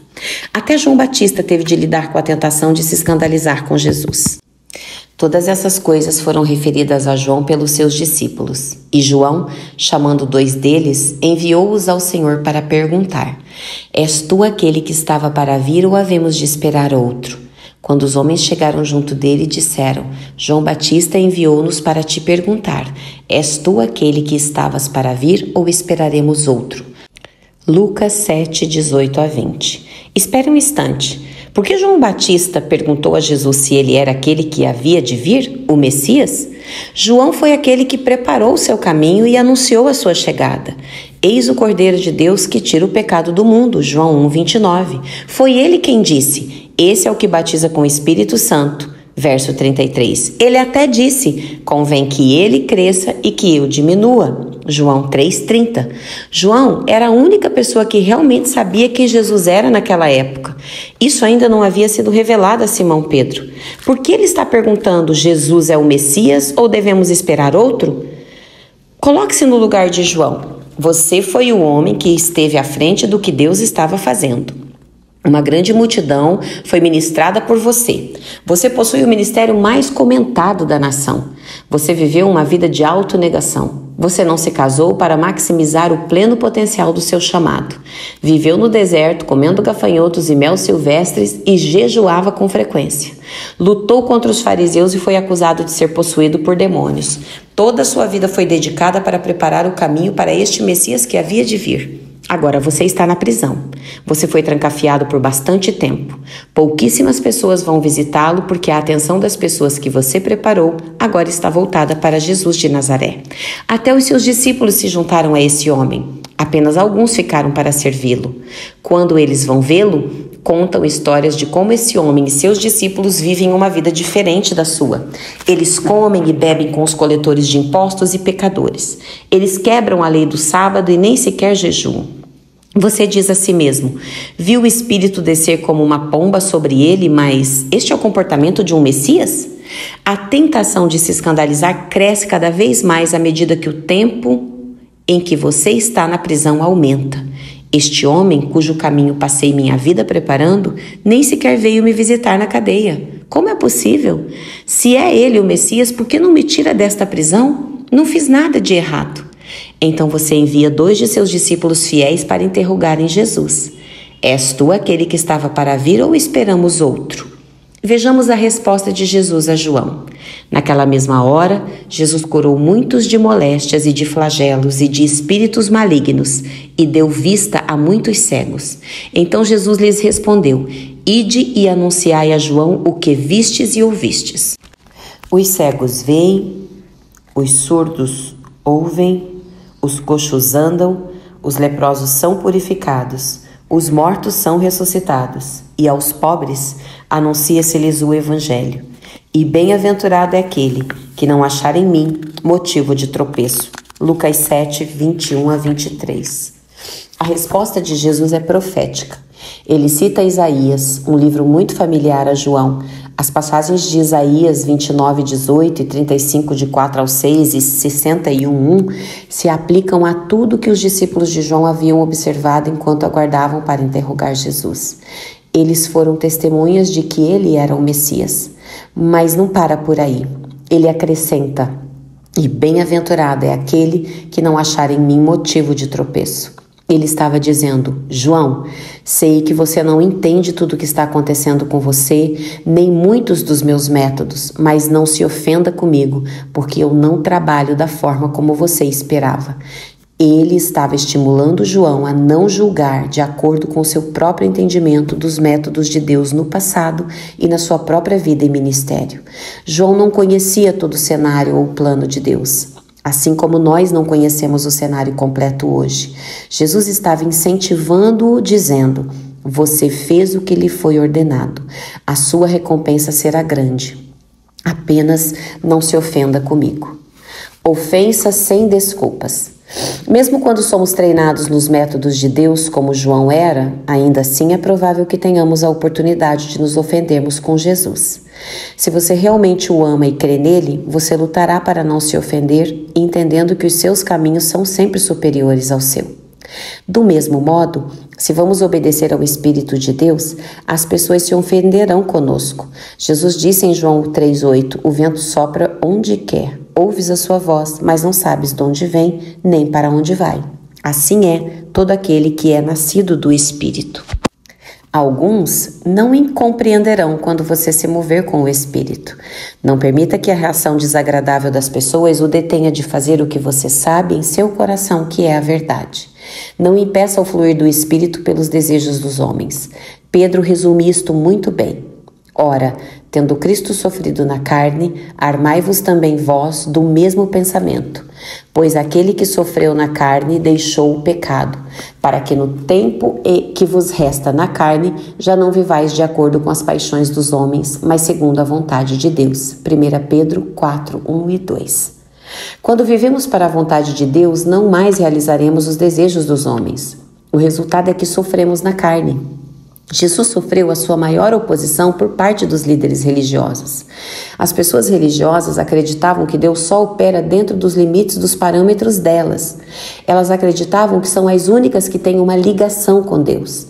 Se o Mestre ofendeu as pessoas religiosas quando ele era guiado pelo Espírito há dois mil anos, aqueles que o seguem certamente também as ofenderão.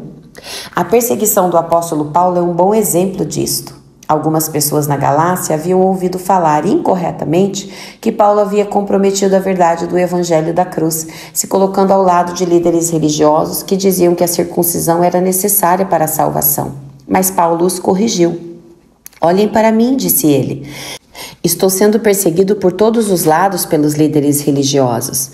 Por que eles fariam isto se eu estivesse pregando a circuncisão? O fato de que a cruz é o único meio para a salvação ofende as pessoas, mas esta é a verdade, e não há meios de que eu pregue nada além disso. Ver Gálatas 5:11. Se alguém desafia a verdade do evangelho, é hora de partir para a ofensiva sem desculpas.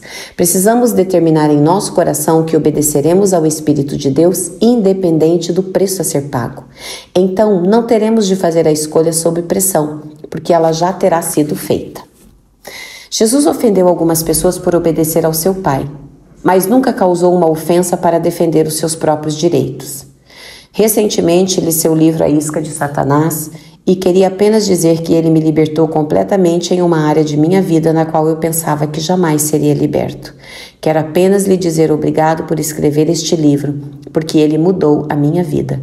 C.R. Tennessee. Capítulo 10 Para que não os escandalizemos. Não nos julguemos mais uns aos outros. Pelo contrário, tomai o propósito de não pôr de estropeço ou escândalo ao vosso irmão. Romanos 14, 13. Acabamos de ver como Jesus ofendeu muitas pessoas quando viajava e ministrava. Parece que em quase todos os lugares aonde ele ia, as pessoas se ofendiam. Neste capítulo, quero abordar o outro lado disto. Jesus e seus discípulos haviam acabado de voltar a Cafarnaum. Eles haviam completado um circuito ministerial e havia chegado para um descanso curto, mas muito necessário. Se havia um lugar que poderia ser considerado a base do seu ministério, era aquela cidade. Enquanto estavam ali, Simão Pedro foi abordado pelo oficial responsável pela coleta dos impostos do templo. Não paga o vosso mestre as duas dracmas? Mateus 17, 24. Pedro respondeu sim e voltou para discutir o assunto com Jesus. Jesus havia previsto a solicitação do coletor de impostos, então perguntou a Simão Pedro: Simão, que te parece? De quem cobram os reis da terra impostos ou tributo? Dos seus filhos ou dos estranhos? Dos estranhos, disse-lhe Pedro. Logo, estão isentos os filhos. Mateus 17, 25 e 26. Jesus está provando para Pedro o ponto de vista de que os filhos são livres. Não são eles que pagam os impostos, eles são os que se beneficiam dos impostos.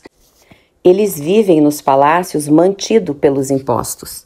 Os filhos comem à mesa do rei e vestem vestimentas reais, todos fornecidos pelo dinheiro dos impostos. Eles vivem gratuitamente e são mantidos gratuitamente. Aquele oficial recebia os impostos do templo, mas quem era o rei ou proprietário do templo? Em honra de quem ele havia sido construído? A resposta é Deus Pai.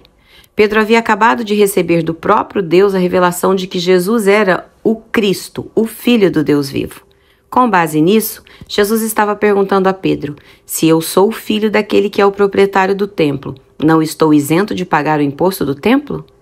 É claro que ele estaria isento, ele estaria totalmente justificado em não pagar o imposto. Mas veja o que ele diz a Simão Pedro.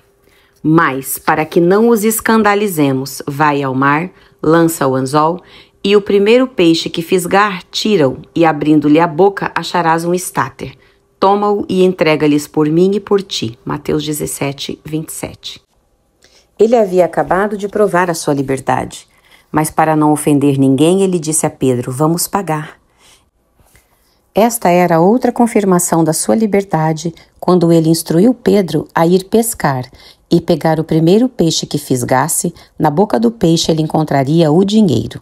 Deus Pai havia providenciado o dinheiro do imposto. Jesus é o Senhor da terra. Ele é o Filho de Deus. A terra e tudo que nela existem foram criados por ele e estão sujeitos a ele. Portanto, ele sabia que o dinheiro estaria na boca daquele peixe. Ele não tinha de trabalhar para ter aquele dinheiro porque ele era o filho. E, no entanto, ele optou por pagar o imposto e não ofender ninguém. Será que este é o mesmo Jesus que vimos no último capítulo, ofendendo as pessoas e não se desculpando por isso? Ele provou ser isento do pagamento do imposto do templo, mas disse: Para que não os escandalizemos, vá e pague.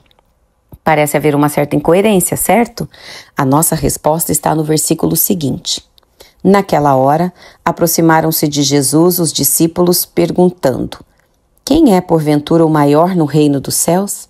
E Jesus, chamando uma criança, colocou-a no meio deles e disse: em verdade vos digo que, se não vos converterdes e não vos tornardes como crianças, de modo algum entrareis no reino dos céus. Portanto, aquele que se humilhar como esta criança, este é o maior no reino dos céus. E quem receber uma criança tal como esta em meu nome, a mim me recebe.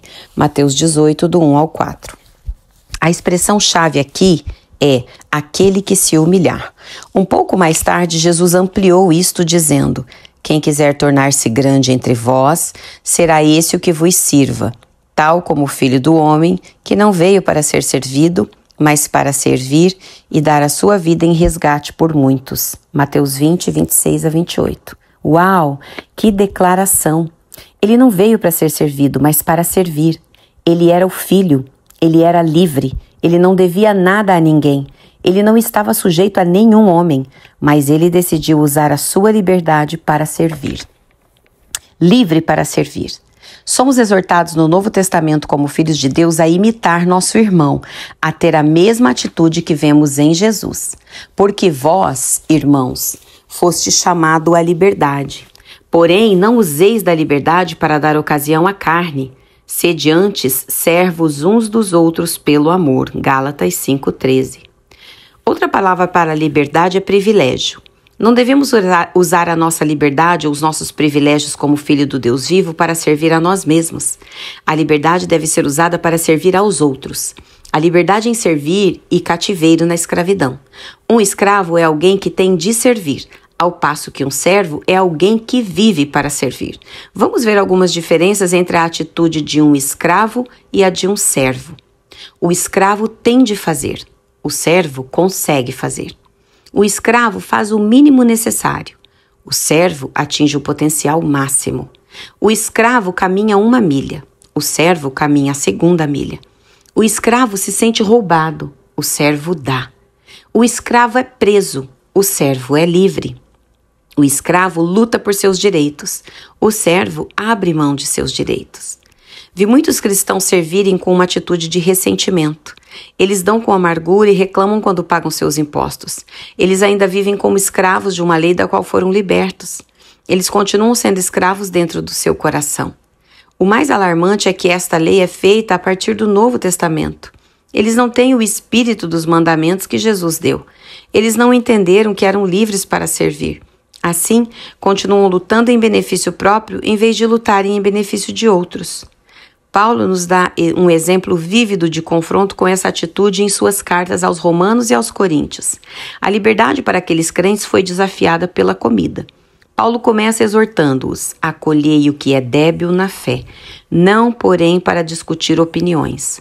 Um crê que de tudo pode comer, mas o débil come legumes. Romanos 14, 1 e 2. Jesus havia esclarecido que não é o que entra pela boca que contamina, mas sim o que sai da boca.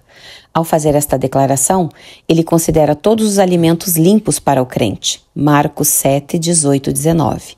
Paulo diz que havia alguns crentes que eram fracos na fé e ainda não podiam comer carne por medo de estarem comendo alimentos que, não havia, que haviam sido sacrificados a ídolos.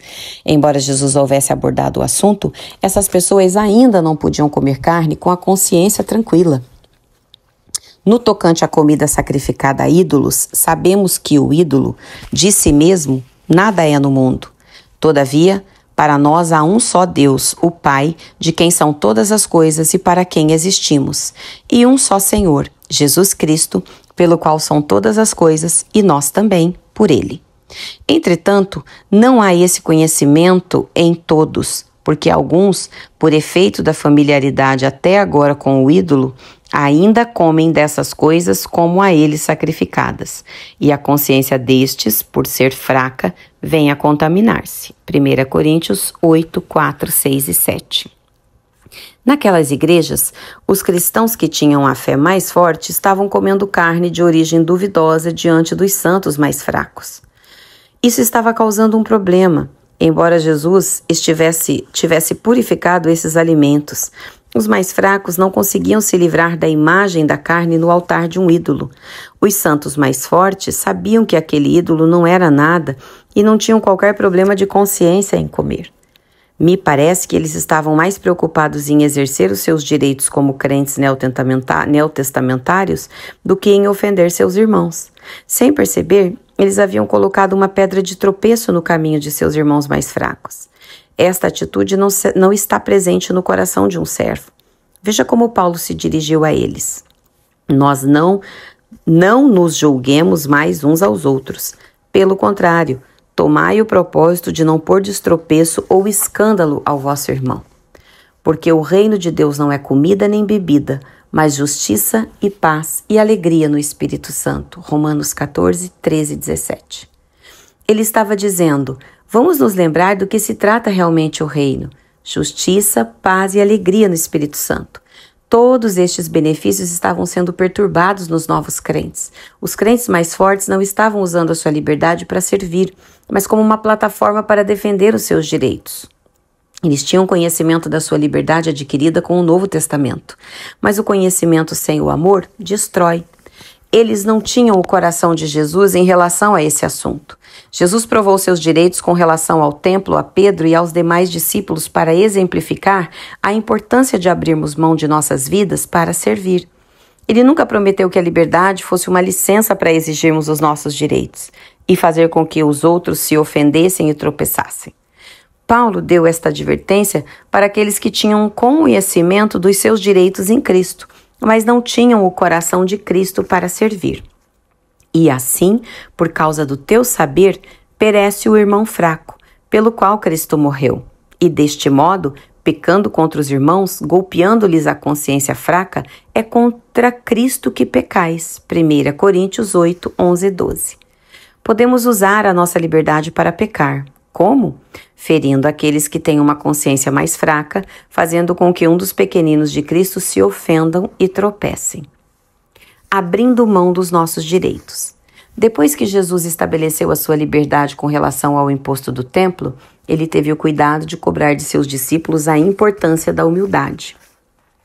Qualquer, porém, que fizer tropeçar a um destes pequeninos que creem em mim, melhor lhe fora que se lhe pendurassem ao pescoço uma grande pedra de moinho e fosse afogado na profundeza do mar.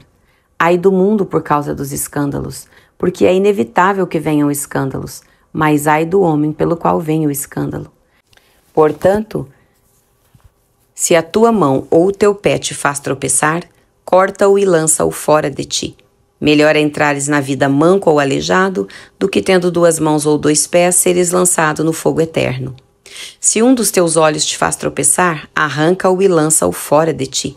Melhor entrares na vida com um só dos teus olhos do que, tendo dois, seres lançado no inferno de fogo.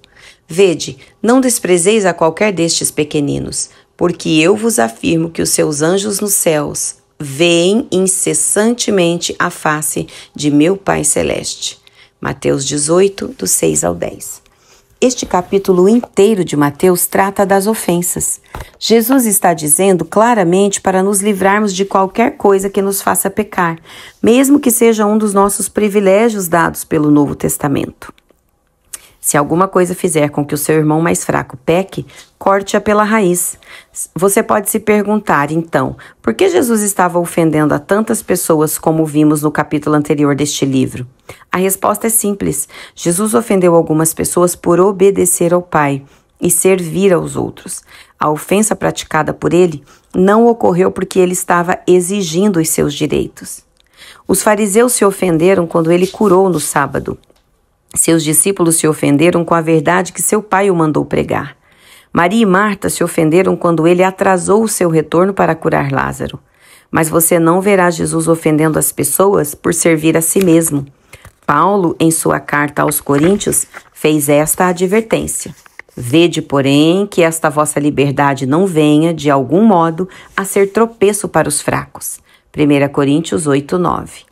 A nossa liberdade nos foi dada para servir e para abrirmos mão de nossas vidas. Devemos edificar e não construir. Essa liberdade também não nos foi dada para acumularmos coisas para nós mesmos. Por termos usado a liberdade desta maneira, muitos hoje estão ofendidos com o estilo de vida dos cristãos. Ouça novamente a advertência que nos foi dada em 1 Coríntios 8, 9. Vede, porém, que essa vossa liberdade não venha, de algum modo, ser tropeço para os fracos. Eis um exemplo de como vi este mandamento ser quebrado.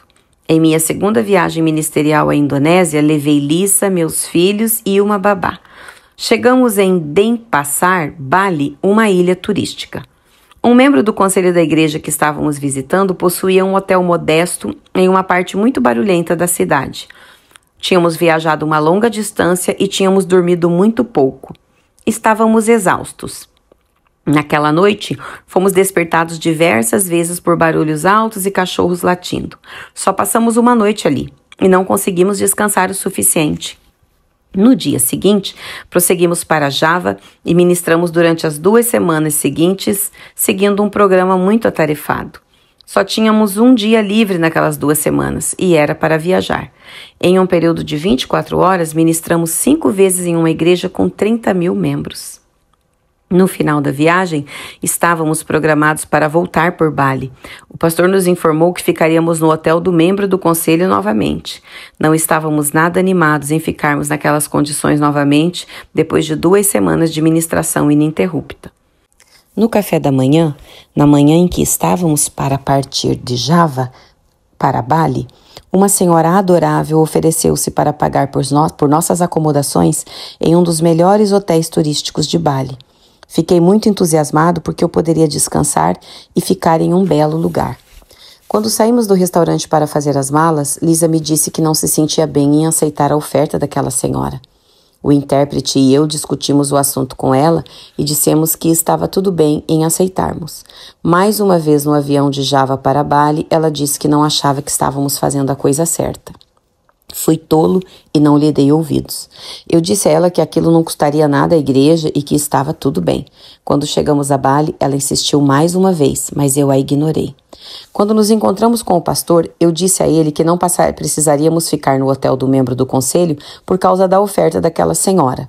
Ele pareceu ficar desconfortável com o que eu havia dito, então perguntei a ele o que havia de errado.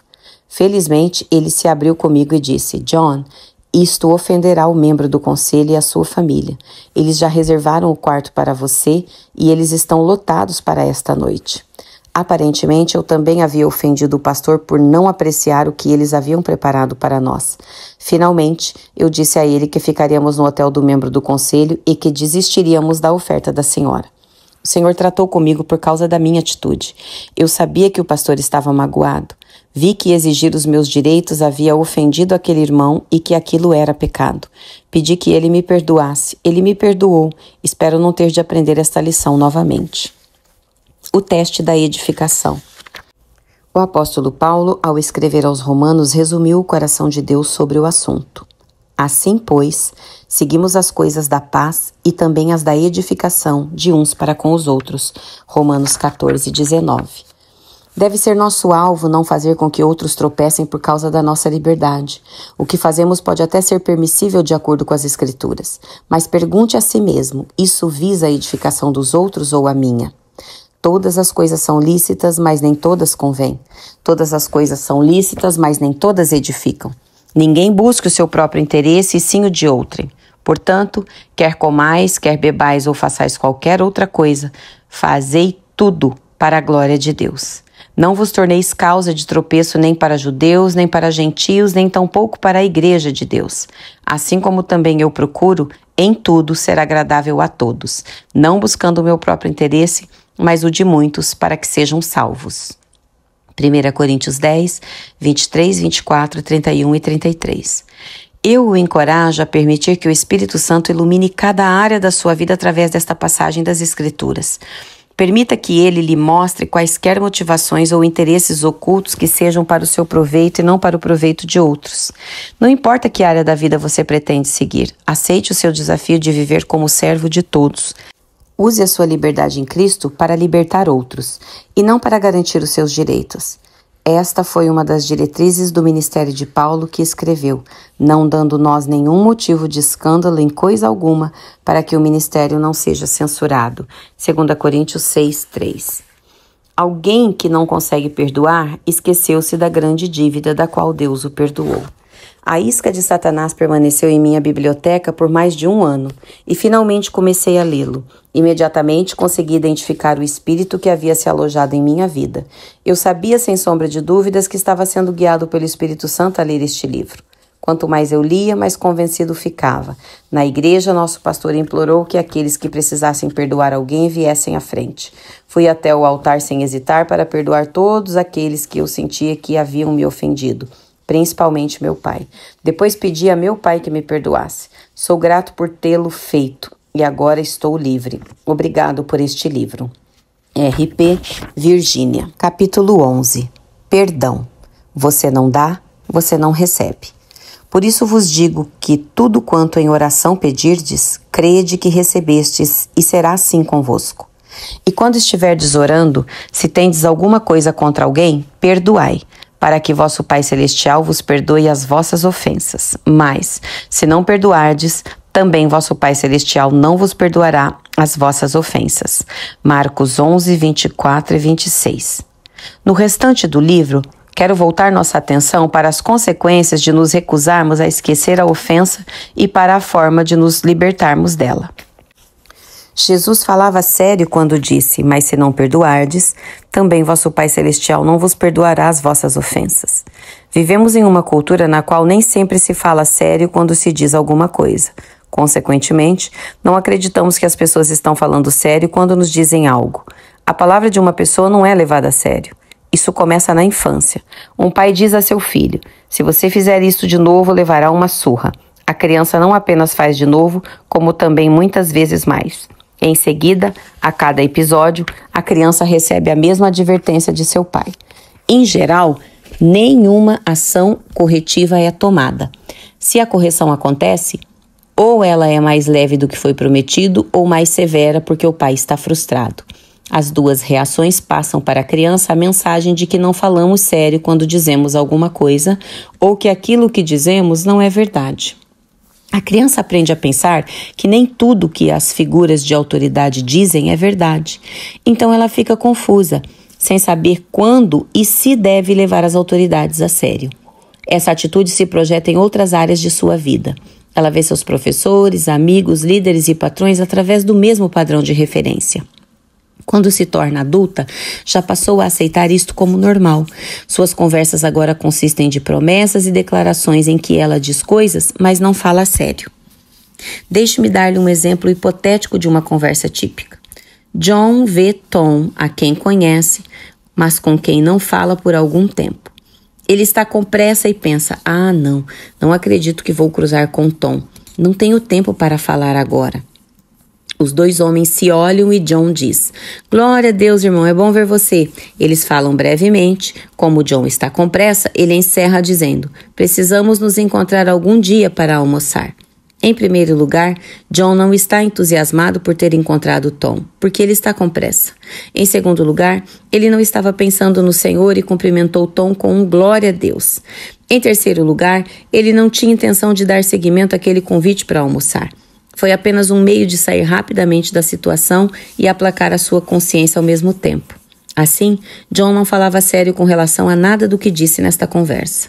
Situações reais como esta ocorrem todos os dias. A maioria das pessoas não fala sério com relação a um quarto do que diz. Então, não é de admirar que tenhamos dificuldade em saber quando devemos levar uma pessoa a sério. Mas quando Jesus fala, ele quer que o levemos a sério. Não podemos encarar o que ele diz do mesmo modo que encaramos as outras autoridades ou relacionamentos de nossas vidas. Quando ele diz uma coisa, ele fala sério. Ele é fiel, mesmo quando somos infiéis.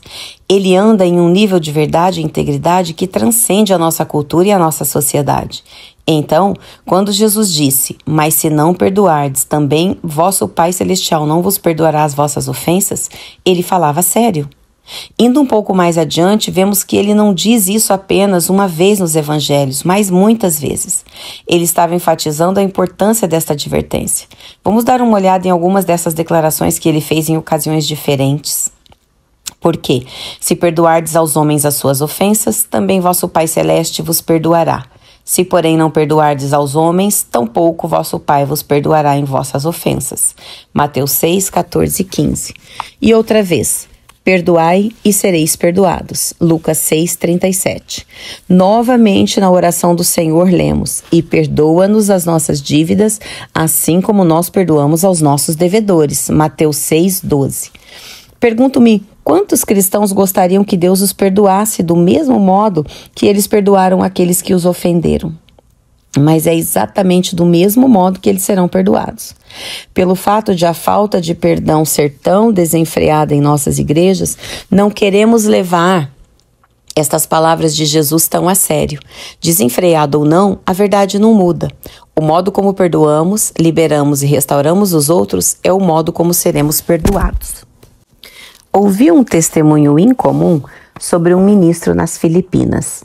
Amigos meus que o conheciam de um ministério anterior me mostraram um artigo falando sobre suas experiências.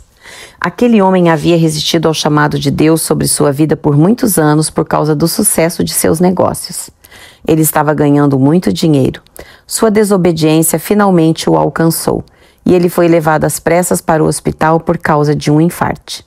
Ele morreu na mesa de cirurgia e se encontrou do lado de fora dos portões do céu. Jesus estava ali de pé e tratou com ele com relação à sua desobediência. O homem suplicou ao Senhor, dizendo que, se ele estendesse sua vida, ele o serviria. O Senhor consentiu. Antes de enviá-lo de volta ao seu corpo, o Senhor lhe mostrou uma visão do inferno. Ele viu a mãe de sua esposa ardendo nas chamas do inferno. Ele ficou impressionado. Ela havia feito a oração de arrependimento. Havia confessado ser cristã e frequentava a igreja. Por que ela está lá no inferno? perguntou ele ao Senhor. O Senhor disse a ele que ela havia se recusado a perdoar um parente e que por isso não podia ser perdoada. Perdão e crescimento espiritual. Lisa e eu também vimos muitos exemplos de armadilhas de falta de perdão em nosso próprio ministério. Quando eu estava ministrando pela primeira vez na Indonésia, fiquei na casa de um homem de negócios muito rico. Embora ele e sua família frequentassem a igreja onde eu estava ministrando, eles não eram salvos. Durante a semana em que estive lá, sua esposa foi salva, ele foi em seguida e depois todos os três filhos. Houve libertação e a atmosfera da casa foi transformada. Uma grande alegria encheu aquele lar. Quando eles souberam que eu estaria voltando para a Indonésia com minha esposa, convidaram-nos para ficarmos com eles e se ofereceram para pagar pelos bilhetes aéreos de meus três filhos e de uma babá. Chegamos e ministramos dez vezes na igreja deles. Preguei sobre o arrependimento e sobre a presença de Deus. Sentimos a sua presença nos cultos, havia lágrimas e gritos de libertação por toda parte. Toda a família recebeu ministração novamente. A mãe do marido, que morava na mesma cidade, assistiu a todos os cultos.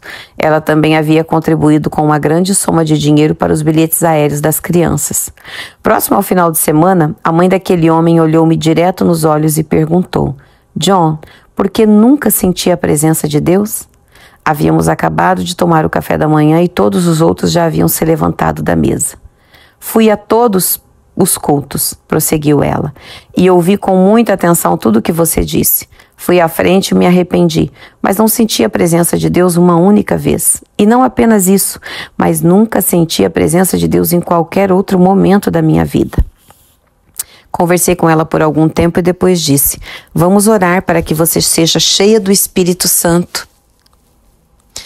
Impus as mãos sobre ela e orei para que ela recebesse o Espírito Santo, mas não havia qualquer sen sensação da presença de Deus. Então Deus falou ao meu espírito: ela não consegue perdoar seu marido. Diga a ela que o perdoe. Retirei as mãos dela, sabia que seu marido estava morto, mas olhei para ela e disse: O Senhor me mostra que você não consegue perdoar seu marido. É verdade, disse ela, mas fiz tudo o que podia para perdoá-lo. Então ela me contou coisas terríveis que ele havia feito a ela. Eu podia entender porque ela tinha dificuldade em perdoá-lo, mas eu lhe disse: para receber de Deus você precisa perdoar. E expliquei o que Jesus ensinou sobre o perdão. Você não pode perdoá-lo na sua própria força. Você precisa levar isto à presença de Deus e indo primeiro pedir a Deus que a perdoe. Depois pode perdoar seu marido. Você está disposta a perdoá-lo? Perguntei. Sim, ela respondeu conduzia em uma oração simples. Pai que estás nos céus, em nome de Jesus te peço teu perdão por não perdoar meu marido. Senhor, sei que não posso perdoá-lo em minha própria força. Eu já falhei, mas diante de ti eu agora libero meu marido do fundo do meu coração. Eu o perdoo. No instante em que ela disse essas palavras, lágrimas começaram a correr por seu rosto. Levante as mãos e fale em línguas, encorajei-a. Pela primeira vez, ela orou em uma linda língua celestial. A presença do Senhor foi tão forte naquela mesa de café da manhã que ficamos maravilhados e estupefatos. Ela chorou por cerca de cinco minutos. Conversamos um pouco e então eu a encorajei a desfrutar da presença do Senhor. Ela continuou a adorá-lo e deixei-a a sós. Quando a notícia chegou ao seu filho e à sua nora, eles ficaram chocados. O filho disse que nunca havia visto sua mãe chorar. Ela mesma não se lembrava da última vez em que havia chorado. Não chorei nem mesmo quando meu marido morreu. No culto daquela noite, ela foi batizada nas águas. Durante os três dias seguintes, um brilho e um doce sorriso irradiavam seu rosto. Não me lembro de tê-la visto sorrir antes disso. Ela não conseguia perdoar e por isso estava aprisionada pela falta de perdão. Mas quando ela liberou seu marido e o perdoou, ela recebeu o poder do Senhor em sua vida e tornou-se consciente de sua presença. O servo que não queria perdoar.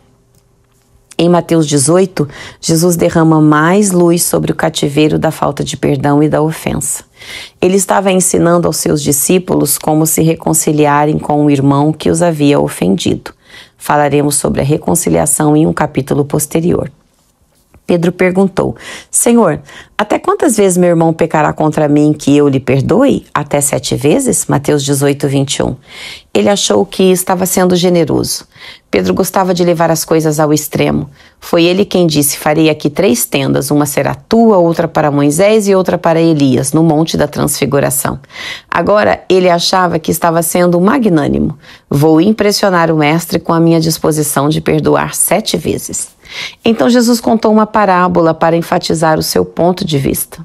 Por isso, o reino dos céus é semelhante a um rei que resolveu ajustar contas com os seus servos. E, passando a fazê-lo, trouxeram-lhe um que lhe devia dez mil talentos.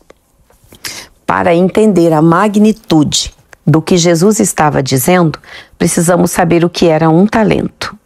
Um talento era uma medida era uma unidade de medida. Ela era usada para medir ouro, em 2 Samuel 12:30, ela era usada para medir prata, em 1 Reis 20:39, e outros metais e mercadorias. Nesta parábola, ela representa uma dívida, portanto, podemos com segurança deduzir que Jesus estava se referindo a uma unidade de troca como ouro ou prata, Digamos que seja ouro. O talento comum equivalia a aproximadamente 34 grama, quilogramas. Era o peso total que um homem podia carregar. Ver 2 Reis 5,23. 10 mil talentos seriam aproximadamente 340,194 quilogramas ou 350 toneladas. Assim, aquele servo devia ao rei 350 toneladas de ouro. Nos dias atuais, o preço do ouro é de aproximadamente 375 a onça. No mercado atual, um talento de ouro valeria 450 mil dólares. Portanto, 10 mil talentos de ouro valem 4,5 bilhões de dólares. Aquele servo devia ao rei 4,5 bilhões de dólares. Jesus estava enfatizando aqui que aquele servo tinha uma dívida que jamais conseguiria pagar. Vejamos. Não tendo ele, porém, com que pagar, ordenou o Senhor que fosse vendido ele, a mulher, os filhos e tudo quanto possuía, e que a dívida fosse paga. Então o servo, prostrando-se reverente, rogou: Sê paciente comigo, e tudo te pagarei. E o senhor daquele servo, compadecendo-se dele, mandou-o embora e perdoou-lhe a dívida. Mateus 18, 25 a 27. Agora vejamos como esta parábola se aplica à ofensa. Quando uma ofensa acontece, cria-se uma dívida. Você já ouviu alguém dizer ele vai pagar por isso? Então, o perdão é como o cancelamento de uma dívida. O, o rei representa Deus Pai, que perdoou a esse servo uma dívida que lhe era impossível pagar. Em Colossenses 2, 13 e 14, vemos: e a vós outros, que estáveis mortos pelas vossas transgressões e pela incircuncisão da vossa carne, vos deu vida juntamente com ele, perdoando todos os nossos delitos, tendo cancelado o escrito de dívida que era contra nós e que constava de ordenanças, o qual nos era prejudicial, removeu-o inteiramente, encravando-o na cruz. A dívida pela qual fomos perdoados era impagável. Não havia meios de um dia podermos pagar a Deus aquilo que devíamos a Ele. A nossa ofensa era avassaladora. Assim, Deus nos deu a salvação como um presente. Jesus pagou o escrito de dívida que era contra nós. Podemos ver o paralelo entre o relacionamento desse servo com o seu rei e o nosso relacionamento com Deus. Saindo, porém, aquele servo, encontrou um de seus conservos que lhe devia cem denários e, agarrando-o, sufocava, dizendo: Paga-me o que me deves. Mateus 18, 28. Um denário era aproximadamente equivalente a um dia de trabalho de um trabalhador. Assim, com base nos salários de hoje, 100 denários valeriam cerca de 46.500 dólares. Agora, continue a ler. Então o seu conservo, caindo-lhe aos pés, lhe implorava: "Se paciente comigo e te pagarei. Ele, entretanto, não quis. Antes, indo-se, o lançou na prisão até que saudasse a dívida. Um de seus conservos lhe devia uma soma de dinheiro considerável um terço do salário de um ano.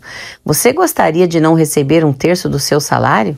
Mas lembre-se que esse homem havia sido perdoado de uma dívida de 4,5 bilhões de dólares. Isto é mais dinheiro do que ele poderia ganhar em toda a sua vida. As ofensas que guardamos uns contra os outros, se comparadas às nossas ofensas contra Deus, são como 46.500 comparados a 4,5 bilhões de dólares. Podemos ter sido maltratados por alguém, mas isso não se compara às transgressões que cometemos contra Deus. Você pode achar que ninguém sofreu tanto quanto você, mas não percebe o quanto Jesus sofreu. Ele era inocente, um cordeiro sem culpa que foi morto. Uma pessoa que não consegue perdoar esqueceu-se da grande dívida da qual foi perdoada. Quando você perceber que Jesus o libertou da morte e do tormento eterno, você libertará os outros incondicionalmente. Falaremos sobre como fazer isso no capítulo 13. Não há nada pior do que a eternidade no lago de fogo. Não há alívio. O verme não morre, o fogo não se extingue. Esse era o nosso destino até que Deus nos perdoou por meio da morte de seu Filho Jesus Cristo. Aleluia! Se você tem dificuldade em perdoar, Pense na realidade do inferno e no amor de Deus que o salvou desse lugar.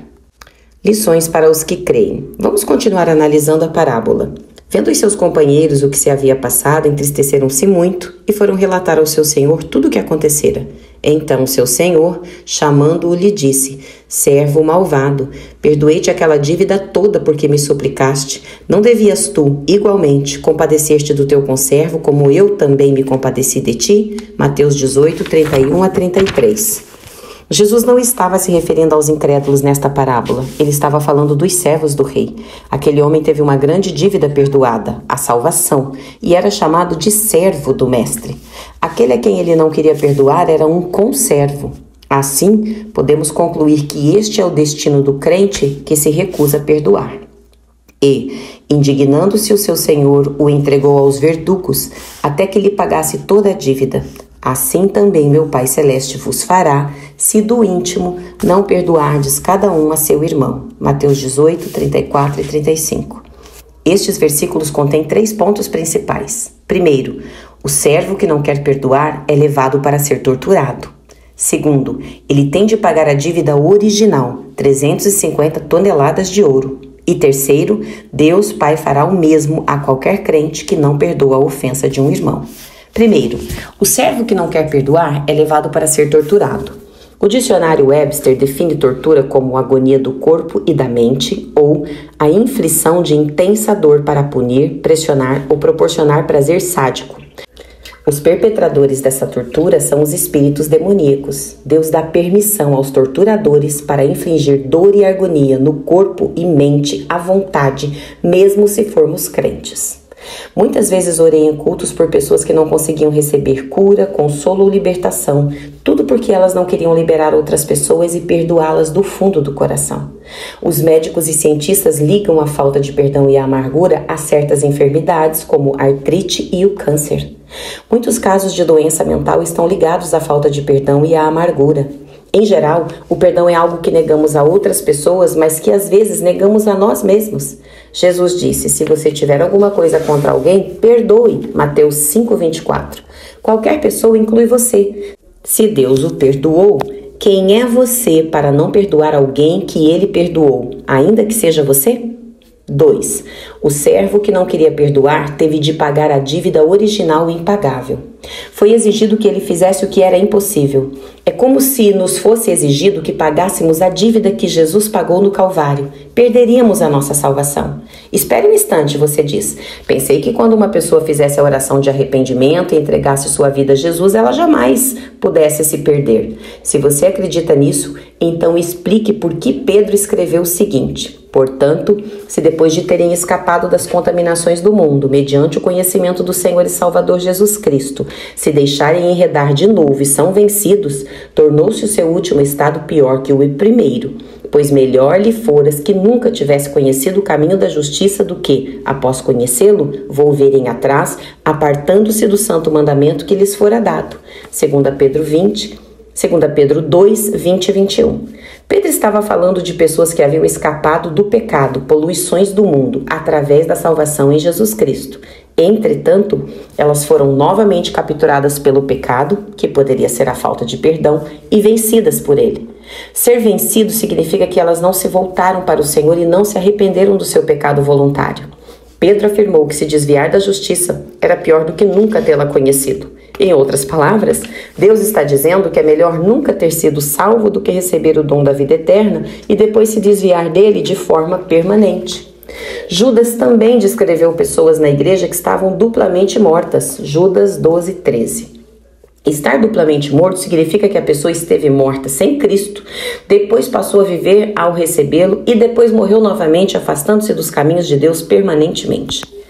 Vemos que muitos virão a Jesus se justificando com as palavras: Senhor, Senhor, porventura nós não temos profetizado em teu nome, e em teu nome não temos expelido demônios, e em teu nome não fizemos muitos milagres? Então eu lhes direi explicitamente: Nunca vos conheci. Apartai-vos de mim, os que praticais a iniquidade. Mateus 7, 22 e 23. Eles o conheciam, eles o chamavam de Senhor e faziam milagres em seu nome, mas ele não os conhecia. Quem é que o Senhor conhecerá? O apóstolo Paulo escreveu: Mas se alguém ama Deus, esse é conhecido por ele. 1 Coríntios 8, 3. Deus conhece aqueles que o amam. Você pode dizer: Eu amo a Deus, eu apenas não amo este irmão que me magoou.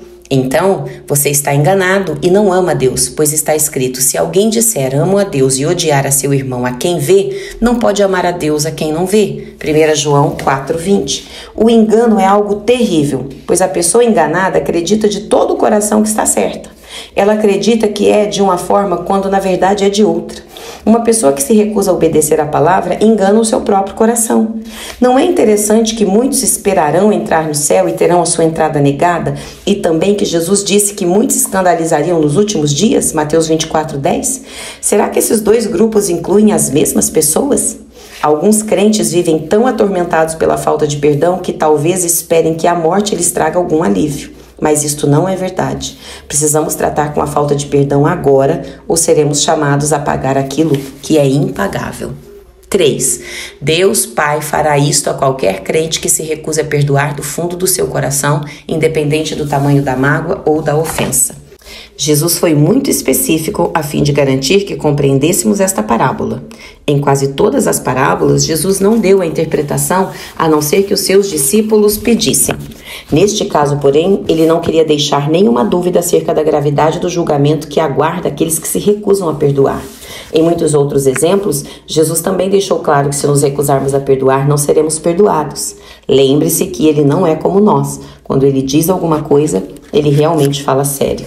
Isto não é visto com frequência na igreja. Em vez disto, damos desculpas para abrigarmos a falta de perdão. A falta de perdão é considerada um pecado menor que a homossexualidade, o adultério, o roubo, a embriaguez e daí por diante. Mas aqueles que o praticam não herdarão o reino de Deus juntamente com os que praticam os outros pecados. Alguns podem pensar que esta é uma mensagem dura, mas eu a vejo como uma mensagem de misericórdia e advertência, e não de julgamento duro. Você preferiria ser convencido pelo Espírito Santo agora e experimentar o arrependimento e o perdão genuínos? Ou preferiria se recusar a perdoar e ouvir o mestre dizer: saia, quando já não puder mais se arrepender? Devemos nos abster da vingança a ponto de voluntariamente corrermos o risco de sofrer uma ofensa novamente. Agradeço a Deus pela sua obediência em escrever a isca de Satanás. Esse livro é tão ungido que o Espírito do Senhor tratou comigo durante todo o tempo enquanto eu o lia, o que não demorou mais que alguns dias. Esse livro mudou minha vida completamente. Fui liberto das cadeias da ofensa e continuarei a exercitar meu coração, minha mente e minhas emoções para permanecer livre. LM Carolina do Sul. Capítulo 12 Vingança A armadilha. Não tornei a ninguém mal por mal Esforçai-vos por fazer o bem perante todos os homens. Romanos 12, 17. Como vimos claramente no último capítulo, agarrar-se à ofensa da falta de perdão é como recusar-se a cancelar a dívida de alguém. Quando uma pessoa é magoada por alguém, ela acredita que há uma dívida a ser paga a ela. Ela espera um pagamento de algum tipo, quer seja monetário ou não. O nosso sistema jurídico existe para vingar as partes prejudicadas ou lesadas. Os processos judiciais resultam de pessoas que tentam satisfazer suas dívidas. Quando uma pessoa foi magoada por outra, a justiça diz que a pessoa comparecerá em juízo pelo que fez e pagará caso seja considerada culpada. O servo que não quis perdoar queria que o seu conservo pagasse o que devia, e assim ele buscou a sua compensação no tribunal. Este não é o caminho da justiça. Não, vingue, não vos vingueis a vós mesmos, amados, mas dai lugar à ira, porque está escrito: A mim me pertence a vingança, eu é que retribuirei, diz o Senhor. Romanos 12, 19. Não é certo nós, filhos de Deus, nos vingarmos, mas é exatamente isso que procuramos fazer quando nos recusamos a perdoar. Desejamos, procuramos, planejamos e executamos a vingança. Não queremos perdoar até que a dívida seja inteiramente paga, e só nós podemos determinar qual é a compensação aceitável. Quando procuramos corrigir o mal que nos foi feito, nos colocamos na posição de juízes, mas sabemos que um só é legislador e juiz, aquele que pode salvar e fazer perecer. Tu, porém, quem és que julgas o próximo? Irmãos, não vos queixeis uns dos outros, para não serdes julgados. Eis que o juiz está às portas. Tiago 4, 12, 5, 9. Deus é o justo juiz. Ele trará o julgamento reto, mas retribuirá segundo a justiça. Se alguém fez o mal e se arrepende verdadeiramente, a obra de Jesus no Calvário cancela a dívida. Você pode dizer, mas o mal foi feito a mim e não a Jesus. Sim, mas você não percebe o mal que ele fez, que fez a ele, uma vítima inocente. Ele não tinha culpa alguma, ao passo que todos os outros seres humanos pecaram e estavam condenados à morte. Cada um de nós infringiu as leis de Deus que transcendem as leis da terra. Todos nós deveríamos ser condenados à morte pela mão do mais alto tribunal do universo se a justiça prevalecesse. Você pode não ter feito nada para provocar o mal que sofreu nas mãos de outra pessoa, mas se comparar o que lhe foi feito com aquilo que lhe foi perdoado, verá que não há comparação. Se você acha que foi passado para trás, é porque perdeu a noção da misericórdia que lhe foi estendida. Nenhuma área de rancor. De acordo com a aliança do Antigo Testamento, se você me fizesse algum mal, eu teria o direito legal de fazer o mesmo com você. Era dada permissão para se cobrar uma dívida retribuindo o mal com o mal. Veja Levíticos 24, 19 e Êxodo 21, do 23 ao 25. A lei era suprema. Jesus ainda não havia morrido para libertar os homens. Veja como ele se dirige aos crentes da nova aliança. Ouvistes o que foi dito: olho por olho, dente por dente. Eu, porém, vos digo: não resistais ao perverso, mas a qualquer que te ferir na face direita, volta-lhe também a outra. E ao que quer demandar contigo e tirar-te a túnica, deixa-lhe também a capa. Se alguém te obrigar a andar uma milha, vai com ele duas. Dá a quem te pede e não voltes as costas ao que deseja que lhe emprestes. Mateus 5, 38 a 42. Jesus elimina qualquer área de rancor. Na verdade, ele diz que devemos nos abster da vingança a ponto de voluntariamente corrermos o risco de sofrer uma ofensa novamente. Quando procuramos corrigir o mal que nos foi feito, nos colocamos na posição de juízes. O servo que não quis perdoar, em Mateus 18, fez isso quando colocou seu conservo na prisão. Esse servo que não perdoou, por sua vez, foi entregue aos verdugos e sua família foi vendida até que ele pagasse toda a dívida. Devemos dar lugar e abrir espaço para o justo juiz. Ele recompensa retamente, só ele vinga com justiça. Eu estava ministrando sobre o tema das ofensas em uma igreja em Tampa, Flórida. Depois da ministração, uma mulher veio falar comigo. Ela disse que havia perdoado seu ex-marido por tudo que ele havia feito. Mas ao me ouvir falar sobre liberar as ofensas, ela percebeu que ainda não tinha paz interior e se sentia muito desconfortável. Você ainda não o perdoou, eu disse a ela delicadamente. Sim, perdoei, disse ela. Chorei lágrimas de perdão. Você pode ter chorado, mas ainda não o liberou. Ela insistiu que eu estava errado e que já o havia perdoado. Não quero nada dele. Eu o liberei. Diga-me o que ele lhe fez, perguntei. Meu marido e eu pastoreávamos uma igreja. Ele me deixou e também aos nossos três filhos e fugiu com uma mulher importante da igreja. Seus olhos se encheram de lágrimas. Ele disse que havia desobedecido a Deus ao se casar comigo, porque era a vontade perfeita de Deus que ele se casasse com a mulher com quem fugiu. Ele me disse que ela era uma pessoa importante para o seu ministério porque lhe dava muito mais apoio do que eu. Disse também que eu era uma, um impedimento por ser muito crítica. Colocou toda a culpa do rompimento do casamento sobre mim. Ele nunca voltou nem admitiu que nada do que houve foi culpa sua. Este homem obviamente estava enganado e havia feito um grande mal à sua esposa e à sua família. Ela havia sofrido muito com as atitudes dele e estava esperando que ele pagasse esta dívida. A dívida não era fornecer alimentos ou apoio para os filhos, pois o seu novo marido estava suprindo todas essas coisas. A dívida que ela queria que ele pagasse era admitir que havia errado e que ela estava certa. Você não o perdoará até que ele venha até você e diga que ele estava errado, que foi culpa dele, não sua, e depois peça a você que o perdoe. Este é o pagamento pendente que tem que a, que a tem mantido cativa. Mostrei a ela. Se Jesus tivesse esperado que nós fôssemos até ele e pedíssemos desculpas, dizendo: estávamos errados, o Senhor estava certo, perdoe-nos, ele não teria nos perdoado na cruz. Quando estava pendurado na cruz, ele clamou: Pai, perdoa-lhes, porque não sabem o que fazem. Lucas 23, 34. Ele nos perdoou antes que, antes que fôssemos até Ele, confessando as nossas ofensas contra Ele. Somos alertados pelas palavras do apóstolo Paulo. Assim como o Senhor vos perdoou, assim também perdoais vós. Colossenses 3,13. E sede uns para com os outros benignos, compassivos, perdoando-vos uns aos outros, como também Deus em Cristo vos perdoou. Efésios 4:32. Quando eu disse àquela mulher, você não perdoará até que ele venha e diga eu estava errado e você estava certa, as lágrimas desceram por seu rosto. O que ela queria parecia pequeno em comparação com toda a dor que ele causara a ela e aos filhos, mas ela estava cativa da justiça humana. Ela havia se colocado na posição de juiz, reivindicando seu direito à dívida e esperando pelo pagamento. Essa ofensa havia interferido no seu relacionamento com seu novo marido. Também havia afetado seu relacionamento com todas as autoridades masculinas, porque seu ex-marido também era seu pastor. Frequentemente, Jesus compara o estado do nosso coração ao do solo. Somos alertados a estarmos arraigados e fundamentados no amor de Deus. A semente da palavra de Deus então criará raízes em nosso coração e crescerá, e finalmente produzirá frutos de justiça. Esses frutos são amor, alegria, paz, longanimidade, benignidade, bondade, fidelidade, mansidão e domínio próprio. Ver Gálatas 5, 22 e 23. Mas o solo só produzirá aquilo que for plantado nele. Se plantarmos sementes de dívida, de falta de perdão e ofensa, outra raiz brotará no lugar do amor de Deus.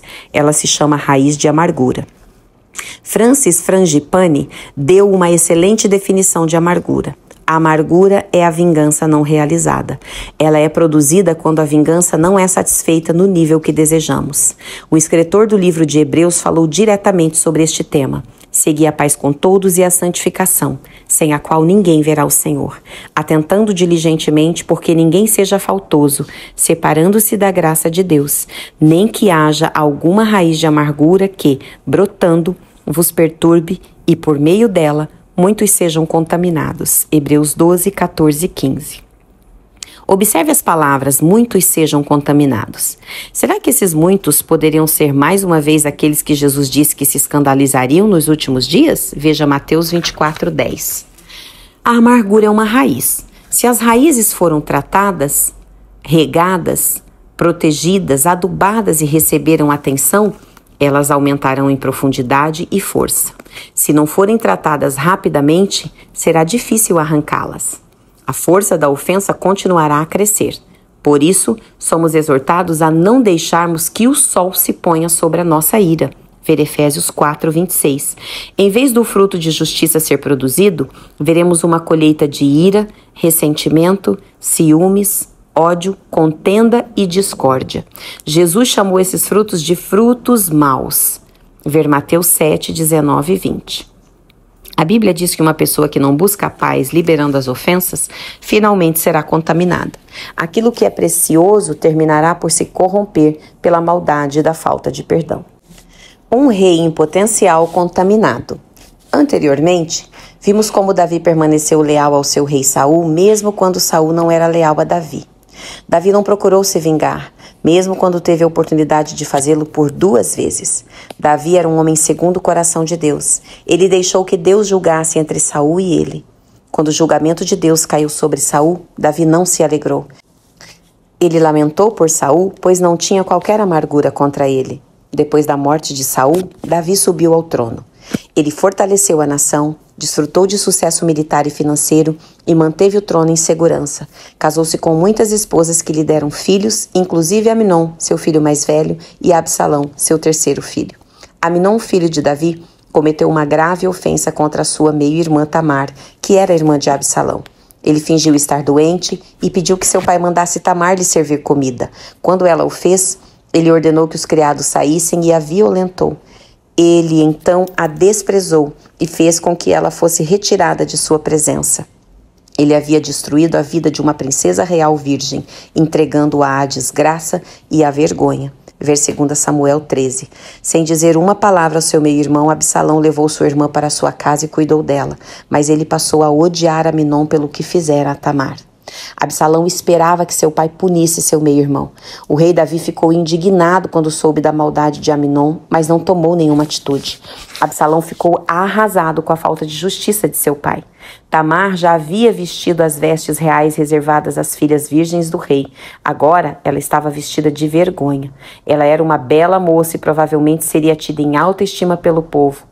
Agora ela vivia reclusa, impossibilitada de se casar, porque já não era mais virgem. Não era justo. Ela havia atendido ao pedido de Aminon por ordem do rei e foi violentada. Sua vida estava terminada, ao passo que o homem que havia cometido aquela atrocidade vivia como se nada tivesse acontecido. Ela carregava o peso de tudo aquilo. Sua vida agora estava em ruínas. Dia após dia, Absalão via sua irmã sofrendo. A existência perfeita de uma princesa havia se tornado um pesadelo. Absalão esperou por um ano para que seu pai fizesse alguma coisa, mas Davi não fez nada. Absalão estava escandalizado com seu pai e odiava o mal Aminon. Depois de dois anos, o seu ódio por Aminon deu à luz a um plano para assassiná-lo. Absalão provavelmente pensou: vingarei minha irmã, uma vez que a autoridade devida prefere não fazer nada. Ele deu uma festa para todos os filhos do rei quando Aminon de nada suspeitava, Absalão fez com que ele fosse morto. Absalão então fugiu para Jesur, tendo concluído a sua vingança contra Aminon. Mas a ofensa que ele levava em seu coração contra seu pai ardia cada vez mais forte, principalmente enquanto ele estava longe do palácio. Seus pensamentos estavam envenenados pela amargura. Ele passou a ser um especialista em criticar as fraquezas de Davi, mas esperava que seu pai mandasse chamá-lo. Davi não o fez. Isso alimentou o ressentimento de Absalão. Talvez estes fossem os seus pensamentos. Meu pai é aclamado pelo povo, mas eles estão cegos quanto à verdadeira natureza dele. Ele não passa de um homem egocêntrico que usa Deus como uma capa. Ora, ele é pior do que o rei Saul. Saul perdeu o seu trono por não matar o rei dos amalequitas e por poupar algumas das suas melhores ovelhas e bois. Meu pai cometeu adultério com a mulher de um homem dos seus, dos seus mais leais. Depois, ele cobriu o seu pecado matando o homem que era leal a ele. Ele é um assassino e adúltero. Foi por isso que ele não puniu Aminon. E ele encobre tudo isso com a sua falsa adoração a Jeová. Absalão permaneceu em Jesus por três anos. Davi havia sido consolado pela morte de seu filho Aminon e Joabe havia convencido o rei a levar Absalão para casa. Mas Davi ainda se recusava a se encontrar com Absalão face a face. Mais dois anos se passaram e Absalão finalmente voltou a ter o favor de Davi, que lhe restituiu todos os privilégios de antes. Mas a ofensa no coração de Absalão permanecia forte como antes. Absalão era perito em manter as aparências. Antes de assassinar Aminon, Absalão não falou com Aminon nem mal nem bem, porque odiava Aminon, segundo Samuel 13, 22. Muitas pessoas são capazes de ocultar a, a ofensa e o ódio como Absalão fez. Como resultado desta atitude crítica gerada pela ofensa, ele começou a atrair a si todos os que estavam descontentes. Passou a estar disponível a todo Israel, dedicando tempo a ouvir as reclamações do povo, ele se lamentava dizendo que as coisas só seriam diferentes se ele fosse rei. Julgava as causas do povo, uma vez que parecia que o rei não tinha tempo para eles. Talvez Absalão julgasse as causas deles porque achava que ele próprio não havia recebido um tratamento justo. Ele parecia estar preocupado com o povo. A Bíblia diz que Absalão roubou o coração do povo de Israel de seu pai Davi. Mas será que ele realmente estava preocupado com eles ou estava procurando um meio de roubar o trono de Davi, aquele que o havia ofendido? Peritos no erro. Absalão atraiu Israel a si e se levantou contra Davi. O rei Davi teve de fugir de Jerusalém para salvar sua vida. Parecia que Absalão iria estabelecer o seu próprio reinado, mas ele acabou sendo morto quando perseguia Davi embora este tivesse ordenado que ninguém o tocasse. Absalão, na verdade, foi morto pela sua própria amargura e ofensa. O homem que tinha tanto potencial, herdeiro do trono, morreu na flor da idade por ter se recusado a liberar a dívida que ele achava que seu pai tinha para com ele. Terminou por se contaminar. Os assistentes dos líderes de igrejas geralmente se ofendem com a pessoa a quem serve. Eles logo se tornam críticos, peritos em tudo que há de errado com o seu líder ou com aqueles que ele ou ela levanta. Eles se ofendem, a visão deles fica distorcida. Eles enxergam de uma perspectiva inteiramente diferente da perspectiva de Deus. Acreditam que a sua missão na vida é libertar os que os cercam de um líder injusto. Conquistam o coração dos descontentes, dos insatisfeitos e dos ignorantes. E antes que se deem conta, terminam por dividir ou causar dissensão na igreja ou no ministério, assim como Absalão. Às vezes, as observações deles estão corretas. Talvez Davi devesse ter tomado uma atitude contra Minon. Talvez um líder tenha áreas que não estão corretas, mas quem é o juiz? Você ou o Senhor? Lembre-se que se você semear a contenda, irá colher a contenda. O que aconteceu a Absalão e o que acontece nos ministérios de hoje em dia é um processo que leva tempo. Em geral, não temos consciência de que uma ofensa penetrou em nosso coração. A raiz de amargura mal pode ser notada enquanto ela se desenvolve, mas à medida que ela é alimentada, crescerá e fortalecerá. Como exorta o escritor de Hebreus, devemos atentar diligentemente para que nem haja alguma raiz de amargura que, brotando, nos perturbe e, por meio dela, muitos sejam contaminados. Hebreus 12, 15. Devemos examinar o nosso coração e nos abrir para a correção do Senhor, pois somente a Sua palavra pode discernir os pensamentos e intenções do coração. O Espírito Santo convence à medida que ele fala através da nossa consciência. Não devemos ignorar o seu agir nem apagá-lo. Se alguém fez isto, arrependa-se diante de Deus e abra seu coração para a sua correção. Certa vez, um ministro perguntou-me se ele havia agido como um Absalão ou um Davi em algo que tinha feito. Ele havia atuado como assistente de um pastor em uma cidade e o pastor o despediu. Parecia que o pastor presidente tinha ciúmes e tinha medo daquele jovem porque a mão de Deus estava sobre ele. Um ano depois, o ministro que havia sido despedido acreditou que o Senhor queria que ele iniciasse uma igreja do outro lado da cidade.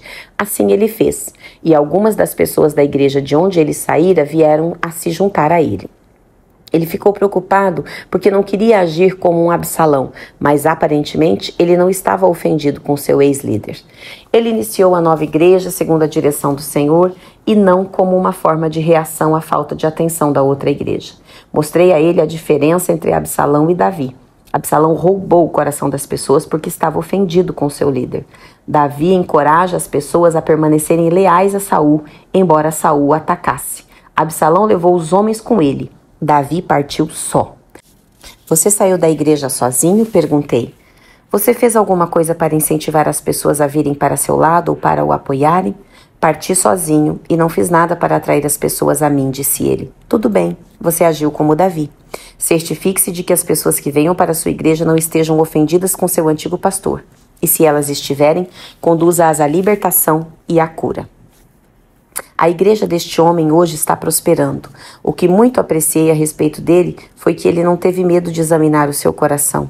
Além disso, ele também se submeteu ao aconselhamento de um homem de Deus. Era mais importante para ele saber que estava sendo submisso à direção de Deus do que provar que estava certo.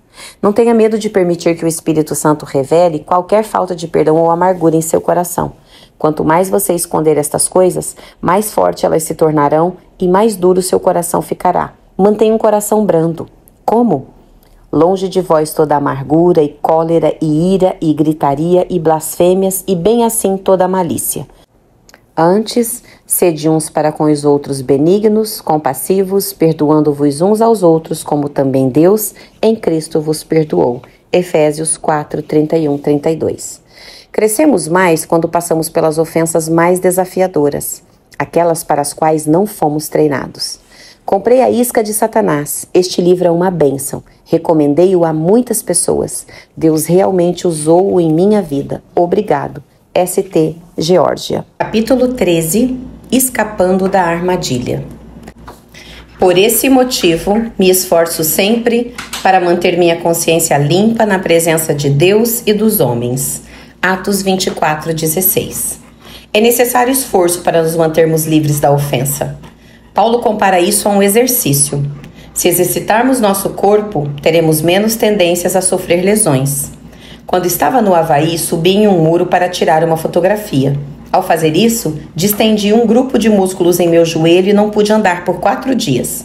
Se você fizesse exercícios regularmente, disse-me o médico, isto não teria acontecido. Seus músculos estão fora de forma, por isso você está propenso a sofrer lesões. Quando pude andar, outro especialista me instruiu: você precisa fazer exercícios para que os músculos de seu joelho voltem à forma adequada. Levou alguns meses para que o meu joelho voltasse ao normal. A palavra grega em Atos 24:16 para esforço é askel. O Vines Expository Dictionary a define como fazer esforço, esforçar-se, exercitar-se pelo treinamento ou disciplina. Às vezes as pessoas nos ofendem e não é difícil perdoar. Exercitamos nosso coração para que estejam em condições de lidar com a ofensa. Assim, não ocorre nenhuma lesão ou dano permanente. Muitas pessoas poderiam ter subido naquele muro no Havaí e não se lesionarem por estarem em forma. Do mesmo modo, alguns estão condicionados a obedecerem a Deus exercitando seu coração. O nosso grau de maturidade determina a forma como vamos lidar com uma ofensa sem sofrer danos. Algumas ofensas são mais desafiadoras do que aquelas para as quais fomos treinados. Esse esforço extra pode causar uma ferida ou lesão, após o qual teremos de nos exercitar espiritualmente para ficarmos livres e sermos curados novamente. Mas o resultado vale o esforço. Neste capítulo, tratarei dessas ofensas extremas e intensas que requerem mais esforço para serem resolvidas. Ocorreu um incidente em minha vida envolvendo alguém do ministério. Essa ofensa extrema que sofri não foi um fato isolado mas foi um de diversos fatos que ocorreram com essa pessoa e que se intensificaram durante mais de um ano e meio. Todos ao meu redor sabiam o que estava acontecendo.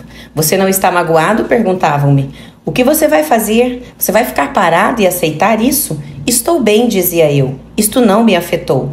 Vou seguir em frente com o chamado que está sobre a minha vida. Mas a minha resposta não era outra coisa senão orgulho. Eu estava extremamente magoado, mas negava isso até para mim mesmo. Passava horas tentando entender como tudo aquilo podia ter acontecido comigo. Eu estava chocado, paralisado e impressionado, mas suprimia esses pensamentos e mantinha uma aparência forte quando na verdade estava fraco e profundamente ferido. Meses se passaram. Tudo parecia árido. O ministério estava sem graça, meu lugar secreto estava vazio e sem oração, e eu estava perturbado. Combatia contra demônios diariamente. Achava que toda aquela resistência era devido ao chamado de Deus para a minha vida, mas na verdade era o tormento gerado pela minha falta de perdão. Todas as vezes que eu estava com aquele homem, saía me sentindo espiritualmente derrotado. Até que a, a chegou uma manhã que jamais esquecerei. Eu estava sentado na varanda do meu jardim orando. Senhor, estou magoado? perguntei. Mal estas palavras saíram de meus lábios, ouvi um brado no mais profundo do meu espírito. Sim. Deus queria que eu soubesse claramente que estava magoado. Deus, por favor, ajuda-me a sair desta mágoa e desta ofensa, supliquei. É demais para mim lidar com isso. Era exatamente nesse ponto que Deus queria que eu chegasse, no final das minhas forças. Geralmente tentamos fazer as coisas na força de nossas almas. Isso não nos ajuda a crescer espiritualmente. Em vez disso, nos tornamos mais suscetíveis ao fracasso. O primeiro passo para a cura e para a liberdade é reconhecer que você está magoado. Em geral, o orgulho não quer que admitamos que estamos magoados e ofendidos. Quando admiti a minha verdadeira condição, busquei ao Senhor e me abri para receber sua correção. Senti que o Senhor queria que eu jejuasse por alguns dias. O jejum me possibilitaria estar sensível à voz do seu espírito e também me, tra me traria outros benefícios. Porventura, não é este o jejum que escolhi? Que soltes as ligaduras da impiedade, desfaças as ataduras da servidão, deixes livres os oprimidos e despedaces todo o jugo? Isaías 58, 6. Eu estava pronto para que essas ligaduras da impiedade fossem quebradas e para ser livre da opressão. Alguns dias depois estava em um culto de funeral. O homem que me havia ofendido também estava lá. Observei-o da parte de trás da igreja e comecei a chorar. Senhor, eu o perdoo. Eu o libero de tudo que ele tenha feito. Imediatamente senti o peso ser retirado. Eu o havia perdoado. Que alívio me inundou. Mas esse era apenas o começo do meu caminho para a recuperação. Em meu coração havia perdoado, mas não tinha consciência da extensão da ferida. Eu ainda estava vulnerável e podia ser ferido de novo. Era exatamente como a recuperação de um ferimento físico. Eu precisava de exercício para fortalecer meu coração, minha mente e minhas emoções, a fim de evitar danos futuros. E as recaídas? Alguns meses se passaram. De vez em quando eu precisava combater alguns pensamentos que eu tinha antes de perdoar. Uma pessoa ferida, do mesmo modo, podia vir reclamar comigo, ou talvez eu visse o homem ou ouvisse seu nome. Eu rejeitava esses pensamentos logo que os percebia e os expulsava. Ver 2 Coríntios 10, 15. Este foi o meu exercício, a minha luta para permanecer livre. Finalmente perguntei ao Senhor como podia impedir que esses pensamentos me arrastassem novamente para a falta de perdão. Eu sabia que ele queria um nível mais elevado de liberdade para mim e não queria passar o resto da vida com a ofensa me observando de longe. O Senhor instruiu-me a orar pelo homem que me havia magoado, lembrando-me das suas palavras. Eu, porém, vos digo: amai os vossos inimigos e orai pelos que vos perseguem. Mateus 5:44. Então orei. A princípio eu estava com uma voz seca, monótona, sem um mínimo de compaixão. Por obrigação eu acrescentava: Senhor, abençoa-o, dê a ele um bom dia, ajude-o em tudo que fizer, em nome de Jesus, amém. Isso continuou por algumas semanas. Parecia que não estava chegando a lugar nenhum. Então, certa manhã, o Senhor me levou a ler o Salmo 35. Eu não tinha ideia do que havia no Salmo 35. Então procurei e comecei a ler. Quando cheguei à metade, vi minha situação. Levantam-se iníquas testemunhas e me arguem de coisas que eu não sei. Pagam-me o mal pelo bem, o que é desolação para minha alma. Salmo 35, 11 e 12. Eu pude me identificar com Davi. Na minha opinião, tanto o homem quanto alguns dos seus colegas haviam me pagado o mal pelo bem.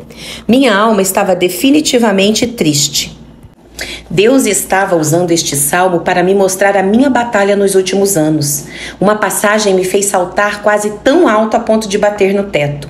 Quanto a mim, porém, estando eles enfermos, as minhas vestes eram pano de saco. Eu afligia minha alma com jejum e em oração me reclinava sobre o peito. Portava-se como se eles fossem meus amigos ou meus irmãos. Andava encurvado, de luto, como quem ora por sua mãe. Salmo 35, 13 e 14. Davi disse que aqueles homens estavam tentando destruí-lo. Eles o atacaram com o mal quando ele não havia feito nada para merecer aquilo. Então veio a resposta: Quanto a mim, porém. A resposta de Davi não se baseava nas atitudes dos outros.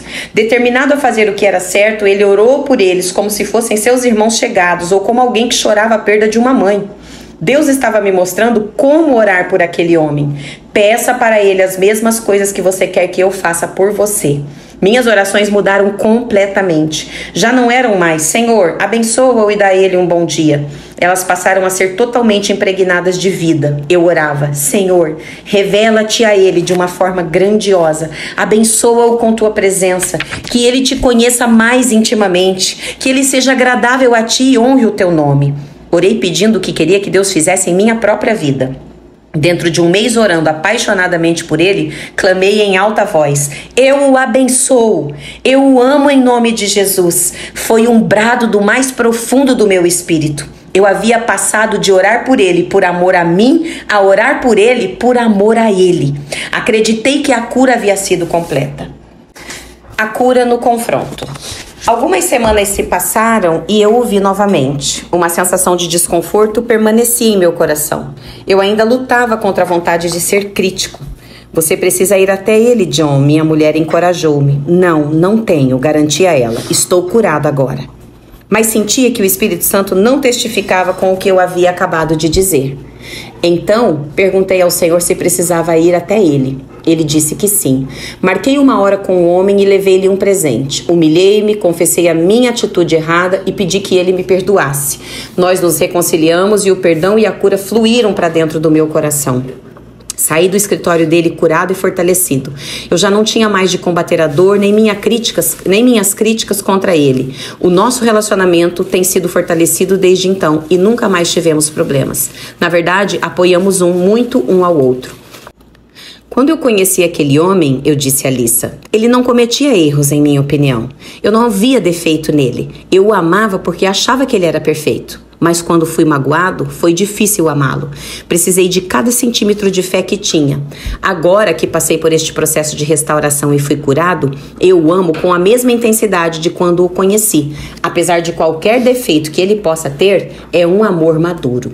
Este versículo das Escrituras me veio à mente. Acima de tudo, porém, tende amor intenso uns para com os outros, porque o amor cobre multidão de pecados. 1 Pedro 4:8. É fácil amar aqueles que não cometem erros aos nossos olhos. Este é o tipo de amor de lua de mel, mas a outra coisa é amar alguém quando podemos ver os seus erros e principalmente quando formos vítima deles. O amor de Deus estava me amadurecendo, fortalecendo o meu coração. Desde então, casos semelhantes aconteceram, mas não demorou para que eu liberasse a ofensa, pois meu coração estava exercitado para permanecer livre dela. Vários meses se passaram desde o tempo em que Deus falou comigo em minha varanda até o dia que saí do escritório daquele homem curado. Aquele foi um período de treinamento no qual meu coração foi exercitado e fortalecido. Durante esses meses, às vezes parecia que eu não estava chegando a lugar algum. Na verdade, eu me perguntava se não havia piorado. Mas eu estava no caminho seguro para a recuperação.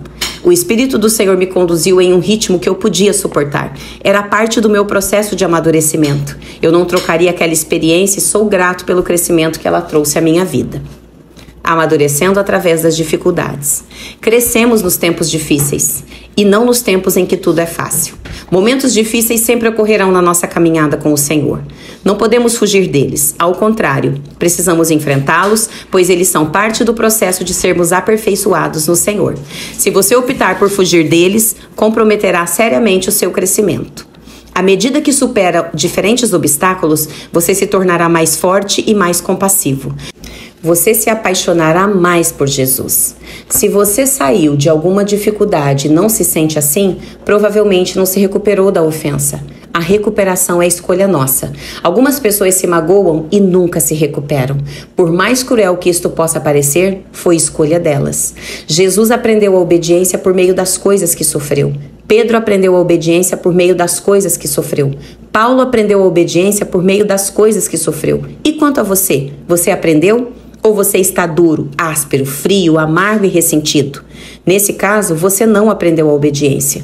Sim, é verdade que há algumas ofensas que não vão embora sem nos afetar. Você precisa trabalhar nelas, lutando para se libertar. Mas nesse processo, você cresce e amadurece. A maturidade não vem facilmente. Se viesse, todos a atingiriam. Poucos atingem este nível de vida por causa da resistência que enfrentam. Há resistência porque o curso da nossa sociedade não é de amor, mas de egoísmo. O mundo está dominado pelo príncipe das potestades do ar, Efésios 2:2. Consequentemente, para entrar na maturidade de Cristo, haverá dificuldades que virão ao nos colocarmos contra o fluir do egoísmo. Paulo voltou a três cidades onde implantou igrejas. Seu propósito era fortalecer a alma dos discípulos. Entretanto, é interessante ver como ele os fortalecia. Ele os encorajava, dizendo, exortando-os a permanecer firmes na fé e mostrando que, através de muitas tribulações, nos importa entrar no reino de Deus. Atos 14, 22. Ele não lhes prometeu uma vida fácil. Não lhes prometeu sucesso de acordo com os padrões do mundo. Ele lhes mostrou que, se quisessem completar sua carreira com alegria, iriam encontrar muita resistência, que ele chamou de, de tribulação. Se você está remando em um rio contra a corrente, terá de remar continuamente a fim de avançar contra o fluxo do rio. Se parar de remar e relaxar, finalmente acabará sendo levado pela correnteza. Mesmo assim, quando estivermos determinados a seguir o caminho de Deus, encontraremos muitas tribulações. Todas as provações apontarão a resposta para uma pergunta principal: você vai se preocupar consigo mesmo, como o mundo faz, ou vai viver a vida negando a si mesmo? Lembre-se que quando perdemos a nossa vida por amor de Jesus, encontraremos a vida dele. Aprenda a fixar o seu foco no resultado final e não na luta. Pedro definiu isso muito bem. Amados, não estranheis o fogo ardente que surge no meio de vós, destinando a provar-vos, como se alguma coisa extraordinária vos estivesse acontecendo. Pelo contrário, alegrai-vos na medida em que sois coparticipantes dos sofrimentos de Cristo, para que também, na revelação de sua glória, vos alegreis exultando. 1 Pedro 4, 12 e 13. Observe que ele compara a extensão do sofrimento à extensão de alegria. Como você pode se alegrar tanto quando a sua glória for revelada, você será glorificado com ele. Essa glorificação se dá na medida em que permitir que ele aperfeiçoe o seu caráter em você. Então, não olhe para a ofensa, olhe para a glória que está por vir. Aleluia.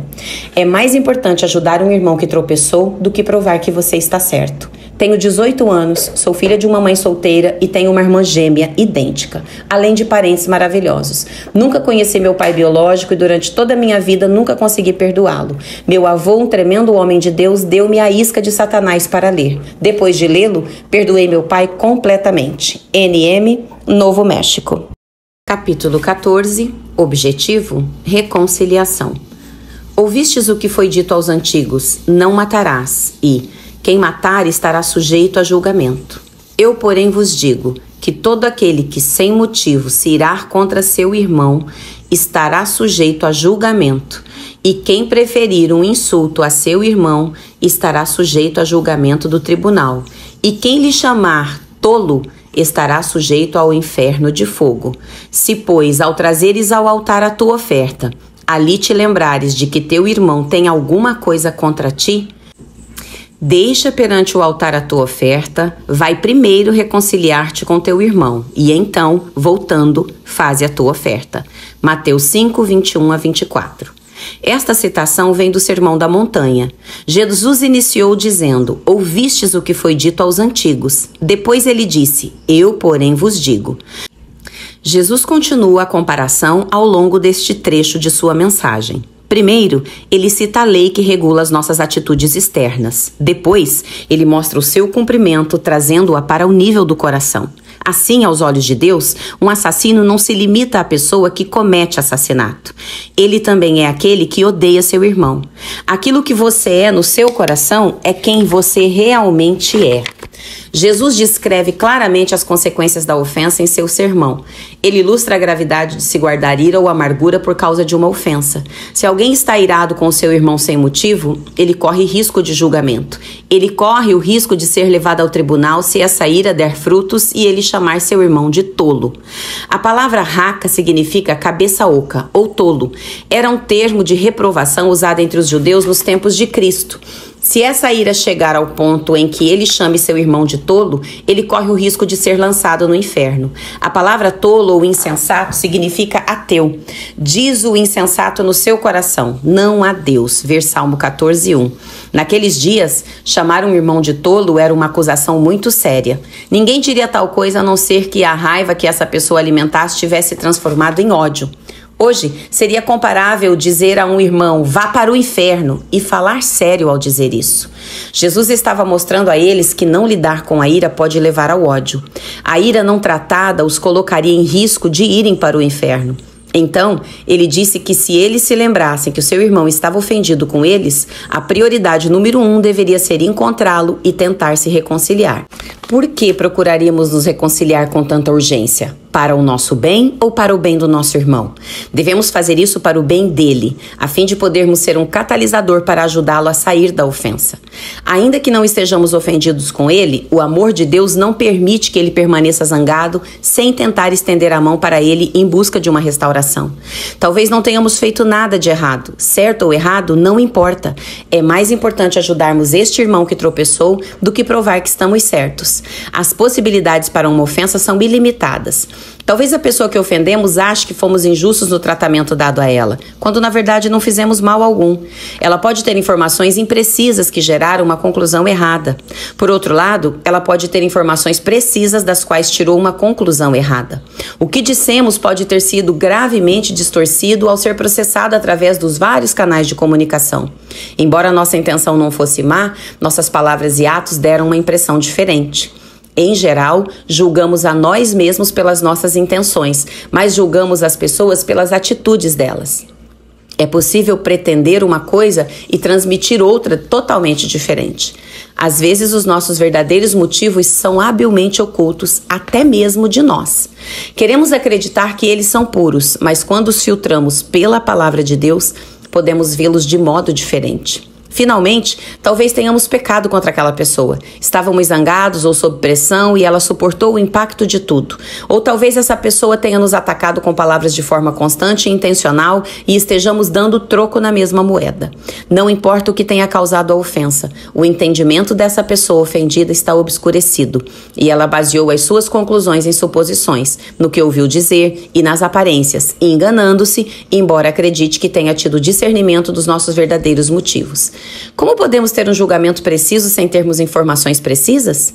Devemos ser sensíveis ao fato de que ela acredita de todo o seu coração que foi injustiçada. Seja qual for o motivo pelo qual ela se sente assim, devemos estar dispostos a nos humilharmos e a pedir perdão. Jesus está nos exortando a nos reconciliarmos, ainda que a ofensa não seja culpa nossa. É necessário maturidade para se andar em humildade para trazer reconciliação. Mas dar o primeiro passo em geral é mais difícil para a pessoa que está sofrendo. Foi por isso que Jesus disse à pessoa que causou a ofensa para ir até ele pedindo perdão para aquele que foi ofendido. O apóstolo Paulo disse: Assim, pois, seguimos as coisas da paz e também as da edificação de uns para com os outros. Romanos 14, 19. Isto demonstra como devemos nos aproximar de uma pessoa a quem ofendemos. Se nos aproximarmos com uma atitude de frustração, não promoveremos a paz. Só tornaremos as coisas difíceis para aquele que está magoado. Devemos manter uma atitude de buscar a paz através da humildade à custa do nosso orgulho. Esta é a única maneira de vermos a verdadeira reconciliação. Em certas ocasiões, aproximei-me de pessoas que havia ferido ou que estavam zangadas comigo e elas me atacaram com palavras. Elas me disseram que eu era egoísta, sem consideração, orgulhoso, rude, áspero e muito mais. A minha reação natural foi dizer: Não, não sou. Você é que não me entende. Mas quando eu me defendo, isso só alimenta o fogo da ofensa. Isso não é buscar a paz. Defender a nós mesmos e os nossos direitos jamais trará a verdadeira paz. Em vez disso, aprendi a ouvir e a manter minha boca fechada até que eles tenham dito tudo o que precisam dizer. Se eu não concordar, Faço-as saber que respeito o que disseram e que irei repensar minha atitude e minhas intenções. Depois, digo que sinto muito por tê-las ofendido. Outras vezes, elas estão corretas na avaliação que fazem a meu respeito. Então admito. Você tem razão. Peço que me perdoe. Mais uma vez, trata-se simplesmente de nos humilharmos para promover a reconciliação. Talvez tenha sido por isso que Jesus disse nos versículos seguintes: Entra em acordo sem demora com teu adversário, enquanto estás com ele a caminho, para que o adversário não te entregue ao juiz, o juiz ao oficial de justiça, e sejas recolhido à prisão. Em verdade te digo que não sairás dali enquanto não pagares o último centavo. Mateus 5, 25, 26. O orgulho defende, a humildade concorda e diz: Você tem razão. Eu agi assim. Por favor, me perdoe. A sabedoria, porém, lá do alto é primeiramente pura, depois pacífica, indulgente, tratável, disposta a ceder, plena de misericórdia e de bons frutos, imparcial e sem fingimento. Tiago 3,17. A sabedoria de Deus está sempre disposta a ceder. Ela não é de dura serviço ou voluntariosa no que diz respeito a conflitos pessoais. Uma pessoa submetida à sabedoria de Deus não tem medo de ceder ou de reconhecer o ponto de vista da outra pessoa, desde que isso não violente a verdade, abordando aquele que o ofendeu. Agora que falamos sobre o que fazer quando ofendemos nosso irmão, vamos refletir sobre o que fazer se o nosso irmão nos ofender. Se o seu irmão pecar contra você, vá e, a sós com ele, mostre-lhe o erro. Se ele o ouvir, você ganhou seu irmão. Mateus 18, 15. Muitas pessoas aplicam este versículo em uma atitude diferente da pretendida por Jesus. Se elas foram magoadas, elas vão e confrontam o ofensor com um espírito de vingança e ira. Usam este versículo como justificativa para condenar aquele que as feriu. Mas elas não compreendem o verdadeiro motivo pelo qual Jesus nos instruiu a irmos procurar o nosso irmão não é para a condenação, mas para reconciliação. Ele não quer que digamos ao nosso irmão o quanto ele foi mal para conosco. Devemos ir até ele para remover a brecha que impede a restauração do nosso relacionamento. Esse é um paralelo do modo como Deus restaura a nossa comunicação com Ele. Pecamos contra Deus, mas Ele prova o seu próprio amor para conosco pelo fato de ter Cristo morrido por nós, sendo nós ainda pecadores. Romanos 5:8.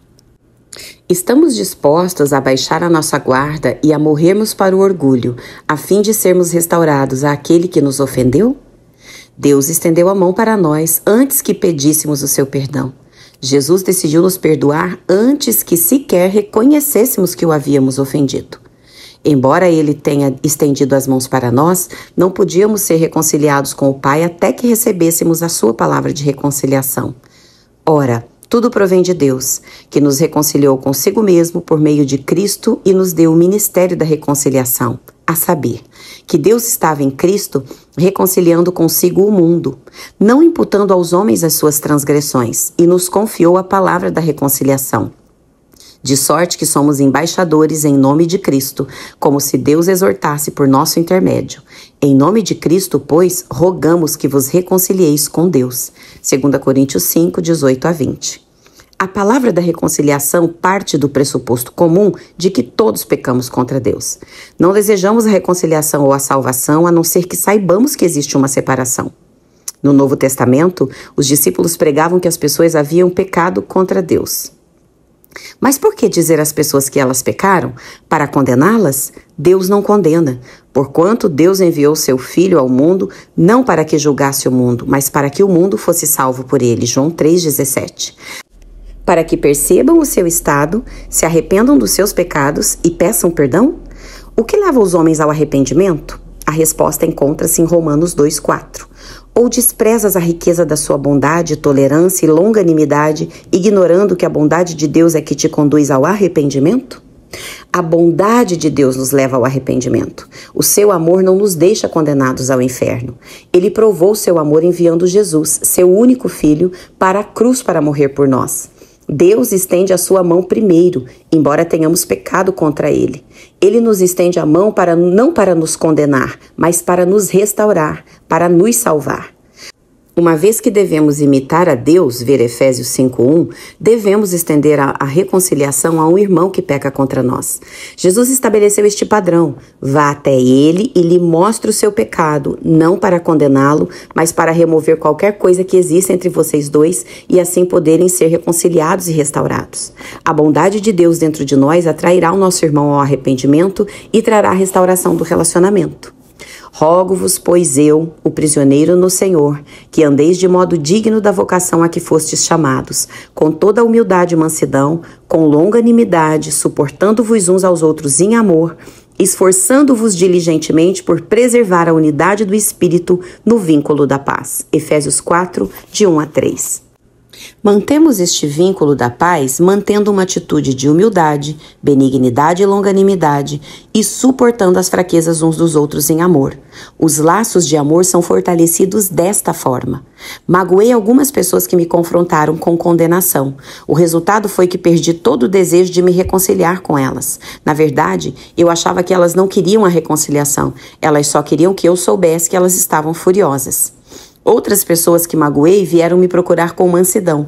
Neste caso, rapidamente mudei a minha postura e pedi perdão, algumas vezes antes mesmo que elas terminassem de falar. Alguém já o procurou e disse: Quero apenas que você saiba que eu o perdoo por não ser um amigo melhor e por não fazer isso e aquilo por mim? Então, depois que elas o arrasaram, olharam para você de uma maneira que dizia: Você me deve um pedido de perdão. Você fica perplexo, confuso e magoado. Eles não vieram se reconciliar com você, mas intimidá-lo e controlá-lo. Não devemos procurar um irmão que nos ofendeu até que tenhamos decidido perdoá-lo do fundo do nosso coração, independente de como ele reaja. Precisamos nos livrar de qualquer sentimento de animosidade para com ele antes de nos aproximarmos dele. Se não fizermos isso, provavelmente reagiremos com esses sentimentos negativos e o magoaremos, em vez de curá-lo. O que acontece se temos a atitude correta e tentamos nos reconciliar com alguém que pecou contra nós, mas ele ou ela não quer ouvir? Se, porém, não te ouvir, toma ainda contigo uma ou duas pessoas para que, pelo depoimento de duas ou três testemunhas, toda a palavra se estabeleça. E, se ele não os atender, dize-o à igreja. E se recusar ouvir também a igreja, considera-o gentio e publicano. Mateus 18, 16, 17. Cada uma destas progressões tem o mesmo objetivo, a reconciliação. Na essência, Jesus estava dizendo: continue tentando. Observe como a pessoa que causou a ofensa está envolvida em cada passo. Quantas vezes levamos as ofensas a todos os outros antes de irmos até a pessoa que pecou contra nós, como Jesus nos disse que fizéssemos? Fazemos isso porque não tratamos o nosso coração. Nós nos sentimos justificados quando contamos a todos a nossa versão da história. Quando as pessoas concordam que fomos tratados injustamente, isso fortalece a nossa causa e nos consola. Esse tipo de comportamento só demonstra o nosso egoísmo. O ponto principal. Se mantivermos o amor de Deus como nossa motivação, não falharemos. O amor nunca falha. Quando amarmos as pessoas como Jesus nos ama, seremos livres mesmo que a outra pessoa opte por não se reconciliar conosco. Examine com atenção o seguinte versículo das Escrituras: A sabedoria de Deus está disponível em todas as situações. Se possível, quanto depender de vós, tende paz com todos os homens. Romanos 2,18. Ele diz, se possível, porque há vezes em que as pessoas se recusarão a fazer paz conosco. Ou poderá haver pessoas cujas condições para reconciliação comprometeriam o nosso relacionamento com o Senhor. Em qualquer dos casos, não é possível restaurar esse relacionamento. Observe que Deus diz: quanto depender de vós. Devemos fazer tudo o que estiver ao nosso alcance para nos reconciliarmos com a outra pessoa, desde que permaneçamos leais à verdade. Geralmente, desistimos dos relacionamentos cedo demais. Jamais esquecerei do tempo em que um amigo aconselhou-me a não fugir de toda situação frustrante. John, sei que você pode encontrar razões bíblicas para se afastar. Antes que você faça isso, certifique-se de que combateu a esse respeito em oração e que fez tudo o que podia para trazer a paz de Deus a esta situação.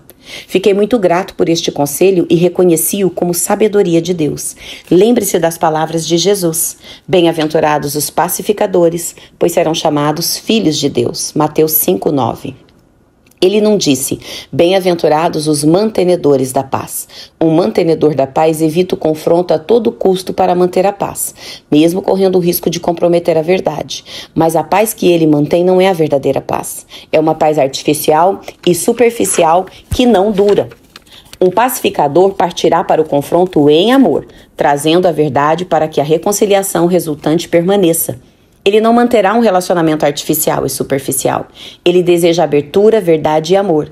Ele se recusa a ocultar a ofensa com um sorriso politicamente correto. Ele promove a paz com um amor corajoso que não pode falhar. É assim que Deus age com a humanidade. Ele não deseja que ninguém pereça, mas ele não comprometerá a verdade por um relacionamento. Ele procura reconciliação com verdadeiro compromisso e não em termos superficiais. Isto desenvolve um vínculo de amor que nenhum mal pode superar. Ele entregou a sua vida por nós. Nós podemos fazer o mesmo. Lembre-se que o ponto principal é o amor de Deus. Ele nunca falha, nunca murcha e nunca acaba. Ele não busca os seus próprios interesses. Ele não se ofende com facilidade. 1 Coríntios 13, 5. O apóstolo Paulo escreveu que o amor venceria todo tipo de pecado. E também faço esta oração: que o vosso amor aumente mais e mais em pleno conhecimento e toda a percepção, para aprovardes as coisas excelentes e serdes sinceros e inculpáveis para o dia de Cristo, cheios do fruto de justiça, o qual é mediante Jesus Cristo, para a glória e louvor de Deus. Filipenses 1, do 9 ao 11. O amor de Deus é a chave para libertar da isca da ofensa. Esse amor deve ser abundante e deve crescer continuamente e ser fortalecido em nosso coração. Muitos em nossa sociedade de hoje estão enganados por um amor superficial, um amor que fala, mas não age. O amor que nos impedirá de tropeçar entrega sua vida de forma altruísta, mesmo que seja para o bem de um inimigo. Quando andamos nesse tipo de amor, não podemos ser seduzidos a cair na isca de Satanás. Epílogo Tomando uma atitude. Enquanto lia este livro, o Espírito do Senhor pode ter feito você se lembrar de relacionamentos do passado e pessoas contra quem você guardou alguma coisa em seu coração. Senti a instrução de Deus para pedir que você faça uma oração simples de liberação comigo. Mas antes de orar, peça ao Espírito Santo para andar com você e percorrer o seu passado, trazendo à sua memória qualquer pessoa contra quem você possa ter alguma coisa. Fique em silêncio diante dele enquanto ele lhe mostra quem são essas pessoas. Ele as trará claramente à sua memória para que você não tenha dúvidas. Quando ele fizer isso, você talvez se lembre da dor que sentiu. Não tenha medo, ele estará bem ao seu lado para consolá-lo. Ao liberar essas pessoas da culpa pelo que fizeram a você, imagine cada uma delas individualmente. Depois, faça esta oração, mas não se limite a estas palavras. Use esta oração como um guia e deixe-se conduzir pelo Espírito de Deus. Pai, em nome de Jesus, reconheço que pequei contra ti ao não perdoar aqueles que me ofenderam. Arrependo-me disso e peço o teu perdão. Também reconheço minha incapacidade de perdoá-los sem a tua ajuda. Portanto, do fundo do meu coração escolho perdoar. Coloque os nomes das pessoas, libere cada uma individualmente. Coloco debaixo do sangue de Jesus tudo que essas pessoas fizeram contra mim elas não me devem mais nada. Cancelo todos os pecados delas contra mim. Pai Celestial, como o meu Senhor Jesus pediu que tu perdoasses aqueles que haviam cometido pecado contra ele, eu oro para que o teu perdão alcance aqueles que pecaram contra mim. Peço que tu os abençoes e os conduza a um relacionamento mais íntimo contigo. Amém. Agora, escreva os nomes das pessoas que você liberou em um diário e registre que nesta data você tomou a decisão de perdoá-las. Talvez você precise se exercitar para permanecer livre da ofensa. Releia o capítulo 13 caso você não entenda esta afirmação. Comprometa-se a orar por elas como ora por si mesmo. O diário o ajudará a se lembrar. Caso os pensamentos continuem a bombardear sua mente, expulse-os com a palavra de Deus e declare sua, sua decisão de perdoar. Você pediu a graça de Deus para perdoar e a falta de perdão é tão poderosa quanto a sua graça. Seja corajoso e combata o bom combate da fé. Quando você souber que seu coração está forte e firme, vá até elas. Lembre-se que você está indo com a finalidade de buscar a reconciliação para o bem delas e não para o seu próprio bem. Fazendo isto, você selará a vitória. Ganhará um irmão, ver Mateus 18,15, e isso é muito agradável aos olhos de Deus. Ora, aquele que é poderoso para vos guardar de tropeços e para vos apresentar com exultação, imaculados diante da sua glória, ao único Jesus, nosso Salvador, mediante Jesus Cristo, Senhor nosso, glória, majestade, império e soberania, antes de todas as eras e agora, e por todos os séculos. Amém. Judas 24, 25. A Isca de Satanás, de John Bevere. Audiobook por Sheila Norberto.